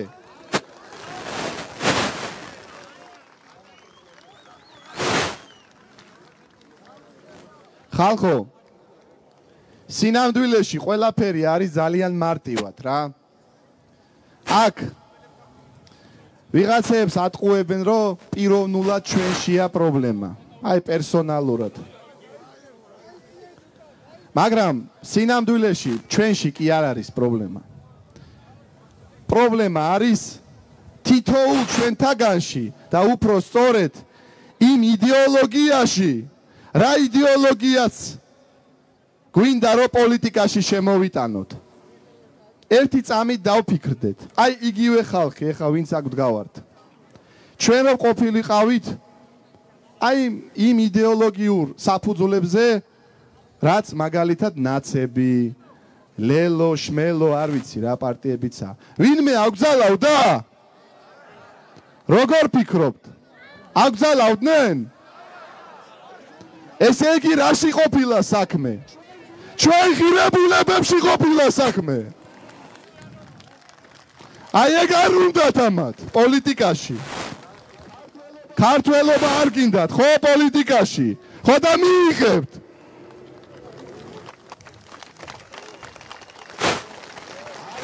არავის არ ეშინია ამათი. არავინ არ არის ამათკენ. და ჩვენ და თითოული ჩვენთაგანი ვინც ახლა ტელევიზიებში გვიყურებთ.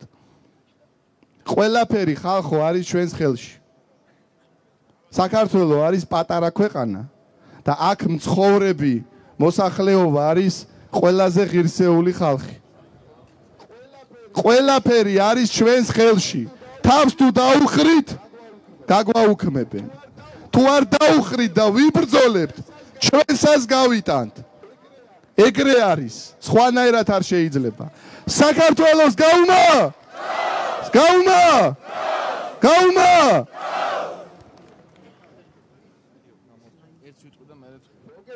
მოგესალმებით ყველას. ბიჭების მერე ჩემი გამოსვლა ვერ იქნება ესეთი ხარიზმატული და ლამაზი მოსასმენი, მაგრამ მე მინდა ძალიან მარტივ რაღაცა საკითხ შევეხო.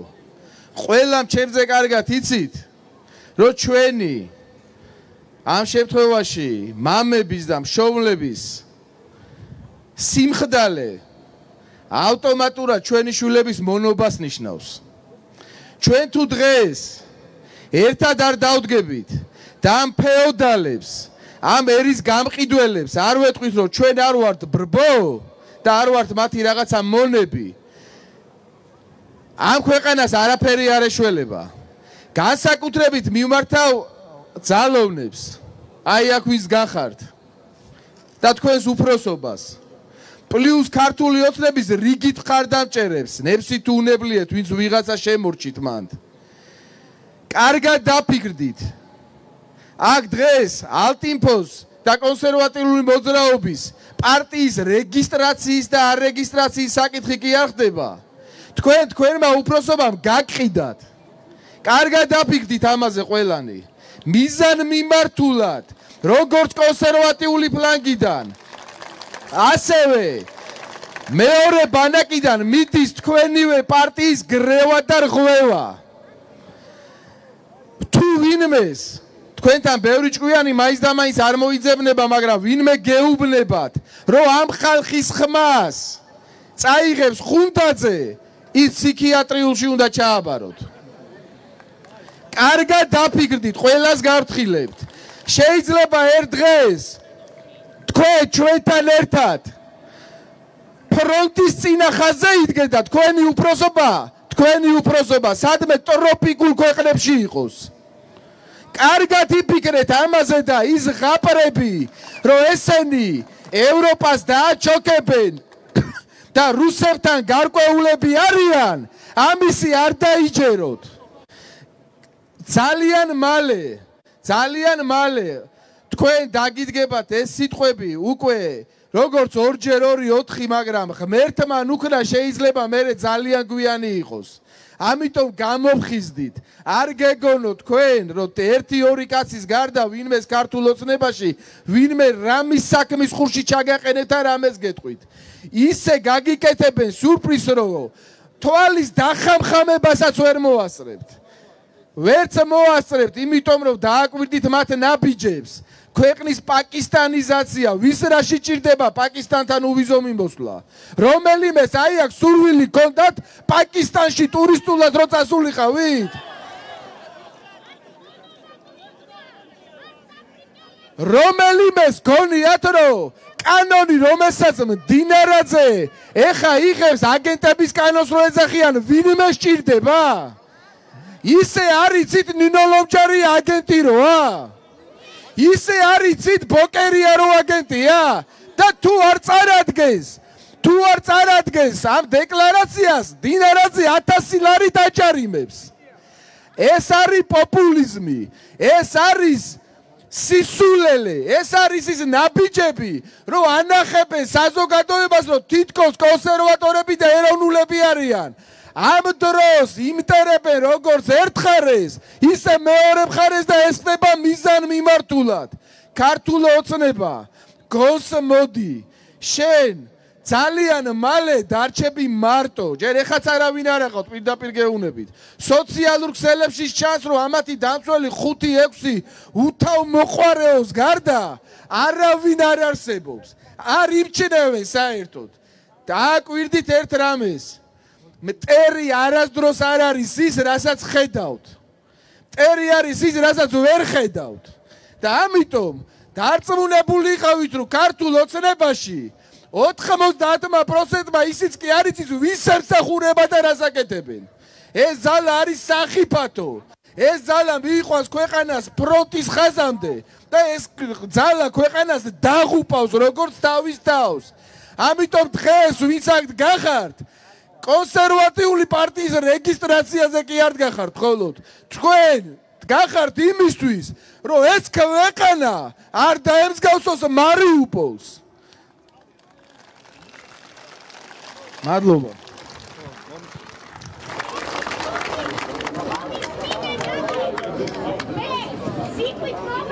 ეხლა ძმებო და დებო თანამებრძოლებო ხო არ იკითხვა აცი რა უნდა გავაკეთოთ ამ ფარჩაკებმა? თავისი ფეოდალით რომ გაგუუქმეს პარტია? კითხვა ხო არის ხოდა. სიტუაცია ახლა არის ეგეთი. ამათ ხო გონიათ რომ დაგვასრულეს. პარტია არ არის ჩანაწერი საჯარო რეესტრში. პარტია არის ხალხის ერთობა და ვინმეს თუ ფორმალობებზე აქვს რამე ინტერესი. აი ახლა გეუბნებით. ბატონმა ლევან ჩაჩუამ და მისმა თანამებრძოლებმა მოგცეს გვაჩუქეს თავისი პარტია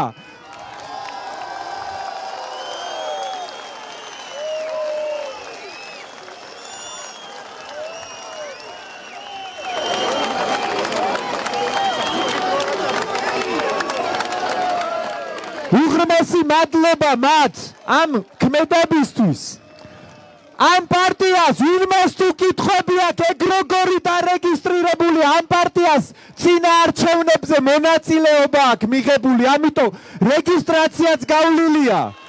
არაფერიც არ იქნება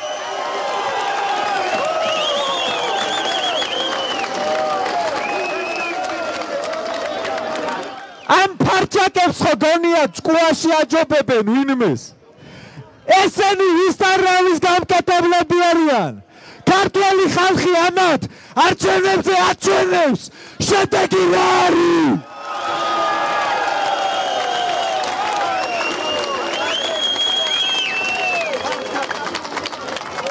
კიდევ ერთხელ დიდი მადლობა ბატონ ლევან ჩაჩუას მის თანამებრძოლებს რომლებმაც ესეთი ნაბიჯი გადადგეს როცა ვამბობთ რომ ერთობა უნდა შედგეს ერთობა ესე უნდა შედგეს. ჩვენ ეხაც ახლა მაშინაც კი როცა ვიღაცეებმა ეროვნულ ფლანგზე რო არიან ხმაც კი არ ამოიღეს ჩვენი პარტიის გაუქმებაზე ეხაც კი ვამბობთ. მოდით ყველა. დიდი ერთობა გავაკეთოთ. ერთად გადავიაროთ ამათ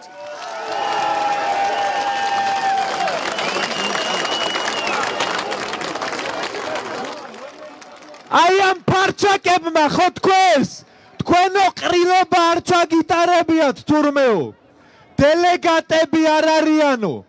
დღეს აქ ტარტება საერთო სახალხო ყრილობა.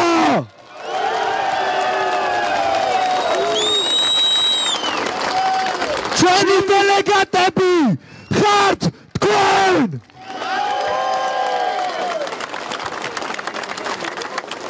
ხო არის კითხვა რომ რა იცლება ეს პარტია ის პარტია ერთი და იგივე გასულუქებული წურბელები რომლებიც ქვეყნის სისხლის წოვით არიან. რა იცლება და გეტყვით რა იცლება ჩვენი პარტია თქვენ მხრებზე კი არა ვაიქ თქვენთან ერთად თქვენით ერთობით გავიმარჯვებთ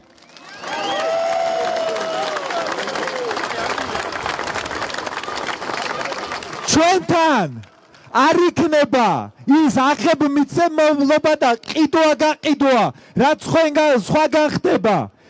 ვინ იქნება ჩვენ პარტიაში? ვინ არის ჩვენი პარტიის დელეგატები? ის ხალხი ხუთი ივლისის მერე ჩვენთან ერთად ჭირში და ლკინში რო იდგა ვინ ჩვენთან ერთად იბრძოდა? ეხა მე წავიკითხავ სიას. ეს ხალხი იქნება ჩვენი დელეგატებიც და საპარლამენტო არჩევნებზე ჩვენი პარტიული სიის დიდი ნაწილიც ესენი იქნებიან.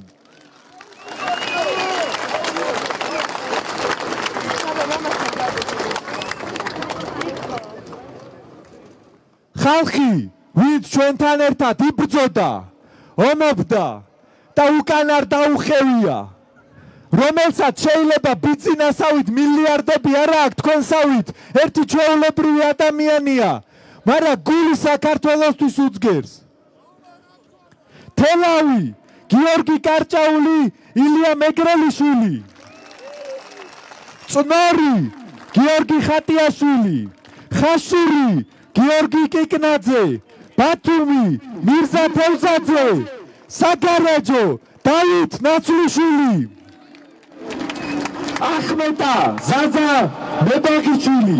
თმანისი ავტოუბლიანი დედოფლის წყარო კახა ხუციშვილი ბორჯომი უჩა გოგოლაძე ახალციხე სიმონ ეღიაშვილი კორი გიორგი ანიაშვილი ზესტაფონი მინდია ჯიკურიძე რუსტავი მერაბ გიგანი უშეთი მარინა ლაპანაშვილი სამტრედია მიხეილ დასაველიძე მესტია ნინო ჭკატუა გურჯანი გიორგი პაპუნაშვილი, წყალტუბო, თამუნა თალაკოძე, ხვარელი, თემურ ფირანიშვილი, გიორგი თუჯიაშვილი. მარნეული, სპარტაკ კოჩკიანი, ლაკოტეხი, ვახო ბარბაკაძე, ლატო სამხარაძე, გარდაბანი, გერმან კალდანი, ყაზბეგი, გიორგი ხუთუშაური. კაროლი გიორგი კანდელაკი, ატიგემი, ბესოზოი ზარიძე, ცხეთა, თენგიზ ვაშაგური, ბატუმი მირზა თევზაძე.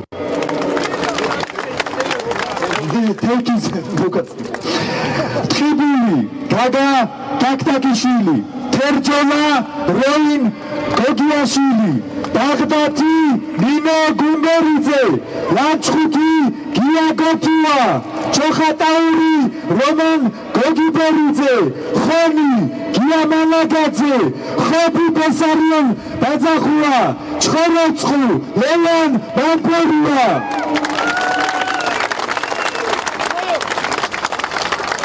საჩხერე ლაშა გომარტელი ფოტი მიხაელ გაბელია საგერი გიგა კოპალიანი აბაშა გია დუნდუა ამბროლაური გოჩა ხურციძე. ჩალენჯიხა რამას ხულორდავა ქუთაისი დავით სულაკაძე ნინო გოგონაშვილი. და თბილისი გია ბაინდურაშვილი გიორგი ღონღაძე გიორგი შუკაკიშვილი ნოტარ გიგანი დიმიტრი ნიკოლაძე გიორგი მომიძე კახაბერ ხუცურაული ზურაბ ზუკაკიშვილი გიორგი ბაცაცია და დავით გამხრელიძე. აი ეს იქნება ხალხი ვინც იქნება ჩემი დელეგატი? აქტებს რა საზოგადოებას თხოვ დააფიქსიროს აცილებ თუ არა ამ ხალხს თქვენ ლეგიტიმაციას ეს ხალხი არის საერთო სახალხო ხრილობით არჩეული დელეგატები. ჩვენ ხალხის დაფუძნებულ არჩეულ პარტიას გეუბნარ გეუბნარ გეუბნარ ამის გარდა კიდე ბევრი დაემატება, სხვებით შემოემატებიან და თავარი რაც უნდა გაიგოთ, ჩვენ ბრძოლას არ ვაპირებთ თქვენ ზურგს უკან. თქვენ ხართ პარტია, თქვენ ხართ ძალა, საქართველოს გაუმარ! გაუმარ! გაუმარ! იდით მოდი. აგინატოს ვიდეო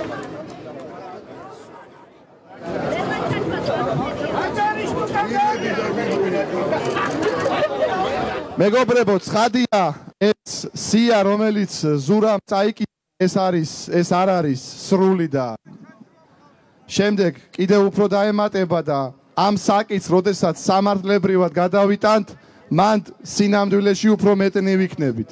მან მინიმუმ 300 კაცი უნდა ვიყოთ. მაგრამ თავარი რა არის, იცით? შეიძლება ზოგიერთში გაჩნდეს მაინც ეჭვი რომ იბატონო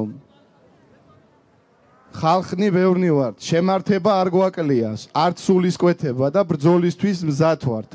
მაგრამ თლათ თუ გაგიჟდნენ ესენი თლათ თუ გაგიჟდნენ და არჩევნებში მონაწილეობა მიღებული პარტიაც თუ გააუქმეს გაუგონარი რაღაცა თუ გააკეთეს მაშინ რა უნდა გავაკეთოთ? ხოდა თქვენ უნდა იცოდეთ. თელი საქართველოს გამოვა ქუჩაში. საყოველთაო დაუმორჩილებლობა გადაიკეტება მაგისტრალები გადაიკეტება რკინიგზა. ყველა ქალაქში ქუჩაში გამოვიყვანთ ხალხს. ასკი გაბედოთ ხალხო იცოდეთ. ჩვენ ახლა ისე არ უნდა დავიშალოთ რომ კაცური სიტყვა არ დავტოვოთ. ვართ ბრძოლისთვის მზად! ვართ ბრძოლისთვის მზად! ხო და გაგჭირდება მალე ეს ბრძოლაც. დიდი მადლობა. დიდი მადლობა ხალხო. ყველაფრისთვის. ვერჩი დგომისთვის. საქართველოს სინამდვილეში ხარ თქვენ. არა ის ადამიანები, ის მაიმუნები, რომლებიც ტელევიზორში ჩანან და არანაირი საერთო არ აქვს ჩვენთან. არც ღირებულებითი, არც კლასობრივი, არც მენტალური, უცხო ხალხი, სულით სინამდვილეში საქართველოს ხარ თქვენ და თქვენზე უნდა იყოს დაყრდნობილი ამ ქვეყნის პოლიტიკური სიძლიერე.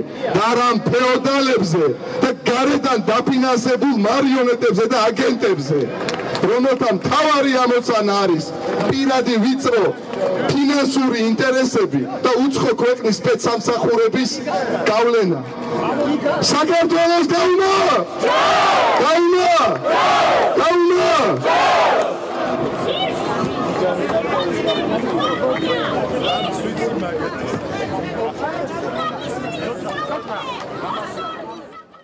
ჩვენი ხმა არის ხალხის ხმა და კახეთის სახელით.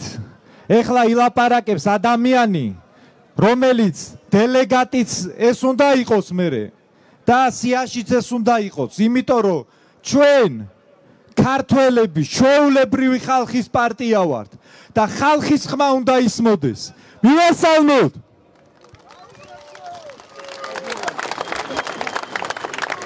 მოგესალმებით! ჩემო ქართველებო ჩემო დებო და ძმებო ყველანაირად შეეცადა როგორც გიორგი ქარდავამ დაარქვა სახელი დღეიდან ბიძგვინა ივანიშვილს ერქმევა როსტომ ხანი გამყიდველი როგორც როსტომ ხანს ეგონა რომ ჩვენ ქართველები სამუდამოდ გაგვანადგურა. შეცდა და აი დღევანდელი დღე კიდევ ერთი ფაქტია იმის რომ ქართველი ქართული უკვდავი მებრძოლი სული არასოდეს არ გაქრება. ჩვენ ერთად თქვენთან ერთად პირობას ვდებთ რომ აუცილებლად დავამარცხებთ ამ სატანისტურ ნაცკოცურ კოჰაბიტაციას და ამ ბოროტ ძალებს.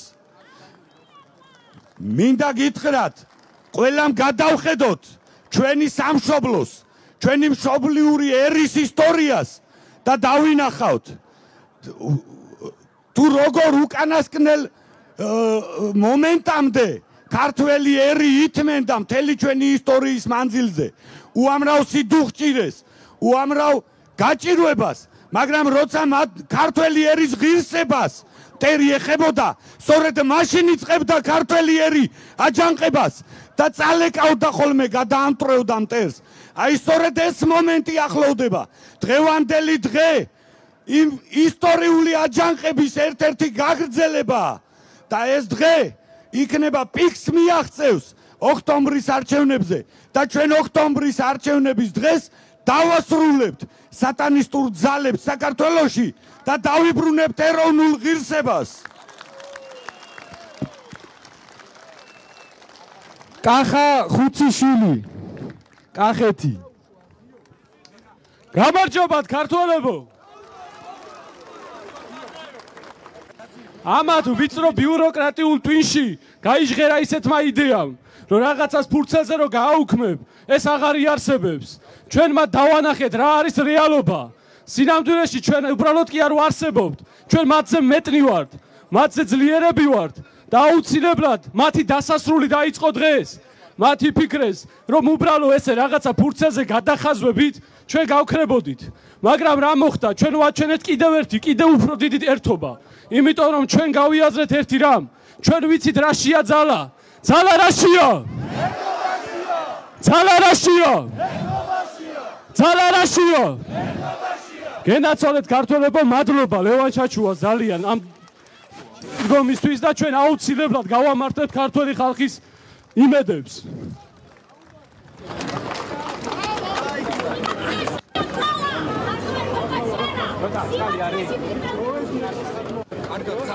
მოგესალმებით ძმებო, დებო, დედებო, მამებო. აი ამ მაიმუნებმა ვიღაცა პერვერტმა მამარო უკანალში დაჭრა და მე ჩვენ პოლიციელებს რაღაცეები გადაასხა თავს. ნუ და აი გარე დადის და ვინც ამ ქვეყანას ნამუქი და წინდი შეუნახა. აი ტურიშვილები ესენი. აი ეს ხალხი. აი გეთ აი ეგეთ ქვეყანაში ჩვენ სამწუხარო და აი თქვენ ჩვენი ქვეყნის ღირსება და მადლობა უფალს რომ ამის ღირსი გამხადა რომ აი თქვენ წინ მდგარიყავი და ეს სიტყვა მოთქვა.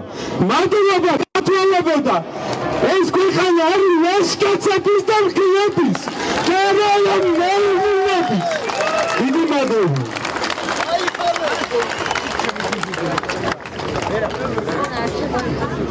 ვერაბ გიგანი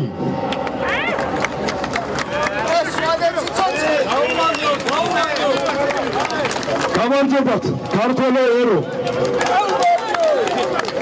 ჩემთვის შეფერა თუმცა თითოეული შევყარა საქართველოს ტკივილმა. ეს არ დაწყებულა დღეს ეს დაიწყო რამდენიმე წლის წინ. და ეს ბრძოლა რომელიც ახლა გრძელდება. დაიწყეს ანტიფოს ბიჭებმა აი ამ ლიდერებმა ყველა სახში ვინც ვიყავით თავის დროზე და ნერვიულობდით რომ ქვეყანა უსტყუში მიექანებოდა და ვიცახდით რომ ამ ქვეყანას რა ეშველება? ვიწევდა მარტო სუფრაზე მაგაზე საუბარი და ორ სამ კაცს ეს გულის ტკივილი რომ გამოგვეხატა თუმცა ვერ ვაორგანიზებდით და ვერ ვახერხებდით ერთობას. და ეს ერთობა რომელიც დღეს შედგა დამსახურება არია მაგარი ბიჭების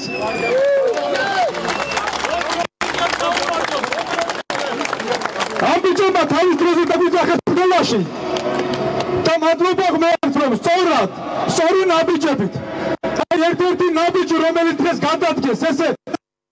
ქონდა შემოხული არავინ არ ვიცოდით. პარტია ხო დაგვიუქმეს ქართულ ხალხს? ეს იყო თქვენი პარტია. მაგრამ უფრო დიდ მასშტაბებში უფრო ძლიერი პარტია შეიძლება თქვენი სახით დღეს. აუგარჯო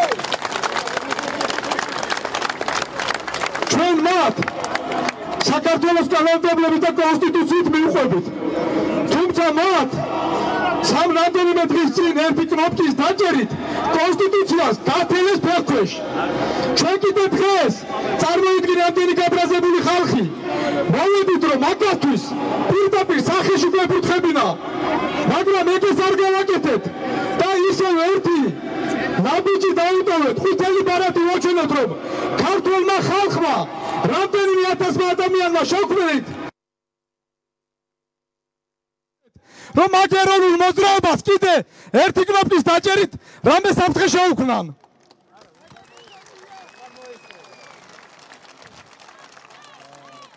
შორიდან ხარ ჩამობრძანებულები დღეს. იმიტომ რომ ეს ტკივილი ძირითადად რეგიონებში იგრძნობა, იმიტომ რომ ისევ რეგიონში შემორჩა ისუფთა ქართული, ქრისტიანული, მორალი, ზნეობა და სწორედ დღეს დედაქალაქში აგერ საპატრიარქოს წინ ყველაზე ღირსეული ქრისტიანები და ყველაზე მორალური ადამიანები შეიკრიბეთ და თქვენკენ ნაცვალეთ მე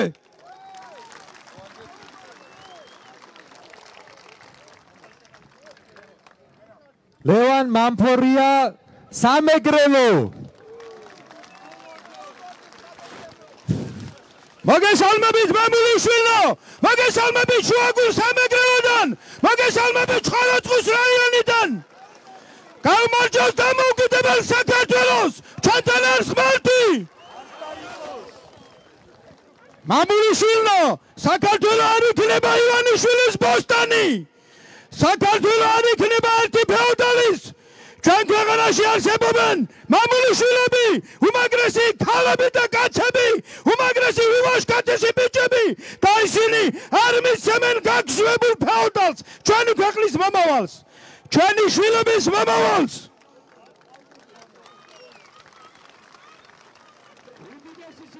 აქ პარტიის ლიდერმა ანდერმა გიორგი ხანძავამ საქართველოს ისტორიიდან მოიყვანა როსტომ ხანის მაგალითი. სპარსეთის შაჰის სპარსეთის ქვაშაბდონის სპარსეთის შაჰის ერთ-ერთი ქვაშაბდონის მაგალითი რომელიც აი სასახლეში იყო. როსტომის ეულ სასახლეს ეძახიან მას.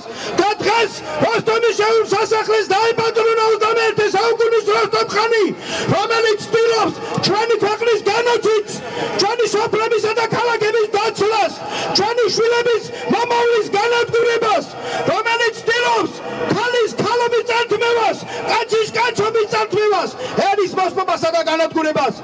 მაგრამ არ დაუშვებს ქართული ხალხი რამე თუ ქართულ ხალხს დაუძლია შაჰაბესებისათვის მურვანყრუებისათვის ჯალალედინელებისათვის და ქართული ხალხი მოინელებს ბიძინა ივანიშვილ როსტომ ხანს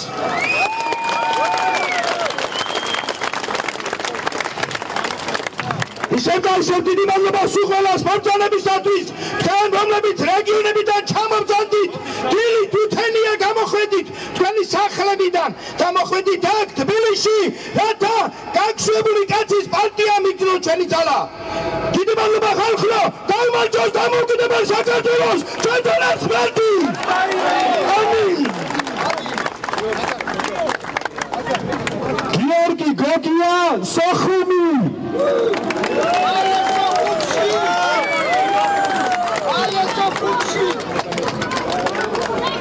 გამარჯობა ჩემო ქართველებო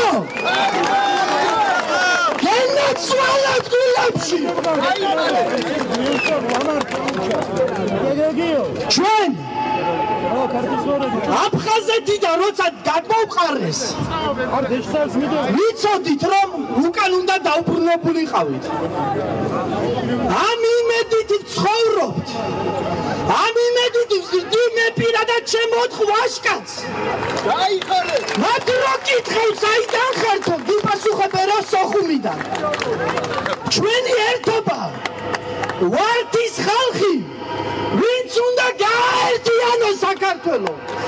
ბიძინა ივანიშვილი და მისი ხრავა ის ხალხია ვისაც აქ დავალებული და უნდა დაყო გაანადგურონ საქართველო და ქართველები გააქციონ ამ ქვეყნიდან. მე გეტყვით რომ დღეს ვიყურებს უამრავი ემიგრანტი მათი გული წეს ქართულად. მათ უნდა საქართველოსი დაბრუნება და ეს ნაციონალა არუშებს აღჩი ქართველებს ჩამოყავს პაკისტანელები და უცხორჯულის ხალხი. მე ხა დავასრულებ და გეტყვით. საქართველო ჩვენია. გენაცვალეთ გულებში. დიდება უფალს. უფალი შეგვეწევა ამ ბრძოლაში. ჩვენ ვართ გამარჯვებულები გამარჯვებული ბრძოლაში.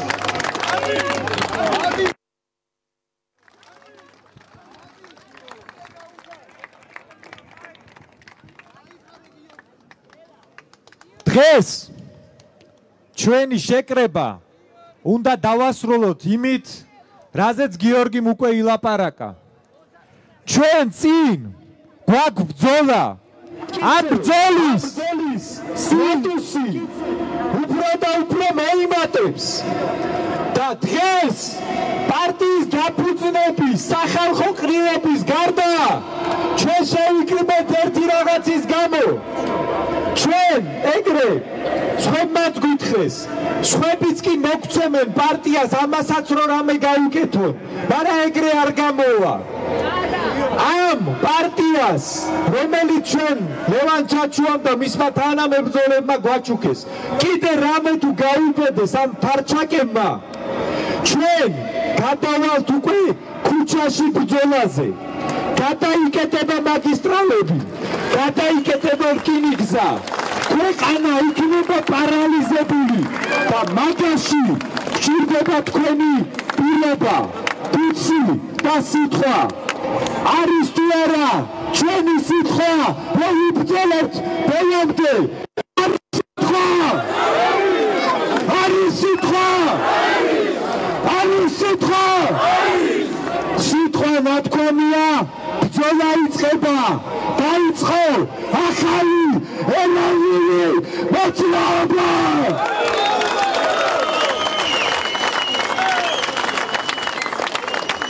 ჩვენთან არის ღმერთი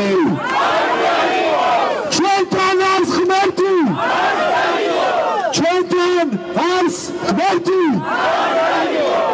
საქართველოს გაუმარ გაუმარ გაუმარ დიდი მადლობა და დაიწყო ჩვენი საერთო ბრძოლა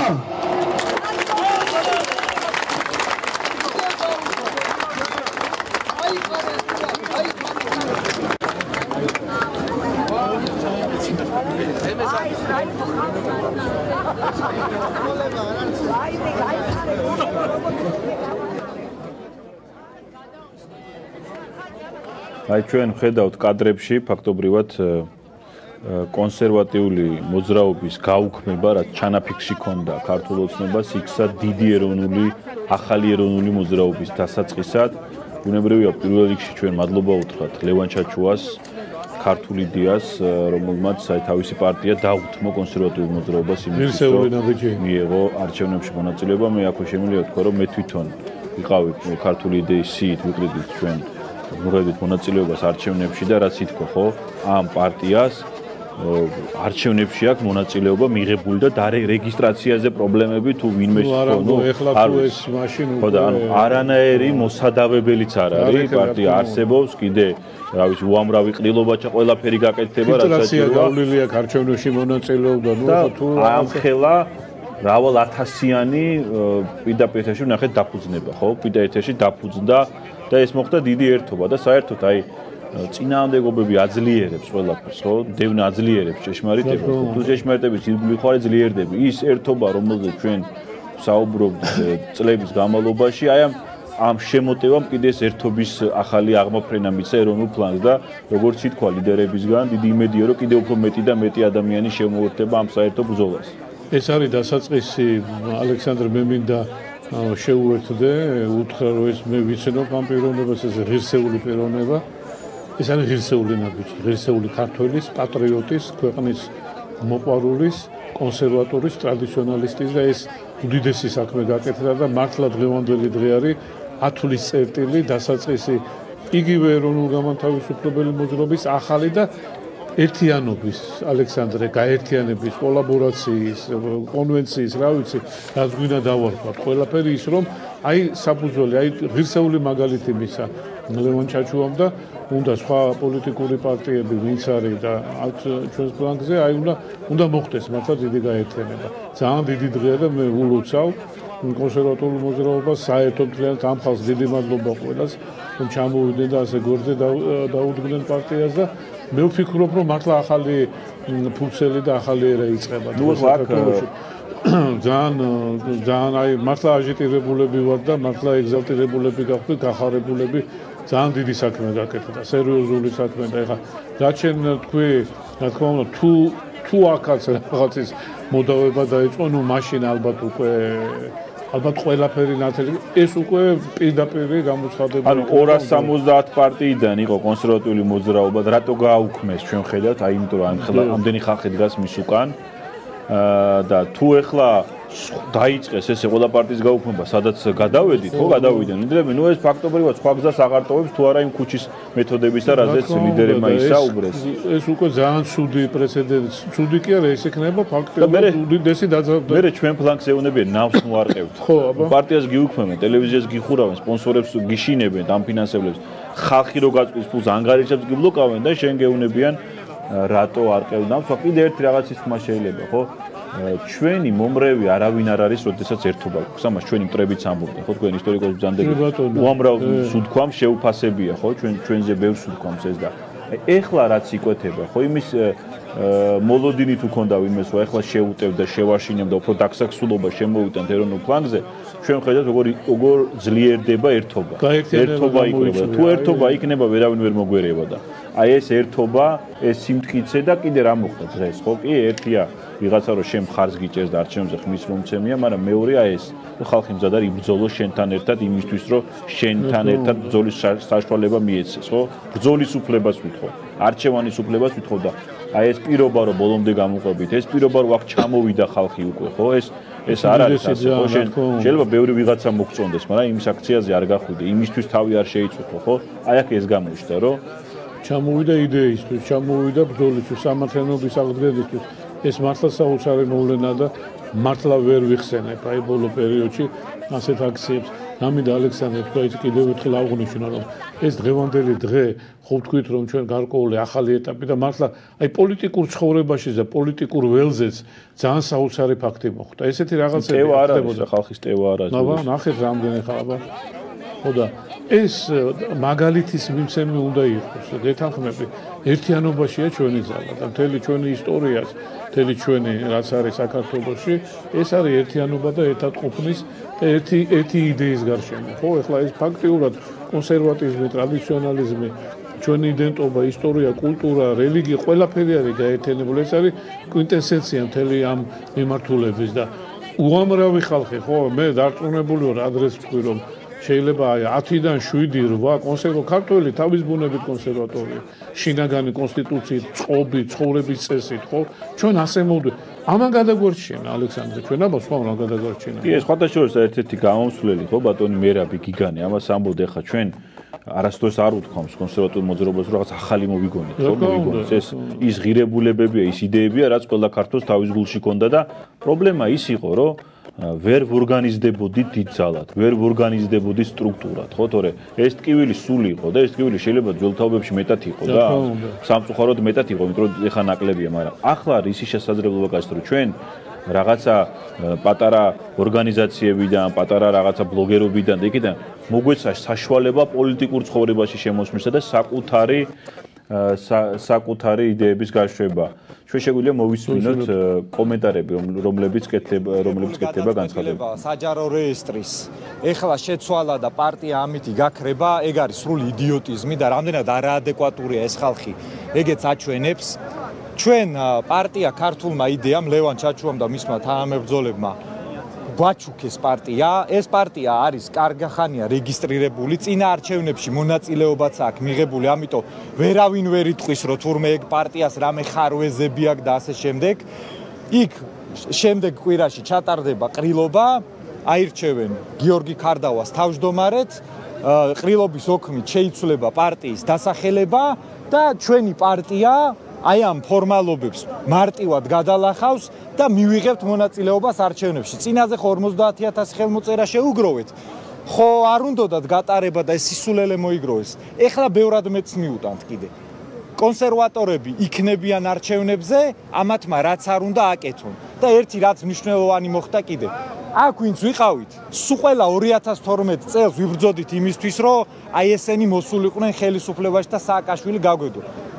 დღეიდან არც ერთი კონსერვატორი ოცნებას არასდროს არაფერში ხმას არ მიცემს. იმიტომ რომ ამათ ისეთი რამე იკადრეს სააკაშვილს რო არ უკადრია, პარტია გააუქმეს და როგორ უნდა კონსერვატიული ფლანგის ფეხზე დაკიდება, ეგენი მაგას ნახავენ არჩევნებს. ეგ არის და ეგ. პარტიის ჩუქება რას ნიშნავს ეს უკითხა და კონკრეტულად სახელი იცვლება, ხო? დარჩება რა სახელი შეიცვლება? ზუსტად იგივე. ჩაჩუა იქნება თუ არა ისევ შეგნით? ანუ ზუსტად იგივე სახელის დატოვება კანონმდებლობით არ არ შეიძლება, ოდნავ დაკორექტირდება, მაგრამ ნუ კონსერვატიული იქნება ისევ ეს პარტია. ჩუქება იმას ნიშნავს, რომ გითხრა რომ აი ჩაატარებენ ყრილობას ჩვენ თავმჯდომარეს აირჩევენ. თავის თავმჯდომარედ ჩვენი პარტიის ასე ვთქვათ პოლიცაბჭო ვინც იყო ის იქნება არჩეული პოლიცაბჭოთ და ფორმალურად ეს იქნება პარტია რომელმაც წინა არჩევნებზე მონაწილეობა მიიღო და რეალურად ეს იქნება პარტია რომელიც ახლა გაგვიუქმს სად ელოდებით რომ ვთქვათ აი რადგან ამბობთ თუ კიდე გაბედავს ქართული ოცნება რომ ხელი შეგვიშალოს სად შეიძლება კიდევ შეგიშალოთ სამართლებრივი მე ამათი ფანტაზიის საზღურები არ ვიცი იმიტომ რომ იგივე ხლა. აი რაც გაგვიკეთეს მაგის მაგალითზე ახსნი რა. საჯარო რეესტრი თუ რამე ხაროეს ადგენს კი არ უნდა გაგიუქმოს უნდა გითხრას რეგისტრაციის მომენტში რომ შეცდომა გაქვს და გამოასწორე. რახან არ გითხრა და უბრალოდ დაგვარეგისტრირა. ეხლა 3 წლის მერე მე რომ მეუნება რომ შეცდომა იყო და რეგისტრაციიდან ხსნი ეგ არის კანონდარღვევა. მაშინ უნდა ეთქვა დაედგინა ხარვეს და დრო მოეცა. ერთადერთი საფუძველი, რომელსაც საქართველოს კანონმდებლობა იცნობს პარტიის გაუქმების, ეგ არის საკონსტიტუციო სასამართლოს გადაწყვეტილება, რომელიც არ არსებობს. იმიტომ არ გვაძლევენ დღემდე საბუთებს, რითი გაგვიმეუქმეს, იმიტომ რომ მითითება უნდა გააკეთო, რომ გაუქმდა ამ კანონით. ეგეთი კანონი არ არსებობს. ამათ ტვინში რა მოიხარშება, მე არ ვიცი, მაგრამ მე ვიცი, რომ ამ პარტიასაც რო რამე გაუკეთონ, ჩვენ ხალხს ქუჩაში გამოვიყვანთ, მაგისტრალების ბლოკირება იქნება, რკინიგზის ბლოკირება იქნება, საერთოდ ქვეყნის პარალიზება მოხდება, ეგ ერთი და მეორე, სხვებმაც შემოგთავაზეს იგივე, სხვა პარტია შეგვილია ეგრე ავიღოთ. ამიტომ ამა თუ გონიათ რომ ესე გაგვაჩერებენ, სრული ტოტალური იდიოტები ყოფილან. მადლობა.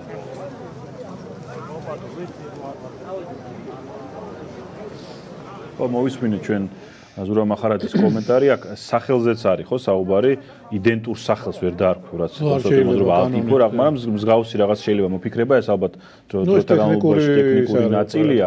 უბრალოდ აი ეს ხო ეს არის საუკეთესო გამოსავალი აქედან. იმიტომ ხა ჩვენ რასაც ვადევნებით თვალყურს გუშინაც საუბრობდით რომ აი უბრალოდ რომ სასამართლო პროცესი უბრალოდ რომ სასამართლო პროცესი დაეწყო პარტიას ამის საშუალებას არ აძლევდნენ ხო საბუთებს არ აძლევდნენ ჩვენ გვაქვს საშუალება რამდენიმე წუთში სამში ალბათ შოთა მარტინენკოსთან მარტინენკოს ჩართვის თუმცა მანამდე მეგონი მანამდე ჩვენ გავაგზავნოთ საუბარი აი ამ ამ შეფასებაზე ხო ზურამ რაც ისაუბრა.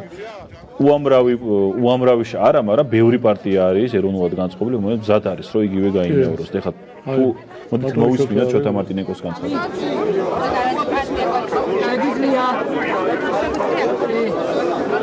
ძალიან დიდი მუხტია ხალხში, ძალიან დიდი ძალა, ეს ძალიან დიდ თანადგომას გვძნობ და ამ თანადგომის ძალით ვართ რეალურად, ან მთელი мотиваცია შეიძლება ბევრს ეგონოს, რომ რაღაცა შეუძლებელი წინააღმდეგობის წინაშე აღმოჩნდებით ხოლმე და ამათი დაძლევა შეუძლებელი იქნება, მაგრამ სინამდვილეში ამ ხალხის თანადგომი და მათი мотивაციით, რომ ძალით, რომელსაც ისინი დაგმოწემენ, ყოველთვის გრძნობთ, რომ შეუძლებელია გაჩერება, როცა აი ამ მთელი საქართველოს რეალურად ყველა კუთხე ჩვენს გვერდით არის, მან არანაირი არც უფლება არ აქვს გაჩერების და არც ძალა არ იქნება მეორე მხარე მხარეს, რომელიც გაგვაჩერებს.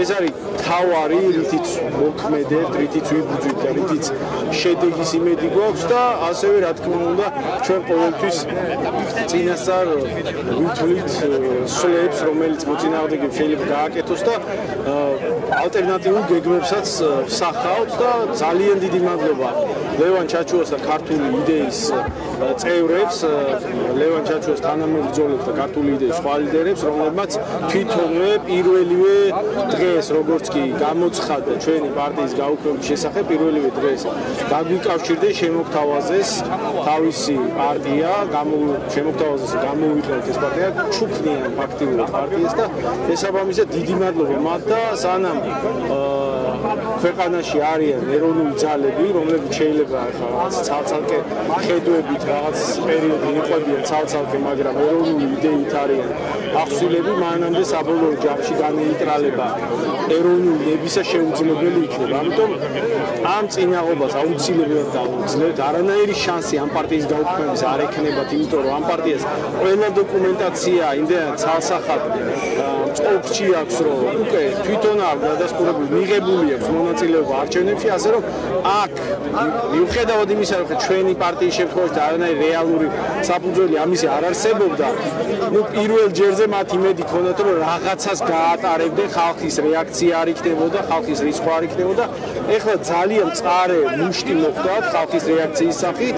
ხდებიან რაღაცა წამგებიანი ნაბიჯი გადადგეს, ეძებენ უხანდახევის გზებსაც და ამიტომ მეორე და ამნაირ ნაბიჯზე წასვლა და ასეთი დემონსტრაციული გაუქმება დემოკრატიის, იმდენად არ არის მათ ინტერესში, რომ ძალიან ნაკლებ სავარაუდო რომ ასეთ ამბიზე წავიდნენ, თუმცა მიუხედავად იმისა, რომ ეს ეხლა ნაკლებ სავარაუდოა, ჩვენი მაქსიმალური მობილიზება საჭიროა, იმიტომ რომ მსგავსი რამე თუ გაბედეს, ხალხის ისეთი რისკვა უნდა მოხდეს ამ ყველაფერს და მათ შორის ფიზიკური წინააღმდეგობაც კი შეიძლება აუცილებელი გახდეს, ისეთი რისკვა უნდა მოხდეს, რომ ნუ აი ამ რისკის მომენტში უბრალოდ თავში გავლებას ვერ გაბედო მსგავსი რამე. ბატონო გიორგი, პირდაპირ ეთერში ვართ. ავიღოთ ინტერვიუ. ინტერვიუ ჩამოგარ თუ ეს? ჰა? პირდაპირ ბოდიში. ბოდიში. ლევანდელი, დღე იყო ძალიან მნიშვნელოვანი, ღირებული დღე. მე მგონი თვითონ ვინც გვადევნებდა თვალს, სიტყვებითაც არ ჭირდება შეფასება, ყველა მშვენივრად მიხვდა. აქ რა მოხდა და რას ვაპირებთ მომავალში. ჩვენ ახლა ცხადია, კვალიფიციური პარტია გვაქვს, რომელსაც არჩევნებში აქვს უკვე მიღებული მონაწილეობა და მადლობა ამისთვის ბატონ ლევან ჩაჩუას და მის თანამებრძოლებს. ნებისმიერი რაღაცა ინტერპრეტაცია, რაღაც იურიდიულ დეტალებთან დაკავშირებით, აქედან გამომდინარე არის უკვე უსაფუძვლო. და თუ ამ სისულელესაც გაბედავს ეს თავრობა, ჩვენ დღეს აქ სიტყვა დავტოვოთ, რომ თუ სგავს სიშტერეზე და არ ვიცი, არ ნახულ სიგიჟეზე წავა ხელისუფლება, ჩვენ გადავკეთებთ გზებს, გადავალთ უკვე უცხოეთ პროტეზზე, გამოვიყენოთ მათ შორის მაქსიმალურად რადიკალურ მეთოდებს, იქნება პარალიზებული ქუჩები, რკინიგზა და ეს მთავრობამ კარგად უნდა გააცნობიეროს. ჩვენ უკან არ დავიხეთ, არავითარ შემთხვევაში. კარგად გაიგეთ თქვენ. ჩვენ მონაწილეობთ ამ არჩევნებში, ჩვენ შევდივართ პარლამენტში. მოწონს ეს ბიზნეს თუ არ მოწონს, ასე იქნება, იმიტომ რომ ხალხის ნება არის ასე.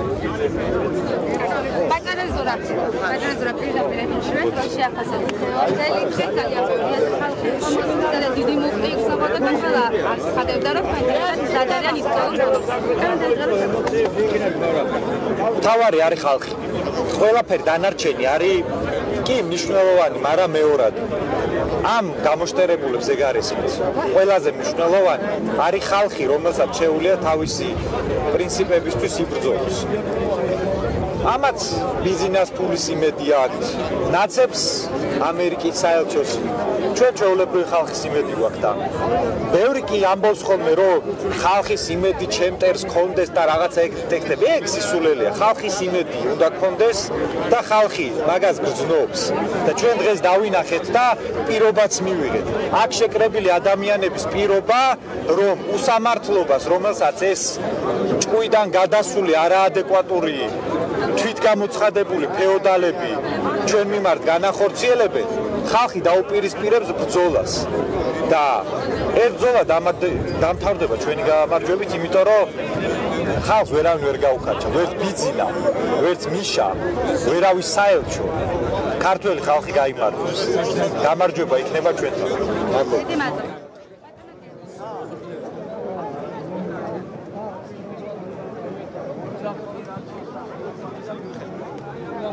შეაფასებთ დღევანდელ დღეს, ელოდებოდით თუ არა ხალხის ამ რაოდენობას და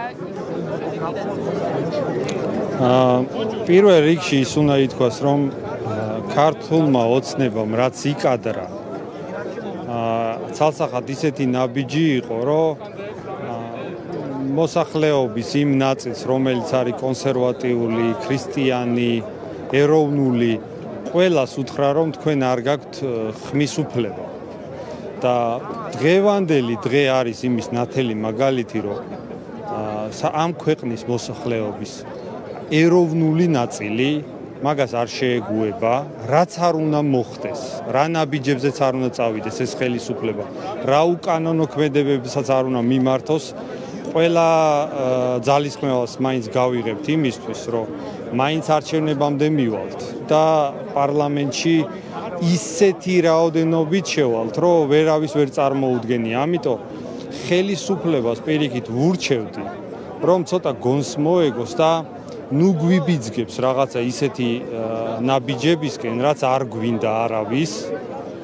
იმიტომ რომ ჩვენ თუ სხვა გზა არ დაგვჭა, თუ ეგრე დაგვიყენეს საკითხი, რომ უფლებები არ აგვაქვს, ხო, მაშინ ბრძოლით მოგვიწევს უფლებების მოპოვება. ელოდებით რომ ახალ პარტიაზე შეიძლება ისეთივე რეპრესიული დამოკიდებულება იყოს ქართული ოცნების მხრიდან როგორიც პარტია კონსერვატიული მოძრაობის შემთხვევაში იყო მე იმედი მაქვს რომ დღევანდელი მასშტაბური აქციის ფონზე ხელისუფლება მიხვდება რომ მაგნაბიჯის გადადგმას აზრი არ აქვს მათთვის და ძალიან ცუდი შედეგები მოყვება მათთვის ამიტომ ჯობია რომ ეს ყველაფერი დავტოვოთ ისევ რაღაც კანონიერების ჩარჩოებში და ცივილიზებულ ჩარჩოებში ჯობია რომ ყველაფერი მივიდეს არჩევნებამდე და ნუ ინერვიულებენ იმაზე რომ ისინი რაღაცა ხმის ხმების მოპოვების მცდელობებში და რაღაც ასე შემდეგ.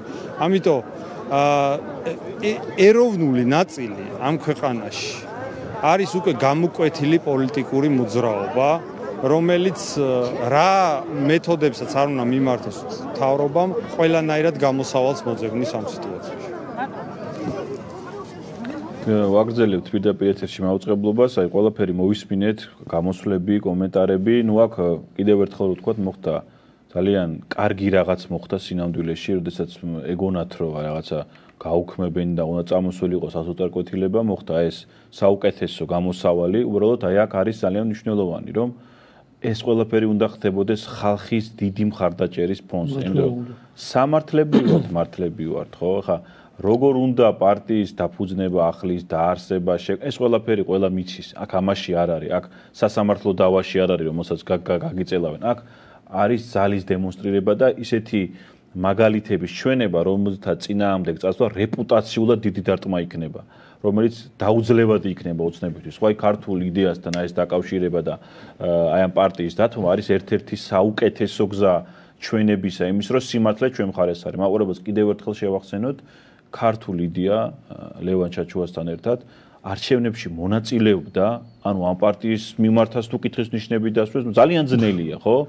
ანუ ეს პარტია წლებია ფუნქციონირებს, არჩევნებში მონაწილეობს და ასე შემდეგ. ანუ ეს არის იმის დემონსტრირება, რომ ყველაფერი სამართლებრივად წესრიგშია და თუ იგივეს გაბედავს თავრობა, რაც ნაკლებად სავარაუდოა ამ აქციის ფონზე, მაშინ აქ ითქვა ისიც როგორი პასუხი გაეცემა. ეს იქნება უკვე ბევრად უფრო მძიმე ფორმები, ბევრად უფრო მწვავე ფორმები. სხვათა შორის არც ეს იქნება კონსტიტუციიდან გავლა, იმიტომ რომ კონსტიტუციური უფლებაა ზუსტად პოლიტიკური ჯგუფის რო არჩევნებში მიიღოს ბუდანწილეობა.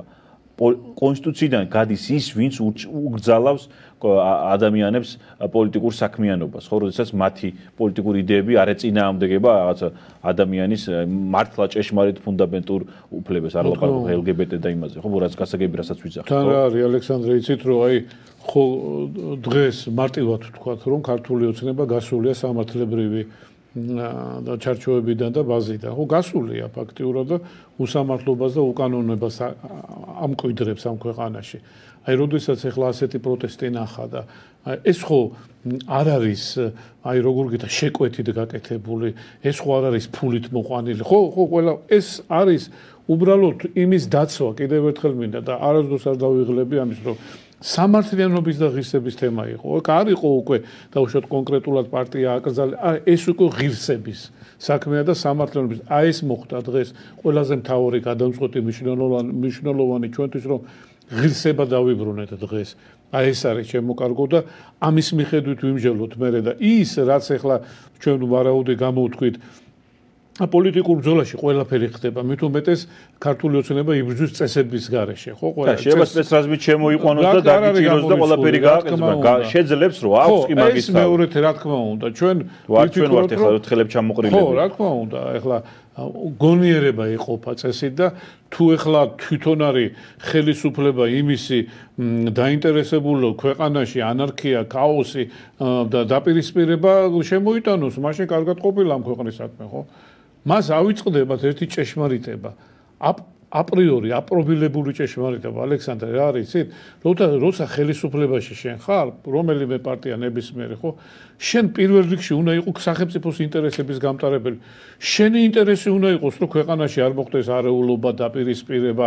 და კანონი შენ უნდა დაიცვა, აბა ვინ უნდა დაიცვას კანონი? კანონზე ხო ხედავთ რაც ხდება. ხო, არა, ვინ უნდა დაიცვას? პარტიები, რომლებიც შტურმს აკეთებდნენ. ყოველ წელს აკეთებენ ორ წელიწადში ერთხელ შტურმს აკეთებენ პარლამენტზე. წვავენ პოლიციელებს, მოლოტოვის კოქტეილებს ისრიან, ხო ხა? გრიგორიადისი საერთოდ გამოუშვეს და ანუ იმათ, ვინც აი პარტი, რომლებიც პარლამენტს წვავენ, აი იმ ხალხს თურმე უფლება აქვს, რომ ყავქონდეს უამრავი პარტია, უამრავი ტელევიზია, უამრავი რაღაცა სპონსორები. კანონი არ მოხდა. აი ამ ხალხს, ხო უბრალო ადამიანებს, რომლებიც შეკრებილები არიან რისთვის? არჩევ ჩვენ ფლანგს თურმე ერთი პარტია რო ყავდეს, რო არჩევნებზე გავიდეთ და ჩვენი ძალა შევიდეს, ხო? ჩვენი აიდე ამის პარტიის უფლება არა გვაქვს. ტელევიზიის უფლება არა გვაქვს, ხო? სანახევროდ რო გვამუშავებენ, ხო? ამდენი შრომაიდება, ამდენი ძალისხმევა იდება ტელევიზიაში და ბლოკავენ. აი კანონის, სულ არ აინტერესებთ კანონი, ისე ბლოკავენ. ბლოკავს თითქოს, რა ვიცი, ხო? მათთან დამეგობრობს, ხო? სილქნეტის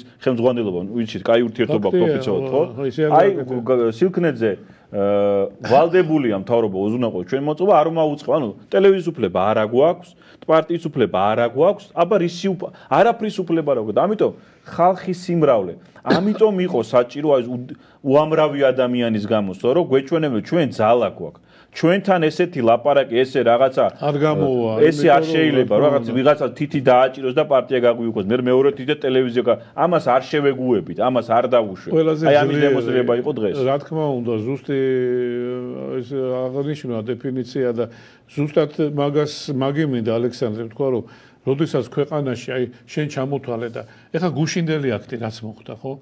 აი იგივე აი ამ გრიგორიადისის გამოშვება ხომ ამ ქალბატონმა პრეზიდენტმა დაიწყო უკანონობის მთელი კასკადი ამ ქვეყანაში. შენ სწორი შედარება მოიყვანე. ანუ ანუ ეს რისი ნიშანია, იცით? წითელი მწვანე გაქვთ ანთებული, დაანგრიეთ, ესროლეთ, დაწვით, აპეთქეთ კი ბატონო მე გამოვალ ზურას რაზე აღუზრეს საქმე და გოგიას გიორგი გოგიას ხო? ნუ ეს ესაეთო და გრიგორიადის კი და პოლიციის დაწვა შეუ თან გრიგორიადის კაი თქვა გრიგორიადის დაჭეს მარტო გრიგორიადის ხო არ უშველო რამდენმა ის რა თქმა უნდა რამდენი გრიგორიადის რამდენმა იჩუბა რამდენმა შევა ყოველას ის არ უშველო მოლტოვის კოქტეილმა იქ რამდენი სისხლის სამოძრა დაშავი ჩამოხდა ხო და აი ამის თქმა მინდა ამას ხო საზოგადოება ხედავს მოქალაქეები ხედავენ. კარგი დავონებულ საქართველოს უცხოეთის ორგანიზაციები ან საელჩოები რასაკეთებენ საქართველოში? ხო არიან ხო მიდის ტოტალურად საქართველოში იგნორირება ადამიანის უფლებების. ხო არიან ესენი მოტივირებული, რომ ჩვენ საქართველოში ვალთ, უნდა დავიცვათ ადამიანის ფუნდამენტური უფლებები, დემოკრატიის პრინციპები და ასე შემდეგ და ასე შემდეგ. რომელიმე საელჩოს, ალექსანდრე, ან საერთაშორისო ორგანიზაციას პროტესტი გამოუხატია და უთქვია ხალხნო რა ხდება საქართველოში, რატო ირღვევა დემოკრატიული პრინციპები, ადამიანის უფლებების პრინციპები და ყველაზე მთავარი ხმის წართმევა რატო ხდება? პირიქით იზახიან დახურეთო პარტია პირიქით იძახიან. რომელ მიდგომაზე, რომელ სამართლებრივ იმაზეა საუბარი, ხო? არ ხდება. სხვათა შორის კიდე ერთი რის თქმა შეიძლება კონსერვატიული მოძრაობის ამ გადაწყვეტილებაზე, ხო?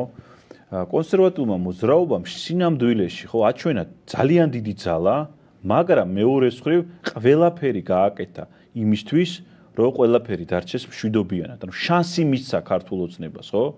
ხო შეიძლებოდა რომ თქვა სხვანაირი სტრატეგია აერჩიათ ლიდერებს და თავით დატაკებოდნენ და ამ შემთხვევაში მართლები იქნებოდნენ. მაგრამ აი კიდევ ერთხელ ხო ხელისუფლებას კიდევ ერთი შანსი მიეცა რომ აი ჩვენ ყველანაირად გვინდა ჩვენ ძალა გვაქვს მაგრამ ყველანაირად გვინდა რომ ყველაფერი მშვიდობით იყოს ჩვენი ქვეყანა. აქ ჩხუბი არ გვინდა ჩვენ. ჩვენ გვინდა რომ ჩხუბი არ მოხდეს. ამიტომ აი შემოგთავაზა ლევან ჩაჩუამ თავისი პარტია ჩვენ აი ამ გამოწვევას ვიღებთ. ამ გზით ჩებით სამართლებრივ ჩარჩოებში ვაგზელებთ ესე ბრძოლას და აი ზუსტად ეგ არის. თუ ამასაც იმას გააკეთებს ოცნება ხო? და მე გამოვა კიდე ვიღაცა. და კიდე კიდე ჩვენზე იტყვის რომ ნავს არყევთო ნავს კი არ არყევთ აი ესე ლომი როა ხო? აი იმითი ხრეტენ ნავს რომ ჩაიძიროს ეს ქვეყანა და კიდევ ერთი შანსი ახლა უნდა დაფიქრდნენ ხო? კიდე ამას ხალხი ხედავს. როგორ მოი როგორ სახელმწიფოებრივი გადაწყვეტილება იყო დღეს? რომ არ წავიდე აი მართალი რო ხარ და გამწვევაზე რო არ წახვალ ხო? არა და თავისუფლად შეეძლო. აი იმას რო გაიხსენო ახალგაზრდობაში ბავშვად ჩხუბი აი რო რო დაინდო მოცინა და არ გაამწვევ იმიტომ რომ შენი მეგობრები გედარდება და ისიც ხო? აი ზუსტად ეს არის დღევანდელი დიდი მიღწევა კიდე სხვა მიღწევებთან ერთად რომ არ გამოვიდა პარტია კონსტიტუციური და საკანონმდებლო ჩარჩოდან არ გამოვიდა თავის ღირსე თავის ღირსება ანახა დღეს პარტიამას ხო გეთახმები მას შეეძლო რადიკალური და უამრავი და გაფრთხილება მომხრეებისა. აი ვაივლისაც ეს მახსოვს, პროსტა ესე დარბოდენ ბიჭები, რომ ხილად ხილად არ გვინდა ეხა კარგად ვართ, ყოველას თავი არ დავაჭერინოთ, აი ეს ეს იყო, ხო? რესურსიც იყო, мотиваციაც იყო და შეიძლებოდა ეს გაკეთებულიყო, მაგრამ არ იკადრა და არ გავიდა. ანუ ქართულ ოცნებას უთხრა დღეს რომ მოდი რა თუ ჩვენ მოწინააღმდეგები ვართ ხო აი საკანონმდებლო ბაზით თუმცა ამას დაფასება უნდა ამას დაფასება უნდა და დღეს გამოცემის არ უნდა გაიგოს რომ ჩვენ ხელები გვაქვს მიჩვენი ბორკილები და ეხლა დაფასება უნდა აი აი ძალა რომ აი კიდე ერთხელ წავიდა ნაბიჯე რომ მოდი რაც გვეკუთვნის ის მოგვეცი. რა თქმა უნდა. შეუძლია ახლა გაჩერდეს ოცნებას, კანონი აღარ დაარღვიოს, მეტი პირდაპირ მეტი აღარ დაარღვიოთ კანონი და ყველაფერი იქნება მშვიდობიანად. ზუსტად, აი ზუსტად ვამბობ, რომ აი ეს რაც დღეს მოხდა უკვე, ხო? ამის მანიშნებელი, ამის ნიშანია ეს. დღეს ჩვენ გვანახეს პოლიტიკური ბრძოლის, პარტიამ პოლიტიკური ბრძოლის კლასიკური მაგალითი. აი ბრძოლა ხო ეხლა ამას ვერ გაიქცევი, მაგრამ ეს პოლიტიკური ბრძოლა და სამართლებრივად ვიბრძვით ჩვენ. ჩვენ ბოლომდე მივდივართ სამართლებრივად. ეს გამოწვევა ქართულ ოცნებასა და ჩვენ ვეუბნებით, რომ ჩვენ ასეთები ჩვენ მზათავართ ყველანაირად და თუ შენ იმიდან გადახვალ და კიდე ასე გააგზავნებ ნუ მაშინ უკვე სხვა გზა არ დარჩენილა ამიტომ ჩვენ დღევანდელი დღით ვანახეთ პარტიამ ანახა აი ეს კლასიკურად აპრობირებული ურთიერთობების ფორმები და მინდა გითხრათ კარგი პოლიტიკური მასტერკლასი ჩაუტარა დღეს.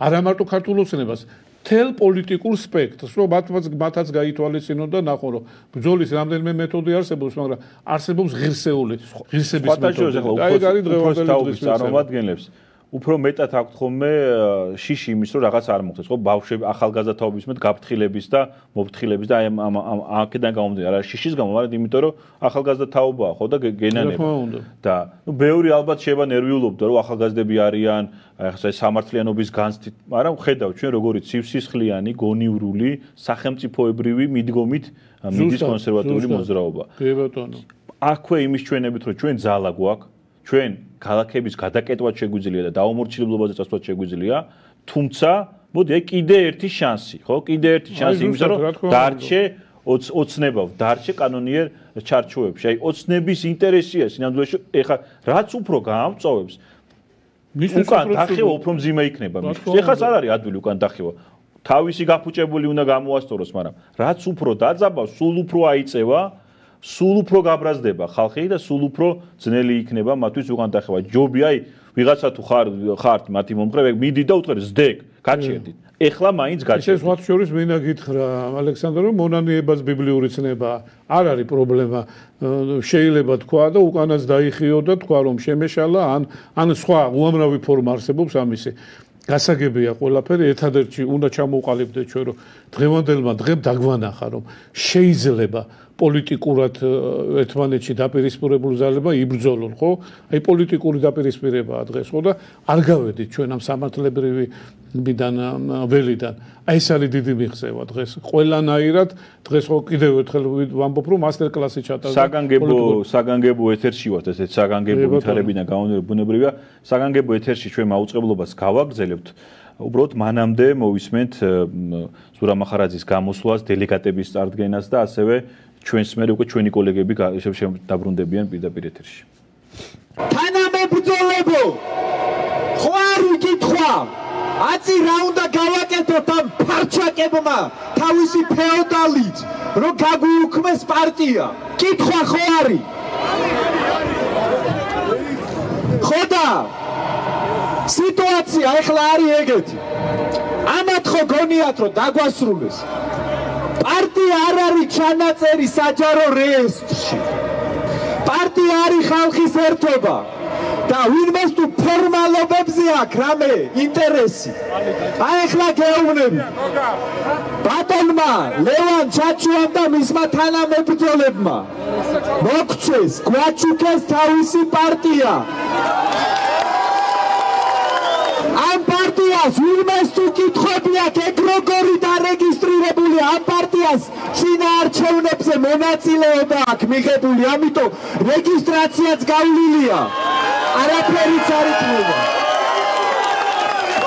ამ პარტიაკებს ხო გონია ჭკუაში აჯობებენ ვინმეს? ესენი ისტორიების გამკეთებლები არიან. ქართული ხალხი ამათ არჩევნებზე აჩვენებს. შედეგი არის მადლობა ბატონ ლევან ჩაჩუას მის თანამებრძოლებს რომლებმაც ესეთი ნაბიჯი გადადგეს როცა ვამბობთ რომ ერთობა უნდა შედგეს ერთობა ესე უნდა შედგეს. ჩვენ ეხაც ახლა მაშინაც კი როცა ვიღაცეებმა ეროვნულ პლანზე რო არიან ხმაც კი არ ამეიღეს ჩვენი პარტიის გაუქმებაზე ეხაც კი ვამბობთ. მოდით ყველა დიდი ერთობა გავაკეთოთ. ერთად გადავუაროთ ამათ აი ამ ფარჩაკებმა ხო თქვენს? თქვენო ყრილობა არ ჩაგიტარებიათ თურმეო. დელეგატები არ არიანო. დღეს აქ ტარტება საერთო სახალხო ყრილობა. ეხა მე წავიკითხავ სიას. ეს ხალხი იქნება ჩვენი დელეგატებიც და საპარლამენტო არჩევნებზე ჩვენი პარტიული სიის დიდი ნაწილიც ესენი იქნებიან. თელავი, გიორგი კარჭაული, ილია მეგრელიშვილი, წნორი, გიორგი ხატიაშვილი, ხაშური, გიორგი კიკნაძე, ბათუმი, მირზა თევზაძე, საგარეჯო, დავით ნაცვლიშვილი, ახმეტა, ზაზა მებაღიშვილი, დმანისი, ავტოვიბლიანი, დედოფლის წყარო კახახუციშვილი ბორჯომი უჩა გოგოლაძე ახალციხე სიმონ ეღიაშვილი გორი გიორგი ანიაშვილი ზესტაფონი მინდია ჯიკურიძე რუსთავი მერაბ გიგანი დუშეთი მარინა ლაპანაშვილი სამტრედია მიხეილ დასაველიძე მესტია ნინოჩკადუა გურჯანი გიორგი პაპუნაშვილი წყალტუბო თამუნა თავაკვაძე ხვარელი თემურ ფირანიშვილი გიორგი ბუჯიაშვილი მარნეული სპარტაკ კოჩქიანი ლაგოდეხი ვახო ბარბაკაძე ლადო სამხარაძე გარდაბანი გერმან კალდანი ყაზბეგი გიორგი ხუტუშაური ქარელი გიორგი კანდელაკი ატიგენი ბესოზოი ზარიძე ცხეთა თენგიზ ვეშაგური ბათუმი მირზა თევზაძე ტყიბული გაგა თაკთაკიშვილი თერჯოლა როინ გოგიაშვილი ბაღდათი ნინო გუმბერიძე ლანჩხუთი გია გოთუა ჩოხატაური რომან გოგიბერიძე ხონი გია მანაგაძე ხობი ბესარიონ ბაძახუა ჩხოროცხუ ლევან მამპორია საჩხერე ლაშა გომართელი ფოთი მიხაელ გაბელია ცაგერი გიგა კოპალიანი აბაშა გია დუნდუა ამბროლაური გოჩა ხურციძე. წალენჯიხა რამას ხულორდავა ქუთაისი დავით სულაკაძე ნინო გოგონაშვილი.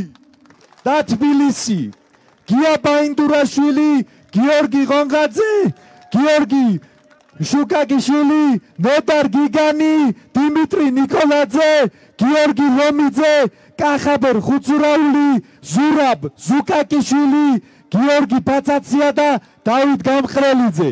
ეს ხალხი არის საერთო სახარხო ყრილობით არჩეული დელეგატები ჩვენ ხალხის დაფუძნებულ არჩეულ პარტიას გაუმარ! გაუმარ! გაუმარ! ვაგრძელებთ ეთერს, შევცვალეთ ჩვენი კოლეგები, ну ნახეთ ხო, აქცია გამართა და ახლა ვინმეს თუ ეგონა რომ ამ აქციაზე რაღაცა ისეთი მოხდებოდა, რომ XS-ებს ექნებოდა ადგილი, ყოვზი ნაცარში ჩაუვარდათ.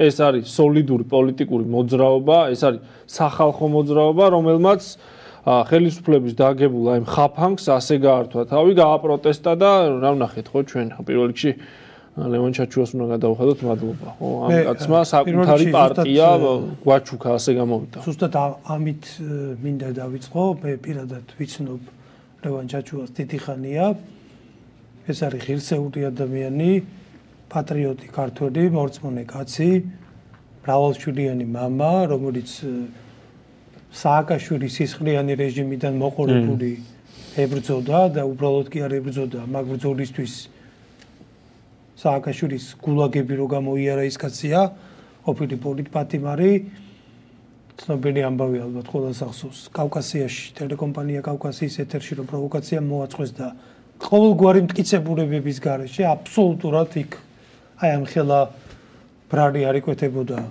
ლევანის დააჭერინა სააკაშვილის რეჟიმმა გასაგები მიზეზების გამო, იმიტომ რომ ესეთი მებრძოლი ხალხი მისთვის ყოველთვის იყო დისკომფორტი. წლები გაატარა ციხეში და რეჟიმის შეცვლის მერე გამოვიდა რა თქმა უნდა ის იყო პოლიტპატიმარი და მოკლედ მე მინდა რომ დიდი მადლობა ამ ეთერიდან უთხრა ლევან ჩაჩუას რომელიც არის ღირსეული კაცი და საერთოდ პატრიოტებს ვერაფერი ვერ გადაარჩენს და ქრისტიანებს ერთობის და ერთმანეთის თანადგომის გარდა და ესეთ რთულ დროს, ესეთ რთულ ვითარებაში ეს ნამდვილად უდიდესი ნაბიჯია და დიდი მადლობა მინდა რომ გადაუხადო ამისთვის რევან ჩაჩუას. აქ ძალიან მნიშვნელოვანია, ხო? აი ამ ბრძოლაში ვინ დაგვიდგა გვერდით და ვინ დაუდგა გვერდით ამ დიდ ერთობას, ხო? მოვისმინეთ ჩვენ აქციაზე გაკეთებული მოწოდება, რომ გავერთიანდეთ და ერთად ვებრძოლოთ ამ სისტემას. ეგ არის ძალიან მნიშვნელოვანი, რომ შეიქმნას ერთი დიდი ეროვნული ერთობა, რომელიც ქვეყანაში არსებულ დღის წესრიგს შეცვლის, ხო? მადლობა ეკუთვნის ბატონ ლევან ჩაჩუას, მადლობა ეკუთვნის თითოეულ იმ ადამიანს, ვინც აქციაზე მოვიდა და ყველას, ხო, ვინც ამ ბრძოლაში გულშემატკივრობდა, ჩვენ ვაჩვენეთ, რომ ჩვენ შეგვიძლია, ხო? აი ამ არ ვიცი მე რატო ეგონა ქართულ ოცნებას რომ ესეთ ბარიერს აღმართავდა და გაგვაჩერებდნენ მაგრამ აი ხელოვნური ბარიერის შემოვლა ძალიან მარტივად შევძელით იმიტომ რომ კიდევ ერთხელ ვუძახი ეს არის სოლიდური ერთობა ხო? ჩვენ შეგვიძლია ჩვენი უნარებითა და ჩვენი ცოდნით და გამოცდილებით ამ ყველაფერს თავი გავართოთ და პასუხი გავცეთ. დასაწყისში რასაც ხაზი გაუსვი რომ დიახ ეს არის სოლიდური ნაბიჯი ზოგიერთი ჩვენ ვიცით ახლა დესტრუქციული პარტიები თმის ერთი ღერი რო ჩამოუვარდეთ კი კივილს დაიწყებდნენ და აუ დესტრუქცია და არავითარ შემთხვევაში ჩვენ არ გვყავს არც გარემ ფარვერი არც შიგან ფარვერი ვიღაცებს მართლა თმის ღერი რო ჩამოუვარდეთ ამერიკის სახელმწიფო დეპარტამენტი და სოროსის ფონდი და ევროპარლამენტარები და ვიღაცები შფოთავენ. რატო? იმიტომ რომ იმათი აგენტები არიან ჩვენ არავინ არ გვყავს ფარვერდი და მოკავშირე, ჩვენი ფარვერდი და მოკავშირე არის მხოლოდ უფალი და ის ხალხი, ვინც არის პატრიოტი და ეროვნულად მოაზროვნე, მარტო ეგეთი ხალხია ჩვენი მოკავშირე და ახლაც გამოჩნდა ვინ არის ეროვნული საქმის ნამდვილი კომაგი. ეს არ არის ალტინფო კონსერვატიული მოძრაობის მხარდაჭერა, რაც ახლა გააკეთა რევანჩაჩუამ, ეს არის ეროვნული საქმის პირველ რიგში მხარდაჭერა. და მას რა თქმა უნდა ეს ყველაფერი გაცნობიერებული აქვს. ზოგადად ეხა რევანჩაჩუას ჩვენ წარდგენა არ ჭირდება ის მას ისედაც ყველა იცნობს მით უმეტეს ამ ფლანგზე. და ამ ნაბიჯით კიდევ ერთხელ აჩვენა ალტინფომ რომ ეს არ არის დესტრუქციული ძალა. ვიღაცები ელოდნენ რომ აქ ეხა რაღაცა შეტევა და პოლიციასთან ჯაჯგური იქნებოდა. ჩვენ ეგ ხალხი არა ვართ პოლიციელებს რომ შეურაცხყოფას აყენებენ და ფილს რო აყრიან სახეში და ტუარეტის გამალბებს და ხო მოლოტოვის კოქტეილებს რო ისვრიან არავითარ შემთხვევაში ჩვენ ვართ კონსტრუქციული ძალა ვიღაცა ნაძირნები აქ ივანიშვილის ფულით დაფინანსებული პროპაგანდისტიანი პროპაგანდისტები წერდნენ რომ თქვენო დესტრუქცია და პროვოკაცია გინდათო და ჩვენ დესტრუქცია და პროვოკაცია რო იგეგმებოდა ამ ქვეყანაში ანტიმაიდანი დავიწყეთ რომ ეგ არ მომხდარიყო ჩვენ რო ეგ გვინდოდეს, საერთოდ არაფერს არ გავაკეთებდით და მაგის ორგანიზატორები უხვად არის დამიჯერეთ. ამ ქვეყანაში ეს არის ეროვნული ძალა, ეს არის კონსტრუქციული ძალა, რომელიც მხოლოდ რეალური პრობლემების დროს სხვა გზა როცა არჩება, მაშინ გამოდის ქუჩაში და მაშინაც უკიდურეს შემთხვევაშიც კი ყველაზე მშვიდობიანი და კონსტრუქციული ფორმით ცდილობს ხოლმე. აქთან ერთი რამ უნდა ითქვას ახლა 50000 ხელმოწერა შეეგროვა პარტია კონსერვატიული მოძრაობა ალტინფომ, ხო, პარტიამ რომლის რეგისტრაციაც გააუქმეს. ანუ ამ პოლიტიკურ ძალას დამტკიცებული აქვს, რომ ის არჩევნებში მონაწილეობას იმსახურებს და მე რა ის ბიუროკრატიული ბარიერი, ტექნიკური საშუალებების გამოყენებით, რა ბარიერი რაც შეიქმნა, ხო, მაგის შემოვლა, მე უკვე მორალური უფლებაც გაქვს, რომ მას შემოუარო, ხო? ვერავინ ვერ გეტყვის, რომ იცი რა, შენ რაღაცა სხვა მეთოდებით გადიხარ არჩევნებზე. არჩევნებზე გასა ორჯერ მეტი 25000 მაგათ 50000 ხელმოწერა მიიტანეს და დაათვლის პროცესში რაღაცები ჩხრეკა დაიწეს და რაღაც იგიჟე მოიფიქრეს, ხო? უკანონობა და უკანონო მეთოდით გაგაჩერეს და მან დრო უკვე ამას აჩვენებ, ხო? ეგ კაი მაგალითია. ვიღაცას ახლა ესეთი დაბკოლება რო შეექმნათ რომელიმე ნაცპარტიისთვის, რა ვიცი, ხო, აქედან დაწყებული ბრიუსელამდე არ გაჩერდებოდნენ. ყველა გზაზე კომენტარს გააკეთებდათ. ჩვენ სახელმწიფოებრივ მოქმედებას ხატყობს. ხო, ახლა წარმოიდგინე, ვიღაცა პოლიციელს რო კოქტეილი ესროლა, ვიღაცა საყურიანი პედერასტი დაიჭირეს და ევროპარლამენტარები, ამერიკელი მაღალჩინოსნები შეშფოთდნენ. ჩვენ პარტია გაგვიუქმეს და რეაქციები ხო ცხადყოფს კაცო. სინამდვილეში ეს ძალა პრორუსული ძალაო, რო იძახი პრორუსული ძალა რო ვიყოთ. კრემლიდან იქნებოდა თითის კნება. აი თქვენ რო ხართ პროდასავლელები და სოროსის გრანტის აი ცუდი სიტყვა არ მინდა კიდე გამოვიყენო, თქვენ რო თმის ღერი გივარდებათ. ხო შფოთავს თქვენი დასავლელი ბატონ პატრონი. თუ ჩვენი ბატონ პატრონი კრემლია, ამაზე მეტი პრობლემა რა უნდა შეგექმნას, გაუქმებენ კაცო. და კრემლი არაფერს არაკეთებს. და კრემს არ შეუძლია ეხა ბიძინა ივანიშვილს იქიდან დაემუქროს, მაგდენი ძალა არ აქვს რუსეთს, რომ ქართულ ოცნებას იქიდან თითი დაუკნიოს. არავით არის პროები ხართ თქვენ. აი თქვენ ხართ ნამდვილი პროები. აი ეგ წინ სართი ნაცებსაც და კოცებსაც ზუსტად ეგ არის ზედ გამოჭრილი თქვენ ხართ ნამდვილი პროები. ჩვენ არავით არის არნაირი გარე ფარველი და მოკავშირე და ვიღაცა არ გვჭირდება. ჩვენი მოკავშირე არის ქრისტიანული ეროვნული იდეა. ჩვენ ვართ მორწმუნე ხალხი, ვისაც როგორც შეგვიძლია ახლა წმინდანები არა ვართ, რასაკვირველია. და ჩვენ ჩვენი მოკავშირე არის მხოლოდ ჩვენი ეროვნული იდეა, ტრადიციების, ჩვენი ორიენტირი არის ტრადიციების დაცვა. ტრადიციული ფასეულობების და ღირებულებების დაცვა და არასდროს ხალბები ამაში არ ყოფილვართ და არც ვიქნებით. საქმის კეთება პოლიტიკური სპეკულაციის საგანი არასდროს არ ყოფილა. საქმის კეთება რო გვინდა იქ ხო გამოჩნდა რა, ეხა არ ვიცი, მართლა ვიძახი, თიძე დაიხვედნენ ამას და დილნას აღამდე იტირებდნენ, მაგრამ ჩვენ ბევრი საქმე გვაქვს, რეგიონებშია ჩასასვლელი, აუცილებელია კიდე უფრო დიდი ერთობის შექმნა, ამისთვის ჭირდება ტექნიკური საშუალება. ამიტომ ეს პარტია, რა თქმა უნდა, ამის საშუალებას მოგცემს. ნუ ეგ ხა ტექნიკური საკითხებია. პარტიის თავმჯდომარე შეიცვლება, უნდა ჩატარდეს ყრილობა, შეიცვლება მისი პოლიცაბჭო, შეიცვლება მისი დასახელება. ეს არის ტექნიკური ნაწილი, მაგრამ ამ პარტიას წინ არჩევნებზე აქვს მონაწილეობა მიღებული, ხო? ამიტომ მას საერთოდ ჭირდება საარჩაი ხელმოწერების შეგროვება არჩევნებში მონაწილეობის 2024 წელს პირდაპირ ქართული ოცნებისგან არაფერი არ გაგიკვირდა ხალხი კომენტარებში წერს რომ აქაც რამე პრობლემა არ შექმნან არ გამოვრიცხოთ მაგრამ ქართულ ოცნებას ახლა გაურთულდა საქმე. აქამდე ხო აბსურდული შარი მოგდეს რომ სამი წლის წინ თურმე არასწორად დაგვარეგისტრიეს ანუ როგორ რაღაცა იცი აი ავი ხა სახლი რო იყიდო და სამი წელია ცხოვრობდა მოგადგნენ რაღაც საბუთები არა არ გიყიდია საერთოდ და წაგართვეს. ხო? აი ეგეთი ეგეთი აბსურდი ხო აკეთა მაგრამ ეხა უკვე საკითხი როგორ გაურთულდა?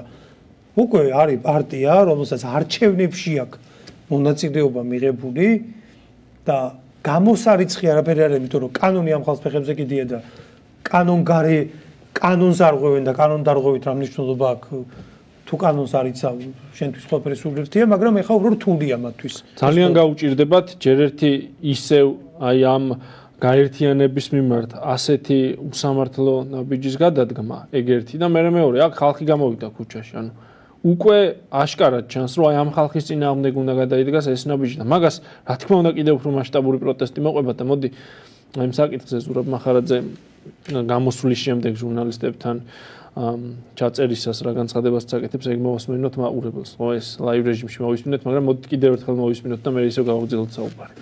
ამ გამოშტერებულებს ეგ არისმით.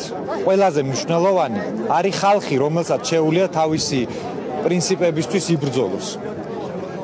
ამაც ბიზნეს ფულის იმედი აქვს. ნაცებს ამერიკის საელჩოსი. ჩვენ ჩვეულებრივი ხალხის იმედი გვაქვს და ბევრი კი ამბობს ხოლმე რომ ხალხის იმედი ჩემტერს კონდეს და რაღაცა ეგ ტექსტები ეგ სისულელია. ხალხის იმედი უნდა კონდეს და ხალხი მაგას გრძნობს. და ჩვენ დღეს დავინახეთ და პირობაც მივიღეთ. აქ შეკრებილი ადამიანების პირობა, რომ უსამართლობას, რომელსაც ეს ჭკუიდან გადასული არაადეკვატური თვითგამოცხადებული ფეოდალები ჩვენ მიმართ განახორციელებენ, ხალხი დაუპირისპირებს ბრძოლას. და ეს ბრძოლა დამთავრდება ჩვენი გამარჯვებით, იმიტომ რომ ხალხს ვერავინ ვერ გაუკაჩა, ვერც ბიძინა, ვერც მიშა, ვერავის საელჩო. ქართველი ხალხი გაიმარჯვებს. გამარჯვება იქნება ჩვენთან.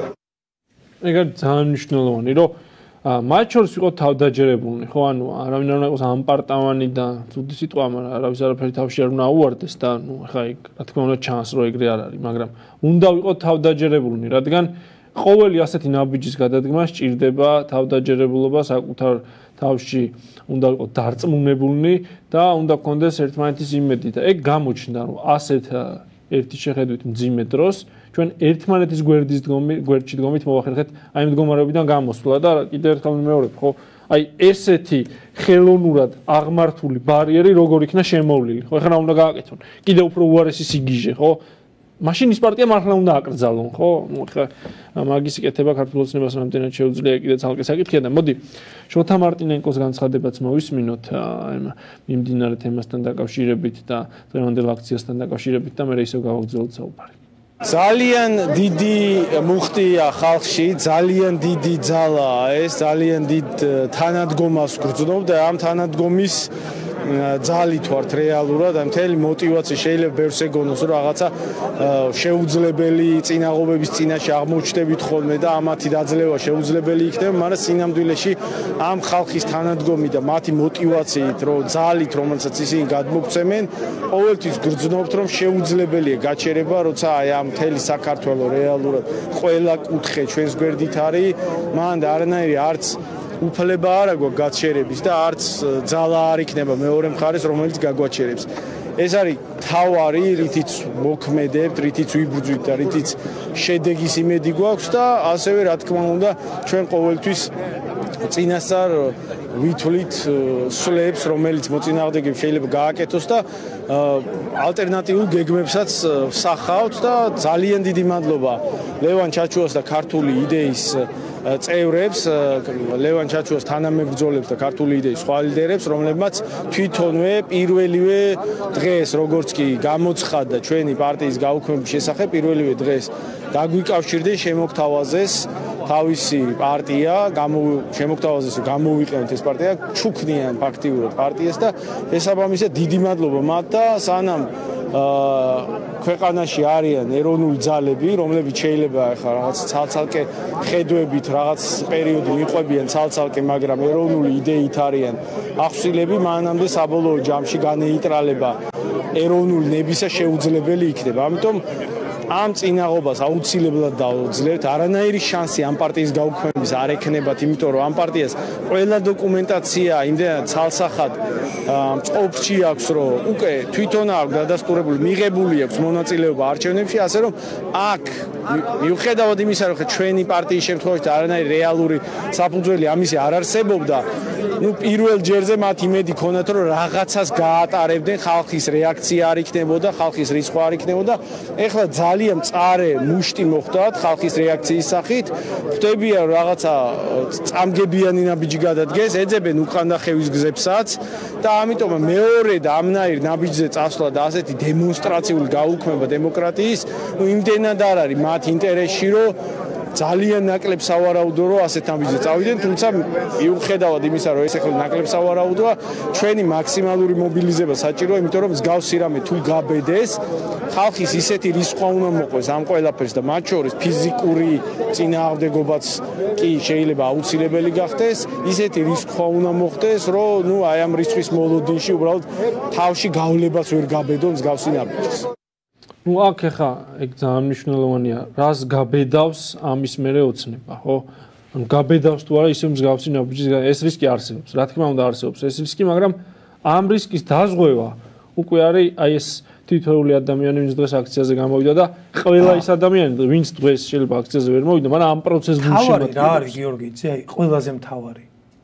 ყველაზე მთავარი ის არის რომ როცა უკანონო მეთოდებით გებრძვიან ეს გაძლიერებს გამიგე. შეხედე აი ბიძინა ივანიშვილს მართლა მინდა ყოველგვარი ირონიის გარეშე მივმართო აი შეხედეთ კაცო. მესმის რომ ძალაუფლების დათმობა არ გინდათ მესმის რომ გეშინიათ მესმის რომ მართლა საქართველოს საკუთარი შპს გონია მაგრამ რეალობას ხომ და გაუსწოროთ ვარო როგორი ძიმეც არ უნდა იყოს შენთვის რეალობა? რეალობა რეალობა. ბოლო 3 თუ 4 თვე რაც ეს წელი დაიწყო, აი ქრონოლოგიურად რომ მივყვეთ. ივანიშვილი მოვიდა პოლიტიკაში მესამედ. იმის მერე დაიწყო რეპრესიები ჩვენ წინააღმდეგ, გადაგვიკეთეს ფინანსური ყველა აბსოლუტურად ჯერცედაც რა გქონდა, რაც იყო. ხალხმა დაიწყო ალტინფოს დაფინანსება და რა იანვარით აი მესამე თვე არის ამ ტელევიზიას ძრა ვერ უქნეს. პლუს ეს დაბლოკვები, საბანკო ანგარიშები, პირატი ანგარიშები სოციალურ ქსელებში ეს ყველაფერი კიდე უფრო მეტად გაძლიერდა, მაგრამ ფაქტია, რომ ამის პარალელურად ეს ტელევიზია და პარტია გაძლიერდა. ვერ დაასუსტეს. ადგენენ და პარტია გააუქმეს. ალბათ ეგ უნდათ, რომ აუ ბოლო-ბოლო რავი აი ტყვია დავახარით რა ფაქტიურად და ეგ უნდათ, რომ აი ხა ვეღარ წამოდგებიან. ვერ უნდა მიხვდეთ, რომ ეს მუხტი შეუქცევადია? აი დღევანდელ აქციას შეხედეთ კაცო. აი სახელმწიფო არხები როგორი გასუსურები არიან მართლა აი იმიდან სუნთქავენ რა რასაც ქვია. აი როგორი გასუსურები არიან. ჩვენ ხო ვიცით ეხა აქ რო ხუთი კაცი მოსულიყო როგორც ამათ აქციებზეა, რავი დრონის კადრებს ცხვირში ამოიმანთ აბოგადინდნენ.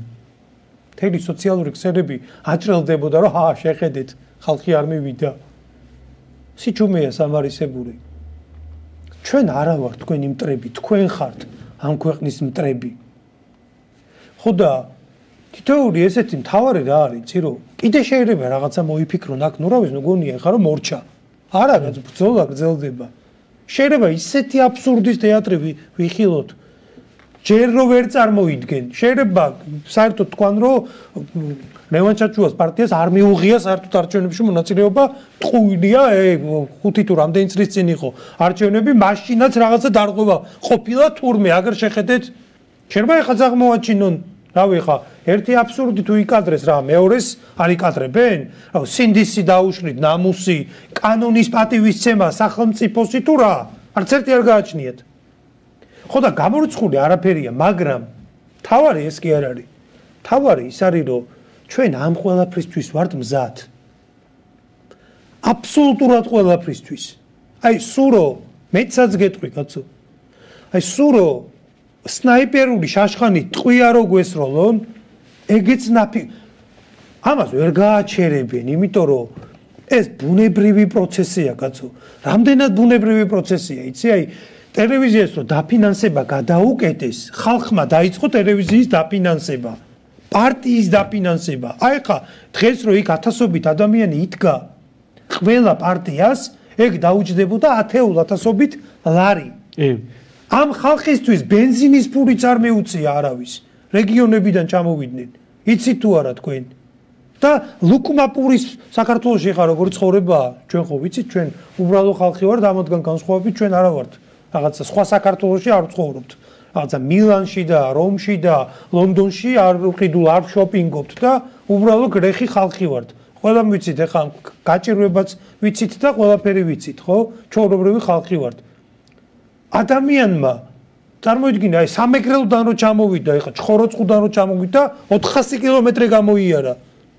შეიძლება იმის რა ქვია, პურის ფული არა აქვს, მაგრამ бенზინის ფული იშოვა აქ როგორ როგორ პროცესზეა ლაპარაკი? მე მაგითო ვამბობ ამას. ადამიანი რომ მოვიდა და სისხლი ჩავაბარეო წარმოგიდგენი აი მართლა ჟრუანტერი დაგივლის და бенზინ გასამართ სადგურზე. ადამიანი რო გაჩერებს და იც როგორ მოვიდე თქვენთან საწევროდ და რაღაც ეგეთ ტექსტები რო გესმის. ესეთ мотиваციაზეა. და ამის გაჩერება გინდათ თქვენ. რაც უფრო მეტად მოინდომებთ და მით უმეტეს ეგეთი მეთოდებით. კიდე უფრო მეტად გააძლიერებთ ამას იმიტომ რომ ეს ყველაფერი განაპირობა თქვენს მიერ განხორციელებულმა წრების მანძილზე უკანონო ქმედებებმა და ახლა კიდე მაგას რო უკანონობას ზედამატებთ ეს მუხტი იზრდება. და ბოლოს ხალხს იქამდე მიიყვანთ რომ ეს ხალხი გაგიჟდება. ამაშია საქმე და ამას ვერ გააჩერებს კაცო ვერაფერი. რა გააჩერებს ამ ყველაფერს. და ვიღაცას რო გონია ეხა ეს ერთჯერადი მოქმედების ტორპედოები რო აამოქმედეს. ხუთი კაცი რო არ უჭერს ხარს. საკუთარი მშობელი დედა რო არ მიცემს და რაღაცა სახელი თვითონ ეროვნული ძალა გახდა. ხუთივრის გმობდა. პედარასტების პარაც პარადს ამბობდა რომ გისაო ეკო პედარასტების პარადიო გამოხატვის თავისუფლება არის ვინც წინაამდე გამოვედით იმათ მოძალადეებს გვეცახდა და ახლა კონსერვატორი გახდა. გამიგე და ამაზე დებს ბიძინა ფსონს და ხალხი ეხა ალტი ალტიფოს თუ გააუქმებს წავა და იმ აი ხო აი ერთ უჯრედიანიც არ ტვინში ერთი უჯრედიც არ უნდა კონდეს რომ ეგ დაიჭერო თან მანდაი თავი კითხვა რა არიცი რატო ეგონათ რომ აი ამდენ ადამიანს არჩევნებს მიღმა დატოვებდნენ. ნუ ეგ არის გაუგებარი და მოდი გიორგი ქარდაოს მოусმინოთ, მანაც გააკეთა ამ თემასთან დაკავშირებით შეფასება და შემდეგ ისე გავაგრძელოთ საუბარი. დღევანდელი დღე იყო ძალიან მნიშვნელოვანი ღირებული დღე. მე მგონი თვითონ ვინც გვადევნებდა თვალს სიტყვებითაც არ ჭირდება შეფასება, ყველა მშვენივრად მიხვდა აქ რა მოხდა და რას ვაპირებთ მომავალში. ჩვენ ახლა ცხადია, კვალიფიციური პარტია გვაქვს, რომელსაც არჩევნებში აქვს უკვე მიღებული მონაწილეობა და მადლობა ამისთვის ბატონ ლევან ჩაჩუას და მის თანამებრძოლებს. ნებისმიერი რაღაცა ინტერპრეტაცია, რაღაც იურიდიულ დეტალებთან დაკავშირებით აქედან გამომდინარე არის უკვე უსაფუძვლო. და თუ ამ სისულელესაც გაბედავს ეს თავრობა, ჩვენ დღეს აქ სიტყვა დავტოვეთ, რომ თუ მსგავს სიშტერეზე და არ ვიცი, არ ნახულ სიგიჟეზე წავა ხელისუფლება, ჩვენ გადავკეტავთ გზებს, გადავალთ უკვე უცხოეთ პროტეზზე გამოვიყენებთ მათ შორის მაქსიმალურად რადიკალურ მეთოდებს იქნება პარალიზებული ქუჩები, რკინიგზა და ეს მთავრობამ კარგად უნდა გააცნობიეროს. ჩვენ უკან არ დავიხეთ, არავითარ შემთხვევაში. კარგად გაიგეთ თქვენ. ჩვენ მონაწილეობთ ამ არჩევნებში, ჩვენ შევდივართ პარლამენტში. მოწონს ეს ბიზნეს თუ არ მოწონს, ასე იქნება, იმიტომ რომ ხალხის ნება არის ასე. აუ, კაი, ძალიან მნიშვნელოვანი რა არის, იცი, ხო? აი, ამ განცხადების წინ რა კითხვა ვსვი. რატო ეგონათ, რომ არჩევნებს მიღმა დააკტოვებდნენ? ანუ, საერთოდ ეგ ამბიცია რატო ქონდათ და რატო ეგონათ, რომ მაგას განახორციელებდნენ და ამ ვითარებაში ხო საერთოდ აი საერთოდ ვინ მისცა ამათ იმის უფლება, რომ ვინმეს არჩევნებზე მისვლა აუკრძალონ და ვინმეს პოლიტიკურ პროცესში მონაწილეობის მიღება აუკრძალონ და ერთი ნაწილი ეგ არის, რომ ეგ ამბიცია ქონდათ და კოზინაციაში ჩაუვარდათ. და მეორე ნაწილი ის არის, რომ კიდე რო ეგ ამბიცია შენარჩუნებული ქონდეთ და ვინმეს რო თავში აზრად მოსდიოდეს ის რომ მოდი ისევ რაღაცა მოვიფიქროთ ციგიჟე და პარტიას ხელი შეუშალოთ. ამდენი ხალხი დგას ამ იდეის უკან. 50000 ხელმოწერა იყო კონსერვატიულ მოძრაობა ალტინფოროს არჩევნო რეგისტრაციაში გაეტარებინათ და ეგ ფეხქვეშ გათელეს. მაგრამ ეხა უკვე აი ამდენი ადამიანის წინააღმდეგ მოუწევთ ისევ მსგავსი ნაბიჯის გადადგმა და ქართული ოცნება კარგად უნდა დაფიქრდეს, ხო? ისეთი რაღაცა გაკეთდეს, რაც არ იხსნებოდა. ეხა უარესის გაკეთება მოუწევთ, თუ ისევ იგივე ჭუაზე არიან და ამიტომ უნდა შეიცვალონ მათ დამოკიდებულება და ხალხს უნდა მოусმინონ. ერთია რომ ხალხთან უნდა კონდეთ ესეთი დამოკიდებულება, რომ უსმენდნენ, ითვალისწინებდნენ და ამ მოთხოვნებს ასრულებდნენ და მეორეა რომ ესენი კონფრონტაციაში შედიან საკუთარ მოსახლეობასთან, რაც პოლიტიკური დანაშაულია მინიმუმ და სამართლებრივად ეგ კიდე გამოსაკვლევია მაგაში ვინ არის ჩართული. ანუ ერთია რომ ვიღაცამ შეიძლება ბრძანება გასცა, მაგრამ ვინ შეასრულა იმას საერთოდ რატო გონია რომ ის არაფერი შუაში არ არის? დავალებას ასრულებს. მე რა შემსრულებელი დამნაშავე არ არის? მას არ მოეკითხება? მხოლოდ დავალების გამცემია შემსრული დამნაშავე? ეგრე საკითხის დაყენება არის არასწორი და პასუხისგებლობა უნდა იყოს დავალების გამცემმაც და მისმა შემსრულებელმაც და ამდენი ადამიანის წინააღმდეგ დანაშაულს რო ჩადიან, საერთოდ რატო აქვს ის ამბიცია და ილუზია რომ რამე შეერჩებათ? ეს გამოძიებული უნდა იქნას, იმიტომ რომ ჩვენ ქვეყანაში ამით ესენი დემოკრატიას ვაშენებთ, დემოკრატიას ანგრევენ პირველ რიგში. დემოკრატიაზე საერთოდ ლაპარაკი ზედმეტი, ახლა ჩვენ მოვისმინეთ გიორგი ქარდავას, სადაც მან ერთი სიტყვა თქვა, რომ ჩვენ აქო სიტყვა ვთქვითო, რომ თუ კიდე უფრო დიდ აბსურდში გადავიდა. ხელისუფლება და უკვე რეგისტრაცია გაუვლილი და არჩევნებში მონაწილეობა მიღებული პარტია. კიდე თუ რაღაცა რაღაცა მაიმუნობას მიმართეს სიტყვა ვთქვითო რომ მე რა უკვე მიმართავთ უკიდურეს ზომებს და მანჩა. ეგ რატო თქვა? იცი მე ჩემ მას გეტყვი. იმიტომ რომ საზოგადოება ახლაც ითხოვდა მათ შორის საზოგადოებაც. ყველა ვინც ხალხი როგორი გამოვიდა იცი? ხალხი გამოვიდა განრისხებული ხალხის მოთხოვნა რა იყო, იმიტომ რომ ეხა უბრალოდ ადამიანი ნუ მაგრამ რა თქმა უნდა კონსერვატიული მოძრაობის ლიდერები ესენი არიან პოლიტიკოსები და რა თქმა უნდა მათ სხვა გამოსავალს მიმართეს და სხვანაირად მოძებნეს კონსტრუქციული გამოსავალი. მე ესე ვიტყოდი და ხალხში ცირა განწყობა იყო? ეგ ანუ ეგ სიტყვა რატო თქვეს? იმიტომ რომ ხალხი ითხოვს მაგას. ხალხი შეურაცხყოფილია კაცო ერთმა კაცმა გადამიწყვიტა რომ შენ ვინც გინდა იმას საერთოდ ჩავხსნი ეს არის სირის გაწუნა საზოგადოებისთვის.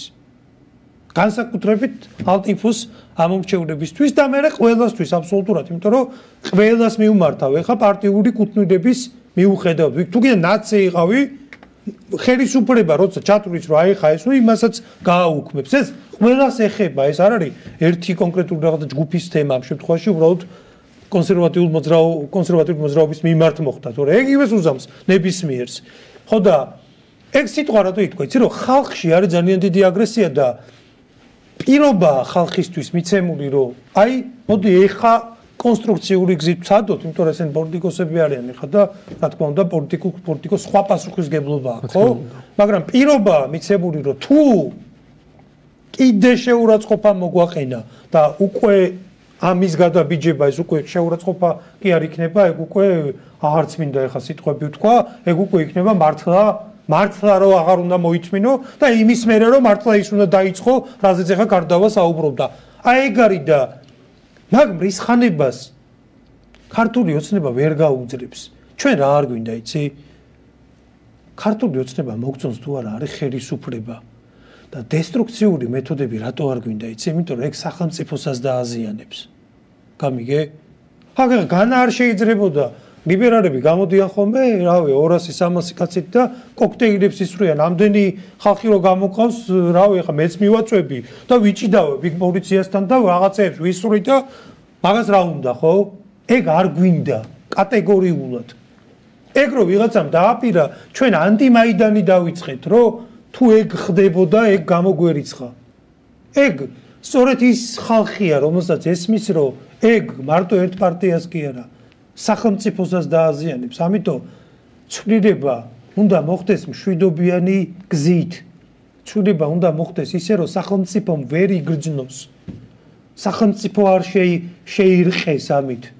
რომ აქ რაღაცა უბედურება ჩვენ 90-იანები რო გამოვიარეთ ის ერი და ის საზოგადოება ვართ კაცო და მაგით ვინ წააგო მაგას მოგებული და წაგებული არ ყავდა მან წაგებული იყო ყველა მან შორის ისიც ვისაც ეგონდა რომ მოიგო მან ყველა დამარცხდა.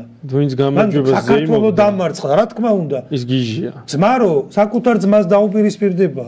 იქ შეუძლებელია რომელიმე გამარჯვებული იყოს და ეს რო გვესმის, მაგიტო იყო ეს გამოსავალი, რაც მოიძებნა და მე კიდე ვიტყვი, რომ ამისთვის დიდი მადლობა ლევან ჩაჩუას და ხელისუფლებას მინდა კიდევ ერთხელ უთხრა, როგორი მეთოდითაც არ უნდა იმოქმედოთ. ამ მუხს ვერ გააჩერებთ ვერაფრით. ამას პირიქით თქვენი ეს უკანონო მეთოდები მხოლოდ აძლიერებს და ძალიან ცუდად დაამთავრებთ ესეთი მეთოდებით გაგზელების შემთხვევაში. აქთან ერთი ნაწილია კიდე აი რაც აუცილებლად უნდა ითქვას. აა დაუშვათ კონსერვატიულ მოძრაობა ალტინფოს, ну, ჯერ კიდე ერთხელ მოყვები, ძირე ექსკურსი გავაკეთოთ. პარტიამ მოითხოვა რომ ხელმოწერები შეეგროვებინა მას მისცეს ბლანკები შეეგროვდა 50000 ხელმოწერა CSGO ამას ითვლიდა ნუ დახარვეზების პრინციპით წახლა აზრი არ ქონდა იმიტომ რომ ორჯერ მეტი იყო და მაგას ვერ გააკეთებდნენ და ეგრე რეგისტრაციის გატარებაში ხელს ვერ შეუშლიდნენ პარტიას და ამიტომ მოუწიათ რომ ეს მეთოდი ეპოვათ და აი ამ გზისთვის მიემართათ რომ ძველი საბუთები ამოქექეს და რაღაც ისულელეზე პარტიას რეგისტრაცია გაუქმეს. და თუ მან და აი საბუთები 10 დღე გვინდაო ხო? დაუშვათ 10 დღეში ეგ საბუთები მისცეს პარტიის იურისტებს, ხო? არ ვიცი, ხო? სასამართლოში წავიდა მე ეს საქმე, იქ სასამართლომ თქვა რომ ეს შეეშალა და პარტიას რეგისტრაცია დააუბრუნეს, ხო? დატოვებული ხონდათ ხელმოწერის მომენტი კიდე. ანუ CSGO-ს ხელი კი არ ქონდა მოწერილი და მე კი არ გაუქმდა რეგისტრაცია. რეგისტრაცია ერთი ეტაპი, კიდე ერთი ბარიერი ხელმოწერა. მათ შორის ნერვებზე გვეთამაშებოდნენ და ეს აი მხელა ჩანაფიქრი რაღაცა აი ბევრი წინაღობა აღმართული ხო მარტივად იქნა შემოვლილი პარტია რომელმაც წინაარჩენებში მონაწილეობა მიიღო პარტია, რომელსაც ავტომატურად ეკუთვნის შემდეგ არჩევნებში მონაწილეობის მიღება და ტექნიკური დეტალები არის დარჩენილი, უნდა შეიცვალოს პარტიის თავმჯდომარე, დასახელება, პოლიცაბჭო და ასე შემდეგ, ხო? ამისთვის და შესაძლებლობისთვის მადლობა ბატონ ლევან ჩაჩუას კიდევ ერთხელ და ნიშნულოვანი რა არის კიდე, იცი რომ თუ ამ პარტიასაც პრობლემები შეუქმნეს, რა ვიცი, ასეთი პარტიები 250-ია რეგისტრირებული, ხო? სუბიექტები, რომლებსაც არჩევნებში მონაწილეობის უფლება აქვს, ძალიან ბევრია. ამიტომ ასეთი საშუალება კიდე გამოინახება. აქ ის კი არ უნდა იყოს ხელისუფლების მიზანი, რომ ხელი შეუშალონ არჩევნებში მონაწილეობაში, უნდა შემოვიდნენ დებატებში, უნდა შემოვიდნენ კონკურენციაში, მაგრამ ეგ არ შეუძლიათ. მაგის უნარი არ აქვს და ერთ-ერთი გზა არის ეს არჩევნები. როგორი როგორი მომენტი იცი ხა? კიდე თუ გააუქმეს და კიდე რაღაცა, კიდე რაღაცა, აქ უკვე ფაქტიურად დროც აღარ არის. ეხლა და ამ პინგ-პონგში არავინ არ გაყვება ქართულ ოცნებას. ეგ ზუსტად მაგასაც ეგ უნდა ეგენი სამარცხვინოები არიან. კი არ შერწყებათ მაგის შეიძლება გაგიუქმონ, მე კიდე მეორე, კიდე გააუქმო და მე და ეთამაში ხა ამათ კატათაკობანა. ეგრე კი არ იქნება, კაცო, აი რაც ქარდავამ თქვა, ეგ იქნება, ეგრე ეგრე არ იქნება. ფიცინა ივანიშვილს თავი გონია გენიოსი. და ეს მდინარაძეები და ესენი ეს კიდე არ მინდა ცუდი სიტყვა, მაგრამ კარგი რო არაფერი არ მიესადაგება როგორ გინდა, ხო? ესენი, ესენი ეს ეს მართლა მართლა ეს ქვემძრომები. ვაიმე ბატონო ბიძინა, ეს როგორ მოიფიქრეთ, რა გენიოსი ხარ კაცო? და ეს რო ზის და საკუთარ თავში უკიდურესად შეყვარებული, აი რო იკოცნის საკუთარ აი საკუთარ ლოყას ვერ მიწდება თორე რომ დაიკოცნის საკუთარ სახეს. ეგრე შეყვარებული და ესენი რომ აიმე ბატონო ბიძინა ეს როგორ მოიფიქრეთ? ვაიმე გამიგე ესენი ეს გოშიები. და ბიძინას თავი გონია გენიოსი. აი შეხედე როგორ ლავირებს. ნახე რა მოიფიქრა რა მოიფიქრა კაცო? სიბინძურე მოიფიქრა და თავი დაიყუპა ანუ ხა ეს პოლიტიკურად სამარე გაითხარა ეხა რაც გააკეთა საკუთარი ხე თავი ჩაისვენა და აუ მიწაც მიიყარა და აუ ეხა გვაც დაიდგას და დაბადების და გარდაცვალების წერი მიიწეროს ეგ არის რაც გააკეთა. ეს იყო დრო რომ ბიძინა ივანიშვილი ხალხს მართლა უყვარდა. და ეგ როდის იყო? იცი როცა არ იცნობდა არავინ. როგორც კი ეს კაცი ხალხმა გაიცნო 2012 წლამდე 11-ში იყო პარტიას ქუნიო რო თქვა მანამდე ბიძინა ყველა მიცოდა რომ აა ვიღაცა მითიური ქველმოქმედი მაგრამ ქუჩაში სახეზე არ იცნობდნენ რომ არ ჩნდებოდა. მაშინ უყვარდა და ქონდა ავტორიტეტი. როგორც კი გამოჩნდა და ცნობადი გახდა იმის რეიტინგი წავიდა კუდომისკენ. ეს ხომ მეტყოლებს ახლა რომ რეალური სახე მისი ხალხისთვის არ ყოფილა მისაღები. და დღეს რაც გააკეთა მე აქ სანამ პირველ რითერში ჩვენ საუბრობდით რომ ბიჭო ესეთი ავტორიტეტი რო გააკ ამაზე ღირებული არაფერი არ არის. ის მილიონები ის სიმდიდრე ყველაფერი ოხრად დაგრჩება მაგას სამარეში კი არ ჩაგატანინ ერთადერთი რაც დაგრჩება არის სახელი და საკუთარ ხალხს რო უყვარხარ. და ქრისტიანული საქმე რო გიკეთებია და ჭეშმარიტებას რო იმსა მეტი არაფერი არ რჩება ადამიანისგან ბოლოს სამარე ყოველს ერთი ზომა ჭირდება და კუბო და ყველაფერი ერთია. ვინც გინდა იყავი ამ ხელ ავტორიტეტი რო გაქვს ამ ხელა პატივისცემა ხალხისგან. ამ ხელა იმედებს, რომ ხალხი შენზე ამყარებს. ესეთ რაღაცა საკუთარ თავს რატო უკეთებ? მე რომ ესე შეაზიზღო ადამიანებს თავი და შენი სახელის ხსენებაზე რომ ხალხი ძირს აფურთხებს. აი ეგ როგორ უნდა გაუკეთო საკუთარ თავს? მithumetes ეხა პატარა ბიჭიც არ არის, ხო?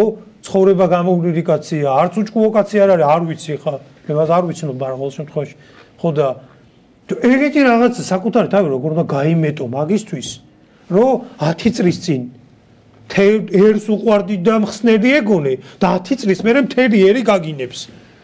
აა მოდი ჯაბაი დღევანდელი აქციიდან ირაკლი მორგოშიას განცხადებაც მოვისმინოთ და შემდეგ ისე გავაგრძელოთ ამ თემაზე საუბარი ხო? ძალიან მნიშვნელოვანი საკითხია.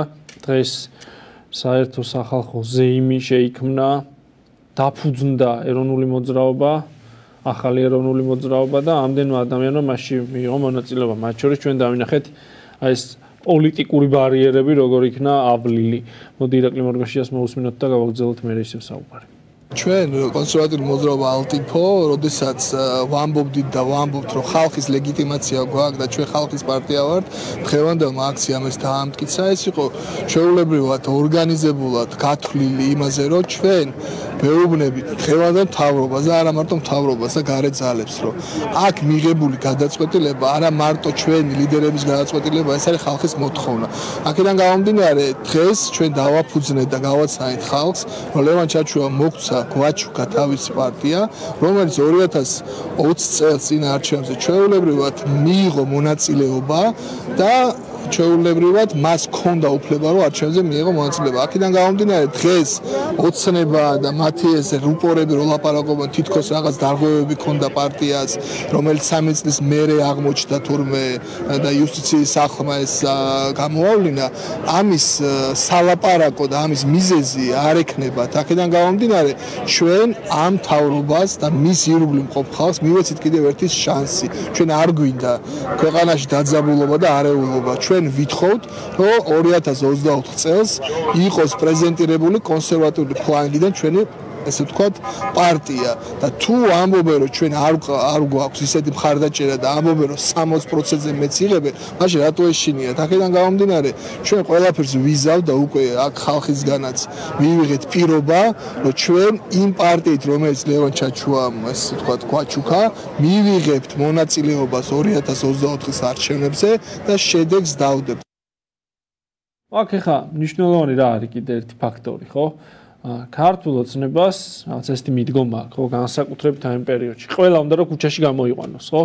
მე დასავლეთ ფლანგის გამწარებაც უნდათ და მათი წყობიდან გამოყვანაც უნდათ და მათი ქუჩაში გამოყვანაც უნდათ და კონსერვატიული ფლანგის მიმართაც ეს განზრახვა ქონდათ და ნუ ეს ამას ემსახურებოდა, ხო, ეს პროვოკაცია, ამას უკანონო და ანტისახელმწიფოებრივი პროვოკაცია ამას ემსახურებოდა, რომ ქუჩაში გამოიყვანეთ და რაღაც არ ვიცი, ხო, ექსესებს ქონოდა ადგილი, ხო, რაღაცა მე იტყოდნენ რომ ნახე ესენი ყოფილან მოდი დავიჭიროთ სულყველა მაგრამ არ გამოვიდა ეგ კოზიც ნაცარში ჩაუვარდათ ხო? ეს კიდე ერთხელ მე რატომ ამბობ სოლიდურობას? ეს ამას უჩვენებს რომ აი ასეთ პროცესში როცა შენი წყობიდან გამოყვანა უნდათ როცა შენი გამწარება უნდათ რამდენი ადამიანი გაბრაზებული მივიდა აქციაზე როცა ესეთ დონეზე ემოციებზე გეთამაშებიან შენ ამას აკეთებ. ასეთ ვითარებაში სახელმწიფოზე პროგრესზე ფიქრობ მდგომარეობის განხილვაზე ფიქრობ ეხლა ცივილიზებული და სახელმწიფოებრივი ფორმით თვითონ არიან სინამდვილეში ეხლა წყობიდან გამოსულები. ანუ რისი გაკეთება ცხვისთვის უნდათ ეხლა თვითონ მოუვიდათ მათთვის მათ უნდათ მათ უნდათ ჭიდაობა და ძალადობა პოლიციერებსა და აი პოლიციები რატომ მიიყვანეს კი ეგ ეგ იყო კაცო ეხლა მაგათ პოლიციერების სიცოცხლე უღირთ რავი მე ბიძინა ივანიშვილისთვის საკუთარი თუთიყუში უფრო ზვირფასია ერთი თუთიყუში ვიდრე ერთი პოლიციელი აი გადაჭარბების გარეშე ვამბობ და იგივე რაც გრეგორიადისის საქმეზე გადაწყვეტილება მიიღო ივანიშვილის მიერ დანიშნულმა პრეზიდენტმა მაგას ხატყობს. ჯერ იმის გარდა რომ არავინ არ დაიჭირეს. ეხა ვერავინ ვერ დამარცხუნებს რომ ის აკეთებდა ამ ყველაფერს მარტო. და ერთმა გრეგორიადისმა თუ ამდენი პოლიციელი დამწრობის ცენტრში დააწვინა ეგ ყოფილა ზმაო სუპერმენი. მაგაში ხო ვერავინ ვერ დაგვარწმუნებს. ერთი შეარჩიეს ყველაზე მათთვის კომფორტული აი ხალხი რო არ გამოსულიყო რა იმიტომ რომ ამის მხარდაჭერა რო გაგიტყდეს შენ თვითონ ეგეთი ამოარჩიეს და ისიც ვერ დაიჭირეს ხო და ხელისუფლებას უნდოდა რომ ჩვენსა და პოლიციელებს შორის მომხდარიყო დაპირისპირება. მაგით რამდენიმე კურდღელს ერთდროულად იჭერდა. პირდაპირი და გადატანით იმ ნიშნულობით. თავარი რაც არის ალტინფოს რეპუტაციულ ზიანს მიაყენება შეხედეთ ხალხო ესენი გიჟები არიან. გადატრიალ პოლიციელებზე ძალადობენ მაგას იტყოდა გასპეცნაზდებოდა მაგრამ ნუ აი ვერ მიიღეთ რა იმიტომ რომ არ არის ეს ის ძალა თქვენ რო გინდათ თქვენ რო გინდათ რომ წარმოაჩინოთ. ეს იყო სახელმწიფოებრივი ფორმით გამოხატული პროტესტი სადაც ჩანდა სამოქალაქო პასუხისმგებლობა სადაც ჩანდა საკუთარი ქვეყნის სიყვარული სადაც ჩანდა რომ შენ შენი ქვეყანა ფეხებზე არ კიდია. სადაც ჩანდა რომ ვიწრო პარტიული ინტერესი არ იყო წინ დაყენებული და აქ ყველაფერთან ერთად ნაჩვენები იყო მაღალი პოლიტიკური კულტურა და ინტელექტი. ესე გაგრძელდება და ამას ეს ხეპრე ოცნება ქორვაჭრის მიერ შექმნილი პოლიტიკური პროექტი იაფასიანი ვერაფერს ვერ დაუპირისპირებს მით უმეტეს კრახისთვის ახართ განცირულები ისეთი მეთოდებით თუ გააგრძელებთ როგორი მეთოდებითაც ამ დრომდე მოდიხართ. აქთან ერთი საკითხია კიდე დამატებით, ხო? ქართულ ოცნებას ბევრი ბერკეტი აქვს, მაგრამ უმეტესობა მათგანი თითქმის უკვე გამოიყენა, ხო, ანუ რაღა დარჩა. ისედაც ჩარჩოდან გასულია და ჩარჩოდან ყოველ ჯერზე როცა ერთი ნაბიჯი ჩორს მიდის, კიდევ უფრო უარეს საკეთებს და ნუ ხა რეალურად ქართული ოცნებაც სადღაც იძულებული გახდება რომ გაჩერდეს, ამ ხალხთან ღია კონფრონტაციაში შემდეგ ეტაპზე ვეღარ გადავა. ის უკვე იძულებული გახდება რომ გაჩერდეს და ეგეც გამოჩნდება, ხო? მაგრამ ქართულ უცნობას კიდევ უფრო ძვირი დაუჯდება, ხო? თავი დავანებოთ იმას, ჩვენ რას ვიფიქრებთ მასზე, ჩვენ როგორ გავაპროტესტებთ ქართული ოცნების და ხელისუფლების აი გადადგმულ ნაბიჯებს. თვითონ შიგნით ვინც არიან, ხარდაბჭერები ხო ყავთ? პარტიაში ამდენი წევრია. აპარატში, სხვადასხვა სამინისტროებში რამდენი ადამიანი ყავთ დასაქმებული. ვიღაც კითხვას დაუსვავს ყოველდღიურ რეჟიმში, ყოველ საათში ვიღაც კითხვას დაუსვავს, რას ვაკეთებთ, რას აკეთებთ, რა არის გეგმა და ეჭვი შეეპარებათ უკვე იმაში, რასაც ქართული ოცნება მათ თავაზობს. და აქედან გამომდინარე თვითონ ჩამოიშლებიან. ჩვენი დაშლა და დასრულება თუ უნდათ, თვითონაც რისკავენ და თვითონაც დაშლისა და დასრულების საფრთხის ქვეშ აყენებენ საკუთარ თავს და ამით აზიანებენ ქვეყანას. ქართული ოცნება არის ხელისუფლებაში, ჩვენი პოზიციები არის აბსოლუტურად სახელმწიფოებრივი, ამიტომ ვცდილობ სულ ქართული ოცნების ხელისუფლების სამართლებრივ ჩარჩოში დაბრუნებას, თითოეული ჩვენ მიერ გადადგმული ნაბიჯი ამას ემსახურება და თვითონ იმას უნდა მიხვდნენ, რომ სამართლებრივ ჩარჩოში უნდა იყვნენ და ქვეყნის უსაფრთხოებასა და განვითარებაზე უნდა ზრუნავდნენ და ეს მოწოდებები და ეს პროტესტი უნდა შეიგნონ. და ამ ვითარებაში თან სახელმწიფოზე თუ საუბრობთ ჩვენ, სახელმწიფო არის გამოწვევების წინაშე და აქ მხოლოდ არჩევნების მოგება, ვინ მოიგებს არჩევნებს, ეგ არ დგას არ დგას დღის წესრიგში და მარტო მაგ პრიზმაში და მარტო მაგ თემაზე რო აფასებენ ხელისუფლების წარმომადგენლები სხვადასხვა საკითხებს, ეგ არასწორია. ახლო აღმოსავლეთში არავინ იცის რა მოხდება, ხო, შეიძლება რა ვიცი, ყოველ წუთას ომი დაიწყოს. შეიძლება არც დაიწყოს და იმედია რომ არც დაიწყება, მაგრამ ხედავთ რომ უკრაინაში ომია და ამ ვითარებაში აქ შიდა პოლიტიკური დაპირისპირებები და ამაზე მთელი სახელმწიფოებრივი რესურსის დახარჯვა და თან ხალხისთვის იმედის გაცრუება და ყოველი ესეთი ნაბიჯის შემდეგ ვერ ახსნა და მათ მიერ ფარდამჭერების დაკარგვა და რაღაც ადამიანების დაგსაქსვა. იმის მაგრად რომ ერთიანობას ვქმნიდეთ და ერთად ვიდგეთ ეს ადამიანები დაკავებული არიან იმით რომ დაყონ სხვადასხვა ჯგუფებად საზოგადოებად და მე როგორღაც მართონდა ეგ კიდევ ერთხელ ვიმეორებ ხო არასწორია და ამას უნდა უშლიდეთ ჩვენ რეალურად ხელს და ამასაც ვაკეთებთ და ამ ვითარებაში სახელმწიფოებრივად ვინაზრონებს მაგასაც ხედავთ. ნაწილი მოლოტოვის კოქტეილის როლას ამართლებს, ნაწილი იმ ადამიანებზე, ვინც როცა სახელმწიფო გადატრიალება იგეგმებოდა, ანტიმაიდანს აორგანიზებდა, რეპრესიებს ამართლებს და ნაწილი ამბობს, რომ რა ვიცი, ეს ქვეყანა თურმე არის მათი პირადი საკუთრება. ხო, ანუ დანარჩენები არიან უუფლებონიდან. მაგ ვითარებაში ვინც იმას ამბობს, რაც სწორია და რაც მიგაჩნიათ, მაყურებელს მინდა მიმართო, რაც მიგაჩნიათ, რომ შედეგის მომტანია, იმათ ხარეს უნდა დადგეთ. და ეგ თითო ყოველ შემდეგ დღეს გამოჩნდება, ხო? პარტიის ლიდერებმა მოუწოდეს სხვა დაინტერესებულ პირებს, სხვა ძალებს გავერთიანდეთო, ხო? ეგ გამოჩნდება ამ პროცესში ჩართვის მსურველი ვინ არის და ვის შეუძლია გააძლიეროს ეს ერთობა, ხო? ფიზიკურად აღყოფნითაც ეს ერთობა გაძლიერდება, ხო? შეიძლება ვიღაცამ ფინანსური რესურსები მოიპოვოს და დაფინანსების თვალსაზრისით გავძლიერდეთ. შეიძლება ვიღაცამ რაღაცა განსაკუთრებული ცოდნა რაღაც მიმართულებით, ხო, პირობითად ვიძახი თავის საქმის, კარგი მცოდნია, პროფესიონალია, საბანკო სფერო ესმის, სოფლის მეურნეობის სფერო ესმის, რაღაცა ეკონომიკის სხვა დარგი ესმის, უსაფრთხოების სფერო ესმის, თავისი ცოდნა მოიტანოს და ამით გააძლიეროს ეს საქმე და შეიძლება ადამიანებმა, ხო, ვინც აი უბრალოდ ადამიანებს შორის იდეების კარგი გამავრცელებლები არიან, ესეთი ადამიანები გვაპოვნინონ. ვისაც კომუნიკაცია კარგად გამოსდის. ამიტომ ამ საქმეს ბევრი ხალხი ჭირდება, ბევრი სხვადასხვა უნარი ჭირდება და უნდა მოხდეს ამ უნარების მობილიზებას და ჩვენ სწორედ აი ეს საქმე დავიწყეთ დღეს და იმედია რომ და მე დარწმუნებული ვარ რომ ამ ამ საქმეს ძალიან ბევრი ადამიანი შემოუერთდება. აქ ერთი რაღაცა უკვე არის უტყუარი, აი დღევანდელმა დღემ რა ჩვენა იცი? აა შეიძლება აი მოდი ხელისუფლების პოზიციიდან შევხედოთ, ხო? მთელი ეს რეპრესიები მიზნად რას ისახავს? თუ სადღაც რომელიღაცა რეპრესიას ვერ გადალახავ, ამის იმედი აქვს და გაჩერდები. და ნუ გაჩერება ნიშნავს, რომ მე უკვე უკუსვლას, როგორც კი გაჩერდები, ესე იგი გაგაჩერეს, მე დაიწყებ უკუსვლას და ჩათვალე, რომ უკვე განეიტრალებული ხარ როგორც პოლიტიკური ფაქტორი. რეპრესიების რამდენიმე ტალღა დროის კონკრეტული მონაკვეთი რო ავიღოთ 2024 წელი რაც დაიწყო მანამდეც მაგრამ მე კონკრეტულ მონაკვეთზე ვამბობ 2024 წელი რაც დაიწყო რაც ივანიშვილი რო მესამე დაბრუნდა პოლიტიკაში ფორსირებულად დაიწყო ჩვენზე რეპრესიები.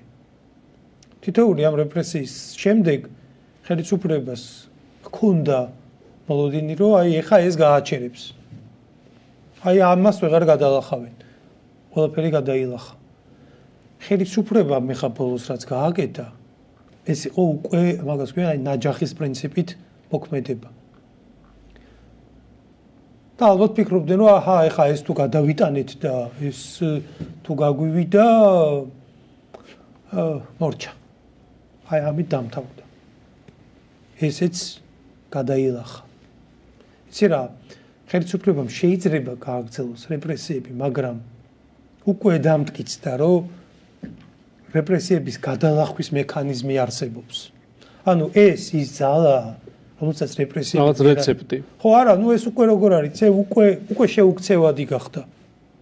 უკვე ეგ ეგ ეგ ეგ ეგრეა უკვე გადაწყდა რომ ეგ უკვე აი გადაწყდა კი არა აი შესაბამის სიტყვას ვერ პოულობ აი ეგ ეგრეა რომ რეპრესიები ვერ გააჩერებს ამტკიცდა ხო ანუ აი დღეს ეგ წარმოჩინდა რომ რეპრესიები ვერ გააჩერებს და პირი რეპრესია ზაგეთი ეფექტი ან გაჩერებს ან ვერ გაჩერებს კი არა ან გაძლიერებს აი რაც ის გამოთქმა რაც არ კლავს გაძლიერებს რეპრესია თუ გაჩერებს გაჩერებს როცა უკანონო მეთოდებით და რეპრესია არ არსებობს კანონიერი მეთოდით. რეპრესია ნიშნავს შენზე რაღაცა უკანონო ზეწოლა ხორციელდება. ან გაჩერებს, ან გაძლიერებს. ანუ ეგრე არ არის რომ რაღაცა ვერ გაგაჩერა, მაგრამ აი სულ ზღაპა არა. ან დანაკარგებით გადალახე. ყდები ამ რეპრესიის მერე, ან შენ ძლიერდები. ეგ ეგრეა. აქ დავინახეთ რომ არა, ვერაჩერებს. ესე იგი აძლიერებს. ხო და ან დანაკარგებით გადალახე და დასუსტდი და შემდეგმა დარტყმა შეიძლება საერთოდ დაგამთავროს. ხო ან იმის შემდეგმა. ყოველ შემთხვევაში რაც იყავი ის აღარ ხარ, უფრო სუსტი ხარ. ან შენზე ზეწოლა გაძლიერებს და უფრო მეტნი ხართ, უფრო გამოცდილნი ხართ, უფრო მეტი შეგიძლიათ და ამ ვითარებაში ხარ წარმოიდგინე აი რა დონის სახელმწიფოებრივი რესურსი დაიხარჯა ამ ხაფანგის დაგებაზე. და რადონის რეპუტაციული ზიანი მიადგა მათ შორის ხელისუფლებას. პირდაპირ ქართულ ოცნებას ხო? ანუ რაც გააკეთეს.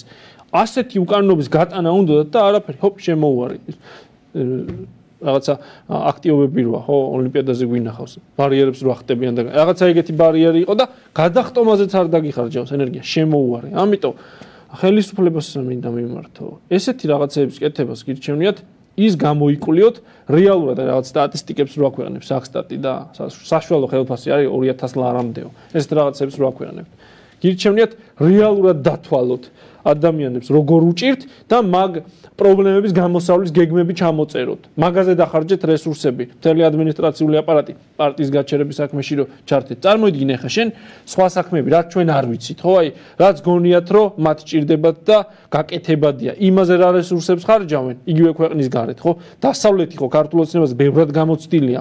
იმათ ასწავლეს ამათ ხრიკებით და ეხლა წარმოიდგინე იმათ რამდენი ხრიკი იციან და იმათთან დაპირისპირებაში რამდენ სისულელეს აკეთებენ, რაც შეიძლება ქვეყანაში ხვალანზე გომის გამომწვევი მიზეზი გახდეს. ხო, რამდენ სისულელეს აკეთებენ. ამიტომ გჭირდება ჩვენ პარლამენტში წარმომადგენლობა და ამიტომ არის ეს ხელისუფლება სინამდვილეში სახში გასაშვები, იმიტომ რომ მათ არიციან რისი გაკეთების უნარი აქვთ, რა არის გასაკეთებელი და რა შედეგია საერთოდ საჭირო. რა შედეგი უნდა მივიღოთ, რა შედეგზე უნდა გავიდეთ. არიციან. რაღაცები დღეს სწორი გონიათ, მე აა როცა რეალობის წინაშე აღმოჩნდებიან, ხო, სანამ კიდევ თავით არ დაეჯახებიან, იქამდე ვერ ხვდებიან, რომ გზა არასწორია. აი, ეგეთი ხელისუფლება, რა თქმა უნდა, საფრთხის მომტანია და ჩვენ რატო ვართ წინამდვილეში ამ საფრთხეებში ჩავარდნილი, ხო, ანუ რატო ვართ დღეს გეოპოლიტიკაზეც რო ვთქვა ერთი ორი სიტყვა. ამ ძიმე მდგომარეობაში რატო ვართ, ანუ მეორე ფრონტის გახსნის საფრთხე რატოა სამხრეთ კავკასიაში და რატო განიხილება საქართველოს ერთ-ერთ ცხელ წერტილად? იმიტომ რომ ჩვენი ხელისუფლება უბრალოდ მართვის არანაირ ცოდნას არ ფლობს. მათ რაც კარგად იციან, ეგ არის რომ ფინანსური შემოსავლების წყაროების პოვნა გამოყენება. ხო რაღაცა კორუფცია, სახლები აიშენეს, ხელისუფლებაში რომ მოვიდნენ, არავინ არ იყო, დღეს მილიონერებიანი როგორ? ეგ მაგრად დაამუღამეს, ვაღიარებ. მაგრამ ეგ არის კიდე ერთი უკანონობა, რაც საკეთებენ და ეს პოლიტიკური თამაში. რა ვიცი, ვერ ისწავლეს. ეხლა 10 წელი რო ვერ ისწავლეს, ა როდის უნდა ისწავლო? ხო ესე იგი, ეს არ არის შენი საქმე და ეხლა მამუკამ დინარაძე კიდე ერთხელ ვახსენეთ, ხო? მამუკამ დინარაძის ფსონის დადება როგორ შეიძლება? ეს ადამიანი თან აი ეგეც სარკაზმია რაღაც თვალსაზრისით. შარშან კატეგორიულად უარყოფდა კანონის მიღებას წელს ის არის ღირსების ნომერ პირველი დამცველი. ანუ ეგეთი გარდასახვები არ ხდება. სინამდვილეში ეს არის თამაში. თეატრში შეიძლება ეგ ვნახოთ და ამ ადამიანებზე ფსონის დადება საერთოდ არ შეიძლება. მამუკამ დინარაძეზე როგორ უნდა დადო ფსონი? ეგ შენი პოზიციიდან ჩანს გასაკვირი. მაგრამ მამა ბიძინას პოზიციიდან შეხედე. ბიძინამ ხო ფულით იყიდა ეს ხალხი. აბა ეხა რავე ლევანჩაჩუაშნაირ ადამიანს ხო ვერ იყიდი ფულით? აბა მიდი იყიდე. ფული რომ დომებოდა გაყიდული იქნებოდა შენ გონია ვერ იქნებოდა ოცნებაში ან კონსერვატიული მოძრაობის ლიდერები. ფიცინა ივანიშვილის უბედურება, როგორც პოლიტიკაში ამბიციის მქონე ადამიანის, არის ის, რომ ის განწირულია იმისთვის, რომ გარშემო მუდმივად ყავდეს სხვა გზა, სხვანაირი ვერ ეყოლება. სულ დინარაძე ეყოლება, სულ ის აქვეა თმა დაუარცხნელი კაცი. სულ ისეთი პრემიერი, რომელსაც აი ესე სამსახურში რომ მივა და გაიგებს, რომ აღარ აღარ შენ პრემიერი კარგად იყავი. თავისი პირადი ბუღალტერი რომელიც პრემიერად დანიშნა და იმან დაიჯერა რომ პრემიერი იყო სუ ეგეთი ხალხი ეყოლება რატო იცი იმიტომ რომ ფულით ნაყიდი ადამიანი ეგეთია სხვანაირს ვერ იყიდი სუ მარიონეტი გეყოლება სუ მონა გეყოლება სუ მაამებელი გეყოლება აი ესეთი ფინია ზაღრივით რაღაც წარმოიდგინე რომ რაღაცა პურის ნაგრეჯი გიკავია გადაუგდება ჰაერში რო იჭერს ძირს დაგდებამდე პირი ესე როა გაღებული. აი მაგისტვის არის მაგის გარემოცვაში ვერ იქნება პატრიოტი ღირსეული იდეური ადამიანი რატო იცი იმიტომ რომ ეგეთი ფულით არ იყიდება და ბიზნესა სხვანაირი არ ჭირდება ბიზნესა შვიდად როდის არის იცი აჰა გადაგიხადა შენ იქნები ამ თანამდებობაზე გიყიდა სხვანაირად არ ჯერა ფური თუ არ გინდა და ისე თუ აკვეთებ ეროვნულ საქმე, იმას გიშია ფიქრობს. ეს ავატყობი ეშინია შენი. და უნდა რომ გაგაქრო საერთოდ. ეშინია გადის კაცი ამ ყველაფერს შიშით აკეთებ შენ რა გონია. ეს პარტია შიშით გააუქმა. შიშარა შეშინებულ ადამიანზე, შიშით პანიკაში ჩავარდნილ ადამიანზე უფრო სახიფათო არაფერი არ არის, მით უმეტეს თუ ძალაუფლება უკავია ხელში. შენ წარმოიდგინე ადამიანი შიშარა ადამიანი შეშინებული რომ დასვა საჭესთან. რაღაცა ოდნავ მოუწურდა ბანკანა და გული გაუსვა საჭეს გაუშვა ხედი. პანიკაში ჩავარდა. რასიზამს ხო ეს არის შეშინებული ადამიანის ქმედება და ის ჯერ თავიდან ვერ მიხვდა რომ ეს პარტია გაჩნდა ამ ხალხს ფული არ უნდა ეს არ უნდა ის არ უნდა და რა უნდა ამათ? იმიტომ რომ ეს ხვანერ ხალხს არ იცნობს. ამას ურთიერთობა აქვს. მარტო რამდენი გინდა შენ პარტიაში შემოხვი და ამდენი მინდა. მე მილიონი უნდა ვიშოვო. მე ამდენი მინდა. იმ და ვაჭრობას არის მიჩვეული? და არაფერი არ მინდა ქვეყნის გადარჩენის გარდა ეგ უკვე სიგიჟე გონია. ნუ არ ვიცი ხო თუ შეიძლება ამ ადამიანებზე გიჟები ითქვას მაგრამ ნუ ასეთი შეხედულების ადამიანი ქვეყანაში ძალიან ბევრია ადამიანები რომლებსაც ქვეყნის ხვანდელი დღე აინტერესებთ და მზად არიან რომ აი მძიმე შრომაში ჩაიბან და ჩვენ დღეს ასეთი ადამიანები ვნახეთ. ამიტომ მადლობა ეკუთვნის თითოეულ იმ ადამიანს, ვინც დღეს აქციაზე მოვიდა, ვინც ამ პროცესში ამ იდეას მხარს უჭერდა, ვისაც სამართლიანი პროტესტი გაუჩნდა და არ მოერიდა ეს პროტესტი რომ გამოეხატა, ნახეთ ჩვენ, ხო, ქართული ოცნების დროშების დაწვა, თანადგომა, ძალიან დიდი თანადგომა, ამიტომ ამ ადამიანებს კიდევ ერთხელ ეკუთვნით დიდი მადლობა, ასევე ბატონ ლევან ჩაჩუას, რომელმაც საკუთარი პარტია აჩუქა აი ამ იდეას, ოთაშორის მის პარტიას ქართული იდეა ქვია. და ყველა მხარდამჭერს, ყველა აი ამ დიდ საქმეში ჩართულ ადამიანებს ყველას გელოდებით ამ საქმეს ძალიან ბევრი ხალხი ჭირდება, ყველანი ჩაერთეთ და საბოლოო ჯამში მამას პირიდონის განცხადება მოვისმინეთ ჩვენ წინა ეთერში, ხო სანამ კოლეგები შევწვლიდნენ. განწირულნი ვართ, გარდაუვალია გამარჯვება. ამისთვის ვართ განწირულნი და მადლობა ასევე ჩვენი ტელევიზიის ტექნიკურ ჯგუფს, ხო, თითოეული ჟურნალისტ, ვინც ეს აქცია გააშუქა, ვინც აი ამ დღეს ამ ყველაფრის მაყურებლისთვის ჩვენების საშუალება მოგცა და რა თქმა უნდა, მადლობა თითოეული იმ ადამიანს, ვინც წლების განმავლობაში აი ამ საქმეში იყო ჩართული, ხო, ერთი თეთრი მაინც შეწირა ამ საქმეს, ერთი სიტყვა მაინც დახარჯა ამ საქმის პოპულარიზაციაზე და ფიზიკურად იქნებოდა თუ როგორც იქნებოდა ამ ყველაფრის გვერდით. თითოეული ადამიანს ეკუთვნის მადლობა დღეს გმირობის თოლფასია მე გადაჭარბების გარეშე ვიტყვი რეგიონიდან ასეულობით კილომეტრი გამოიარა ხალხმა. საკუთარი სახსრებით საკუთარი აი ამ გაჭირვებულ ქვეყანაში ვის ჩამოვიდა დადგა და დღეს საქართველოს გადარჩენა არის ეს და დეულ ადამიანს ეკუთვნის ნამდვილად მადლობა და არ ვიცი ღმერთმა გააძლიეროს ან ჩვენი ნიჰილიზმში ჩაგდება უნდათ და მე მგონი თვითონ შეიძლება ჩავარდნენ ჩვენი მიზანი არც არის პირადად ჩემი მიზანი რომ არავის ნიჰილიზმში ჩაგდება არც ხელისუფლების უბრალოდ როცა საკითხი ესე დგება და მე კიდე ვიტყვი რომ ეს ღირსების საკითხია რომ უბრალოდ გითხრეს შენ გაძევებული ხარ და არნაირი არჩევანი არ გექნება არჩევანს გააკეთებ ან კოდსა და ნაც შორის ეს შეურაცხყოფილია უბრალოდ. ეს პოლიტიკური საკითხი კი არ არის. სულ არაპირებდე არჩევნებზე წასვლას სულ რო ფეხებზე გეკითხოს მართლა ჯერ როგორ უნდა პირობითად ვამბობ ხო? ეს შეურაცხყოფა არის ამით შეურაცხყოფა მოგვაყენეს ყველას უკრებრივ ვისი ამორჩეული არ უნდა იყოს ეს არის შეურაცხყოფა. და ამ შეურაცხყოფაზე ჩვენ მათ ღირსეული პასუხი გავეცით ჯობა უნდა დავასრულოთ. კიდევ ერთხელ მადლობა აი ამდენ ზღვა ხალხს დროებით გემშვიდობით მადლობა ყურადღებისთვის ნახვამდის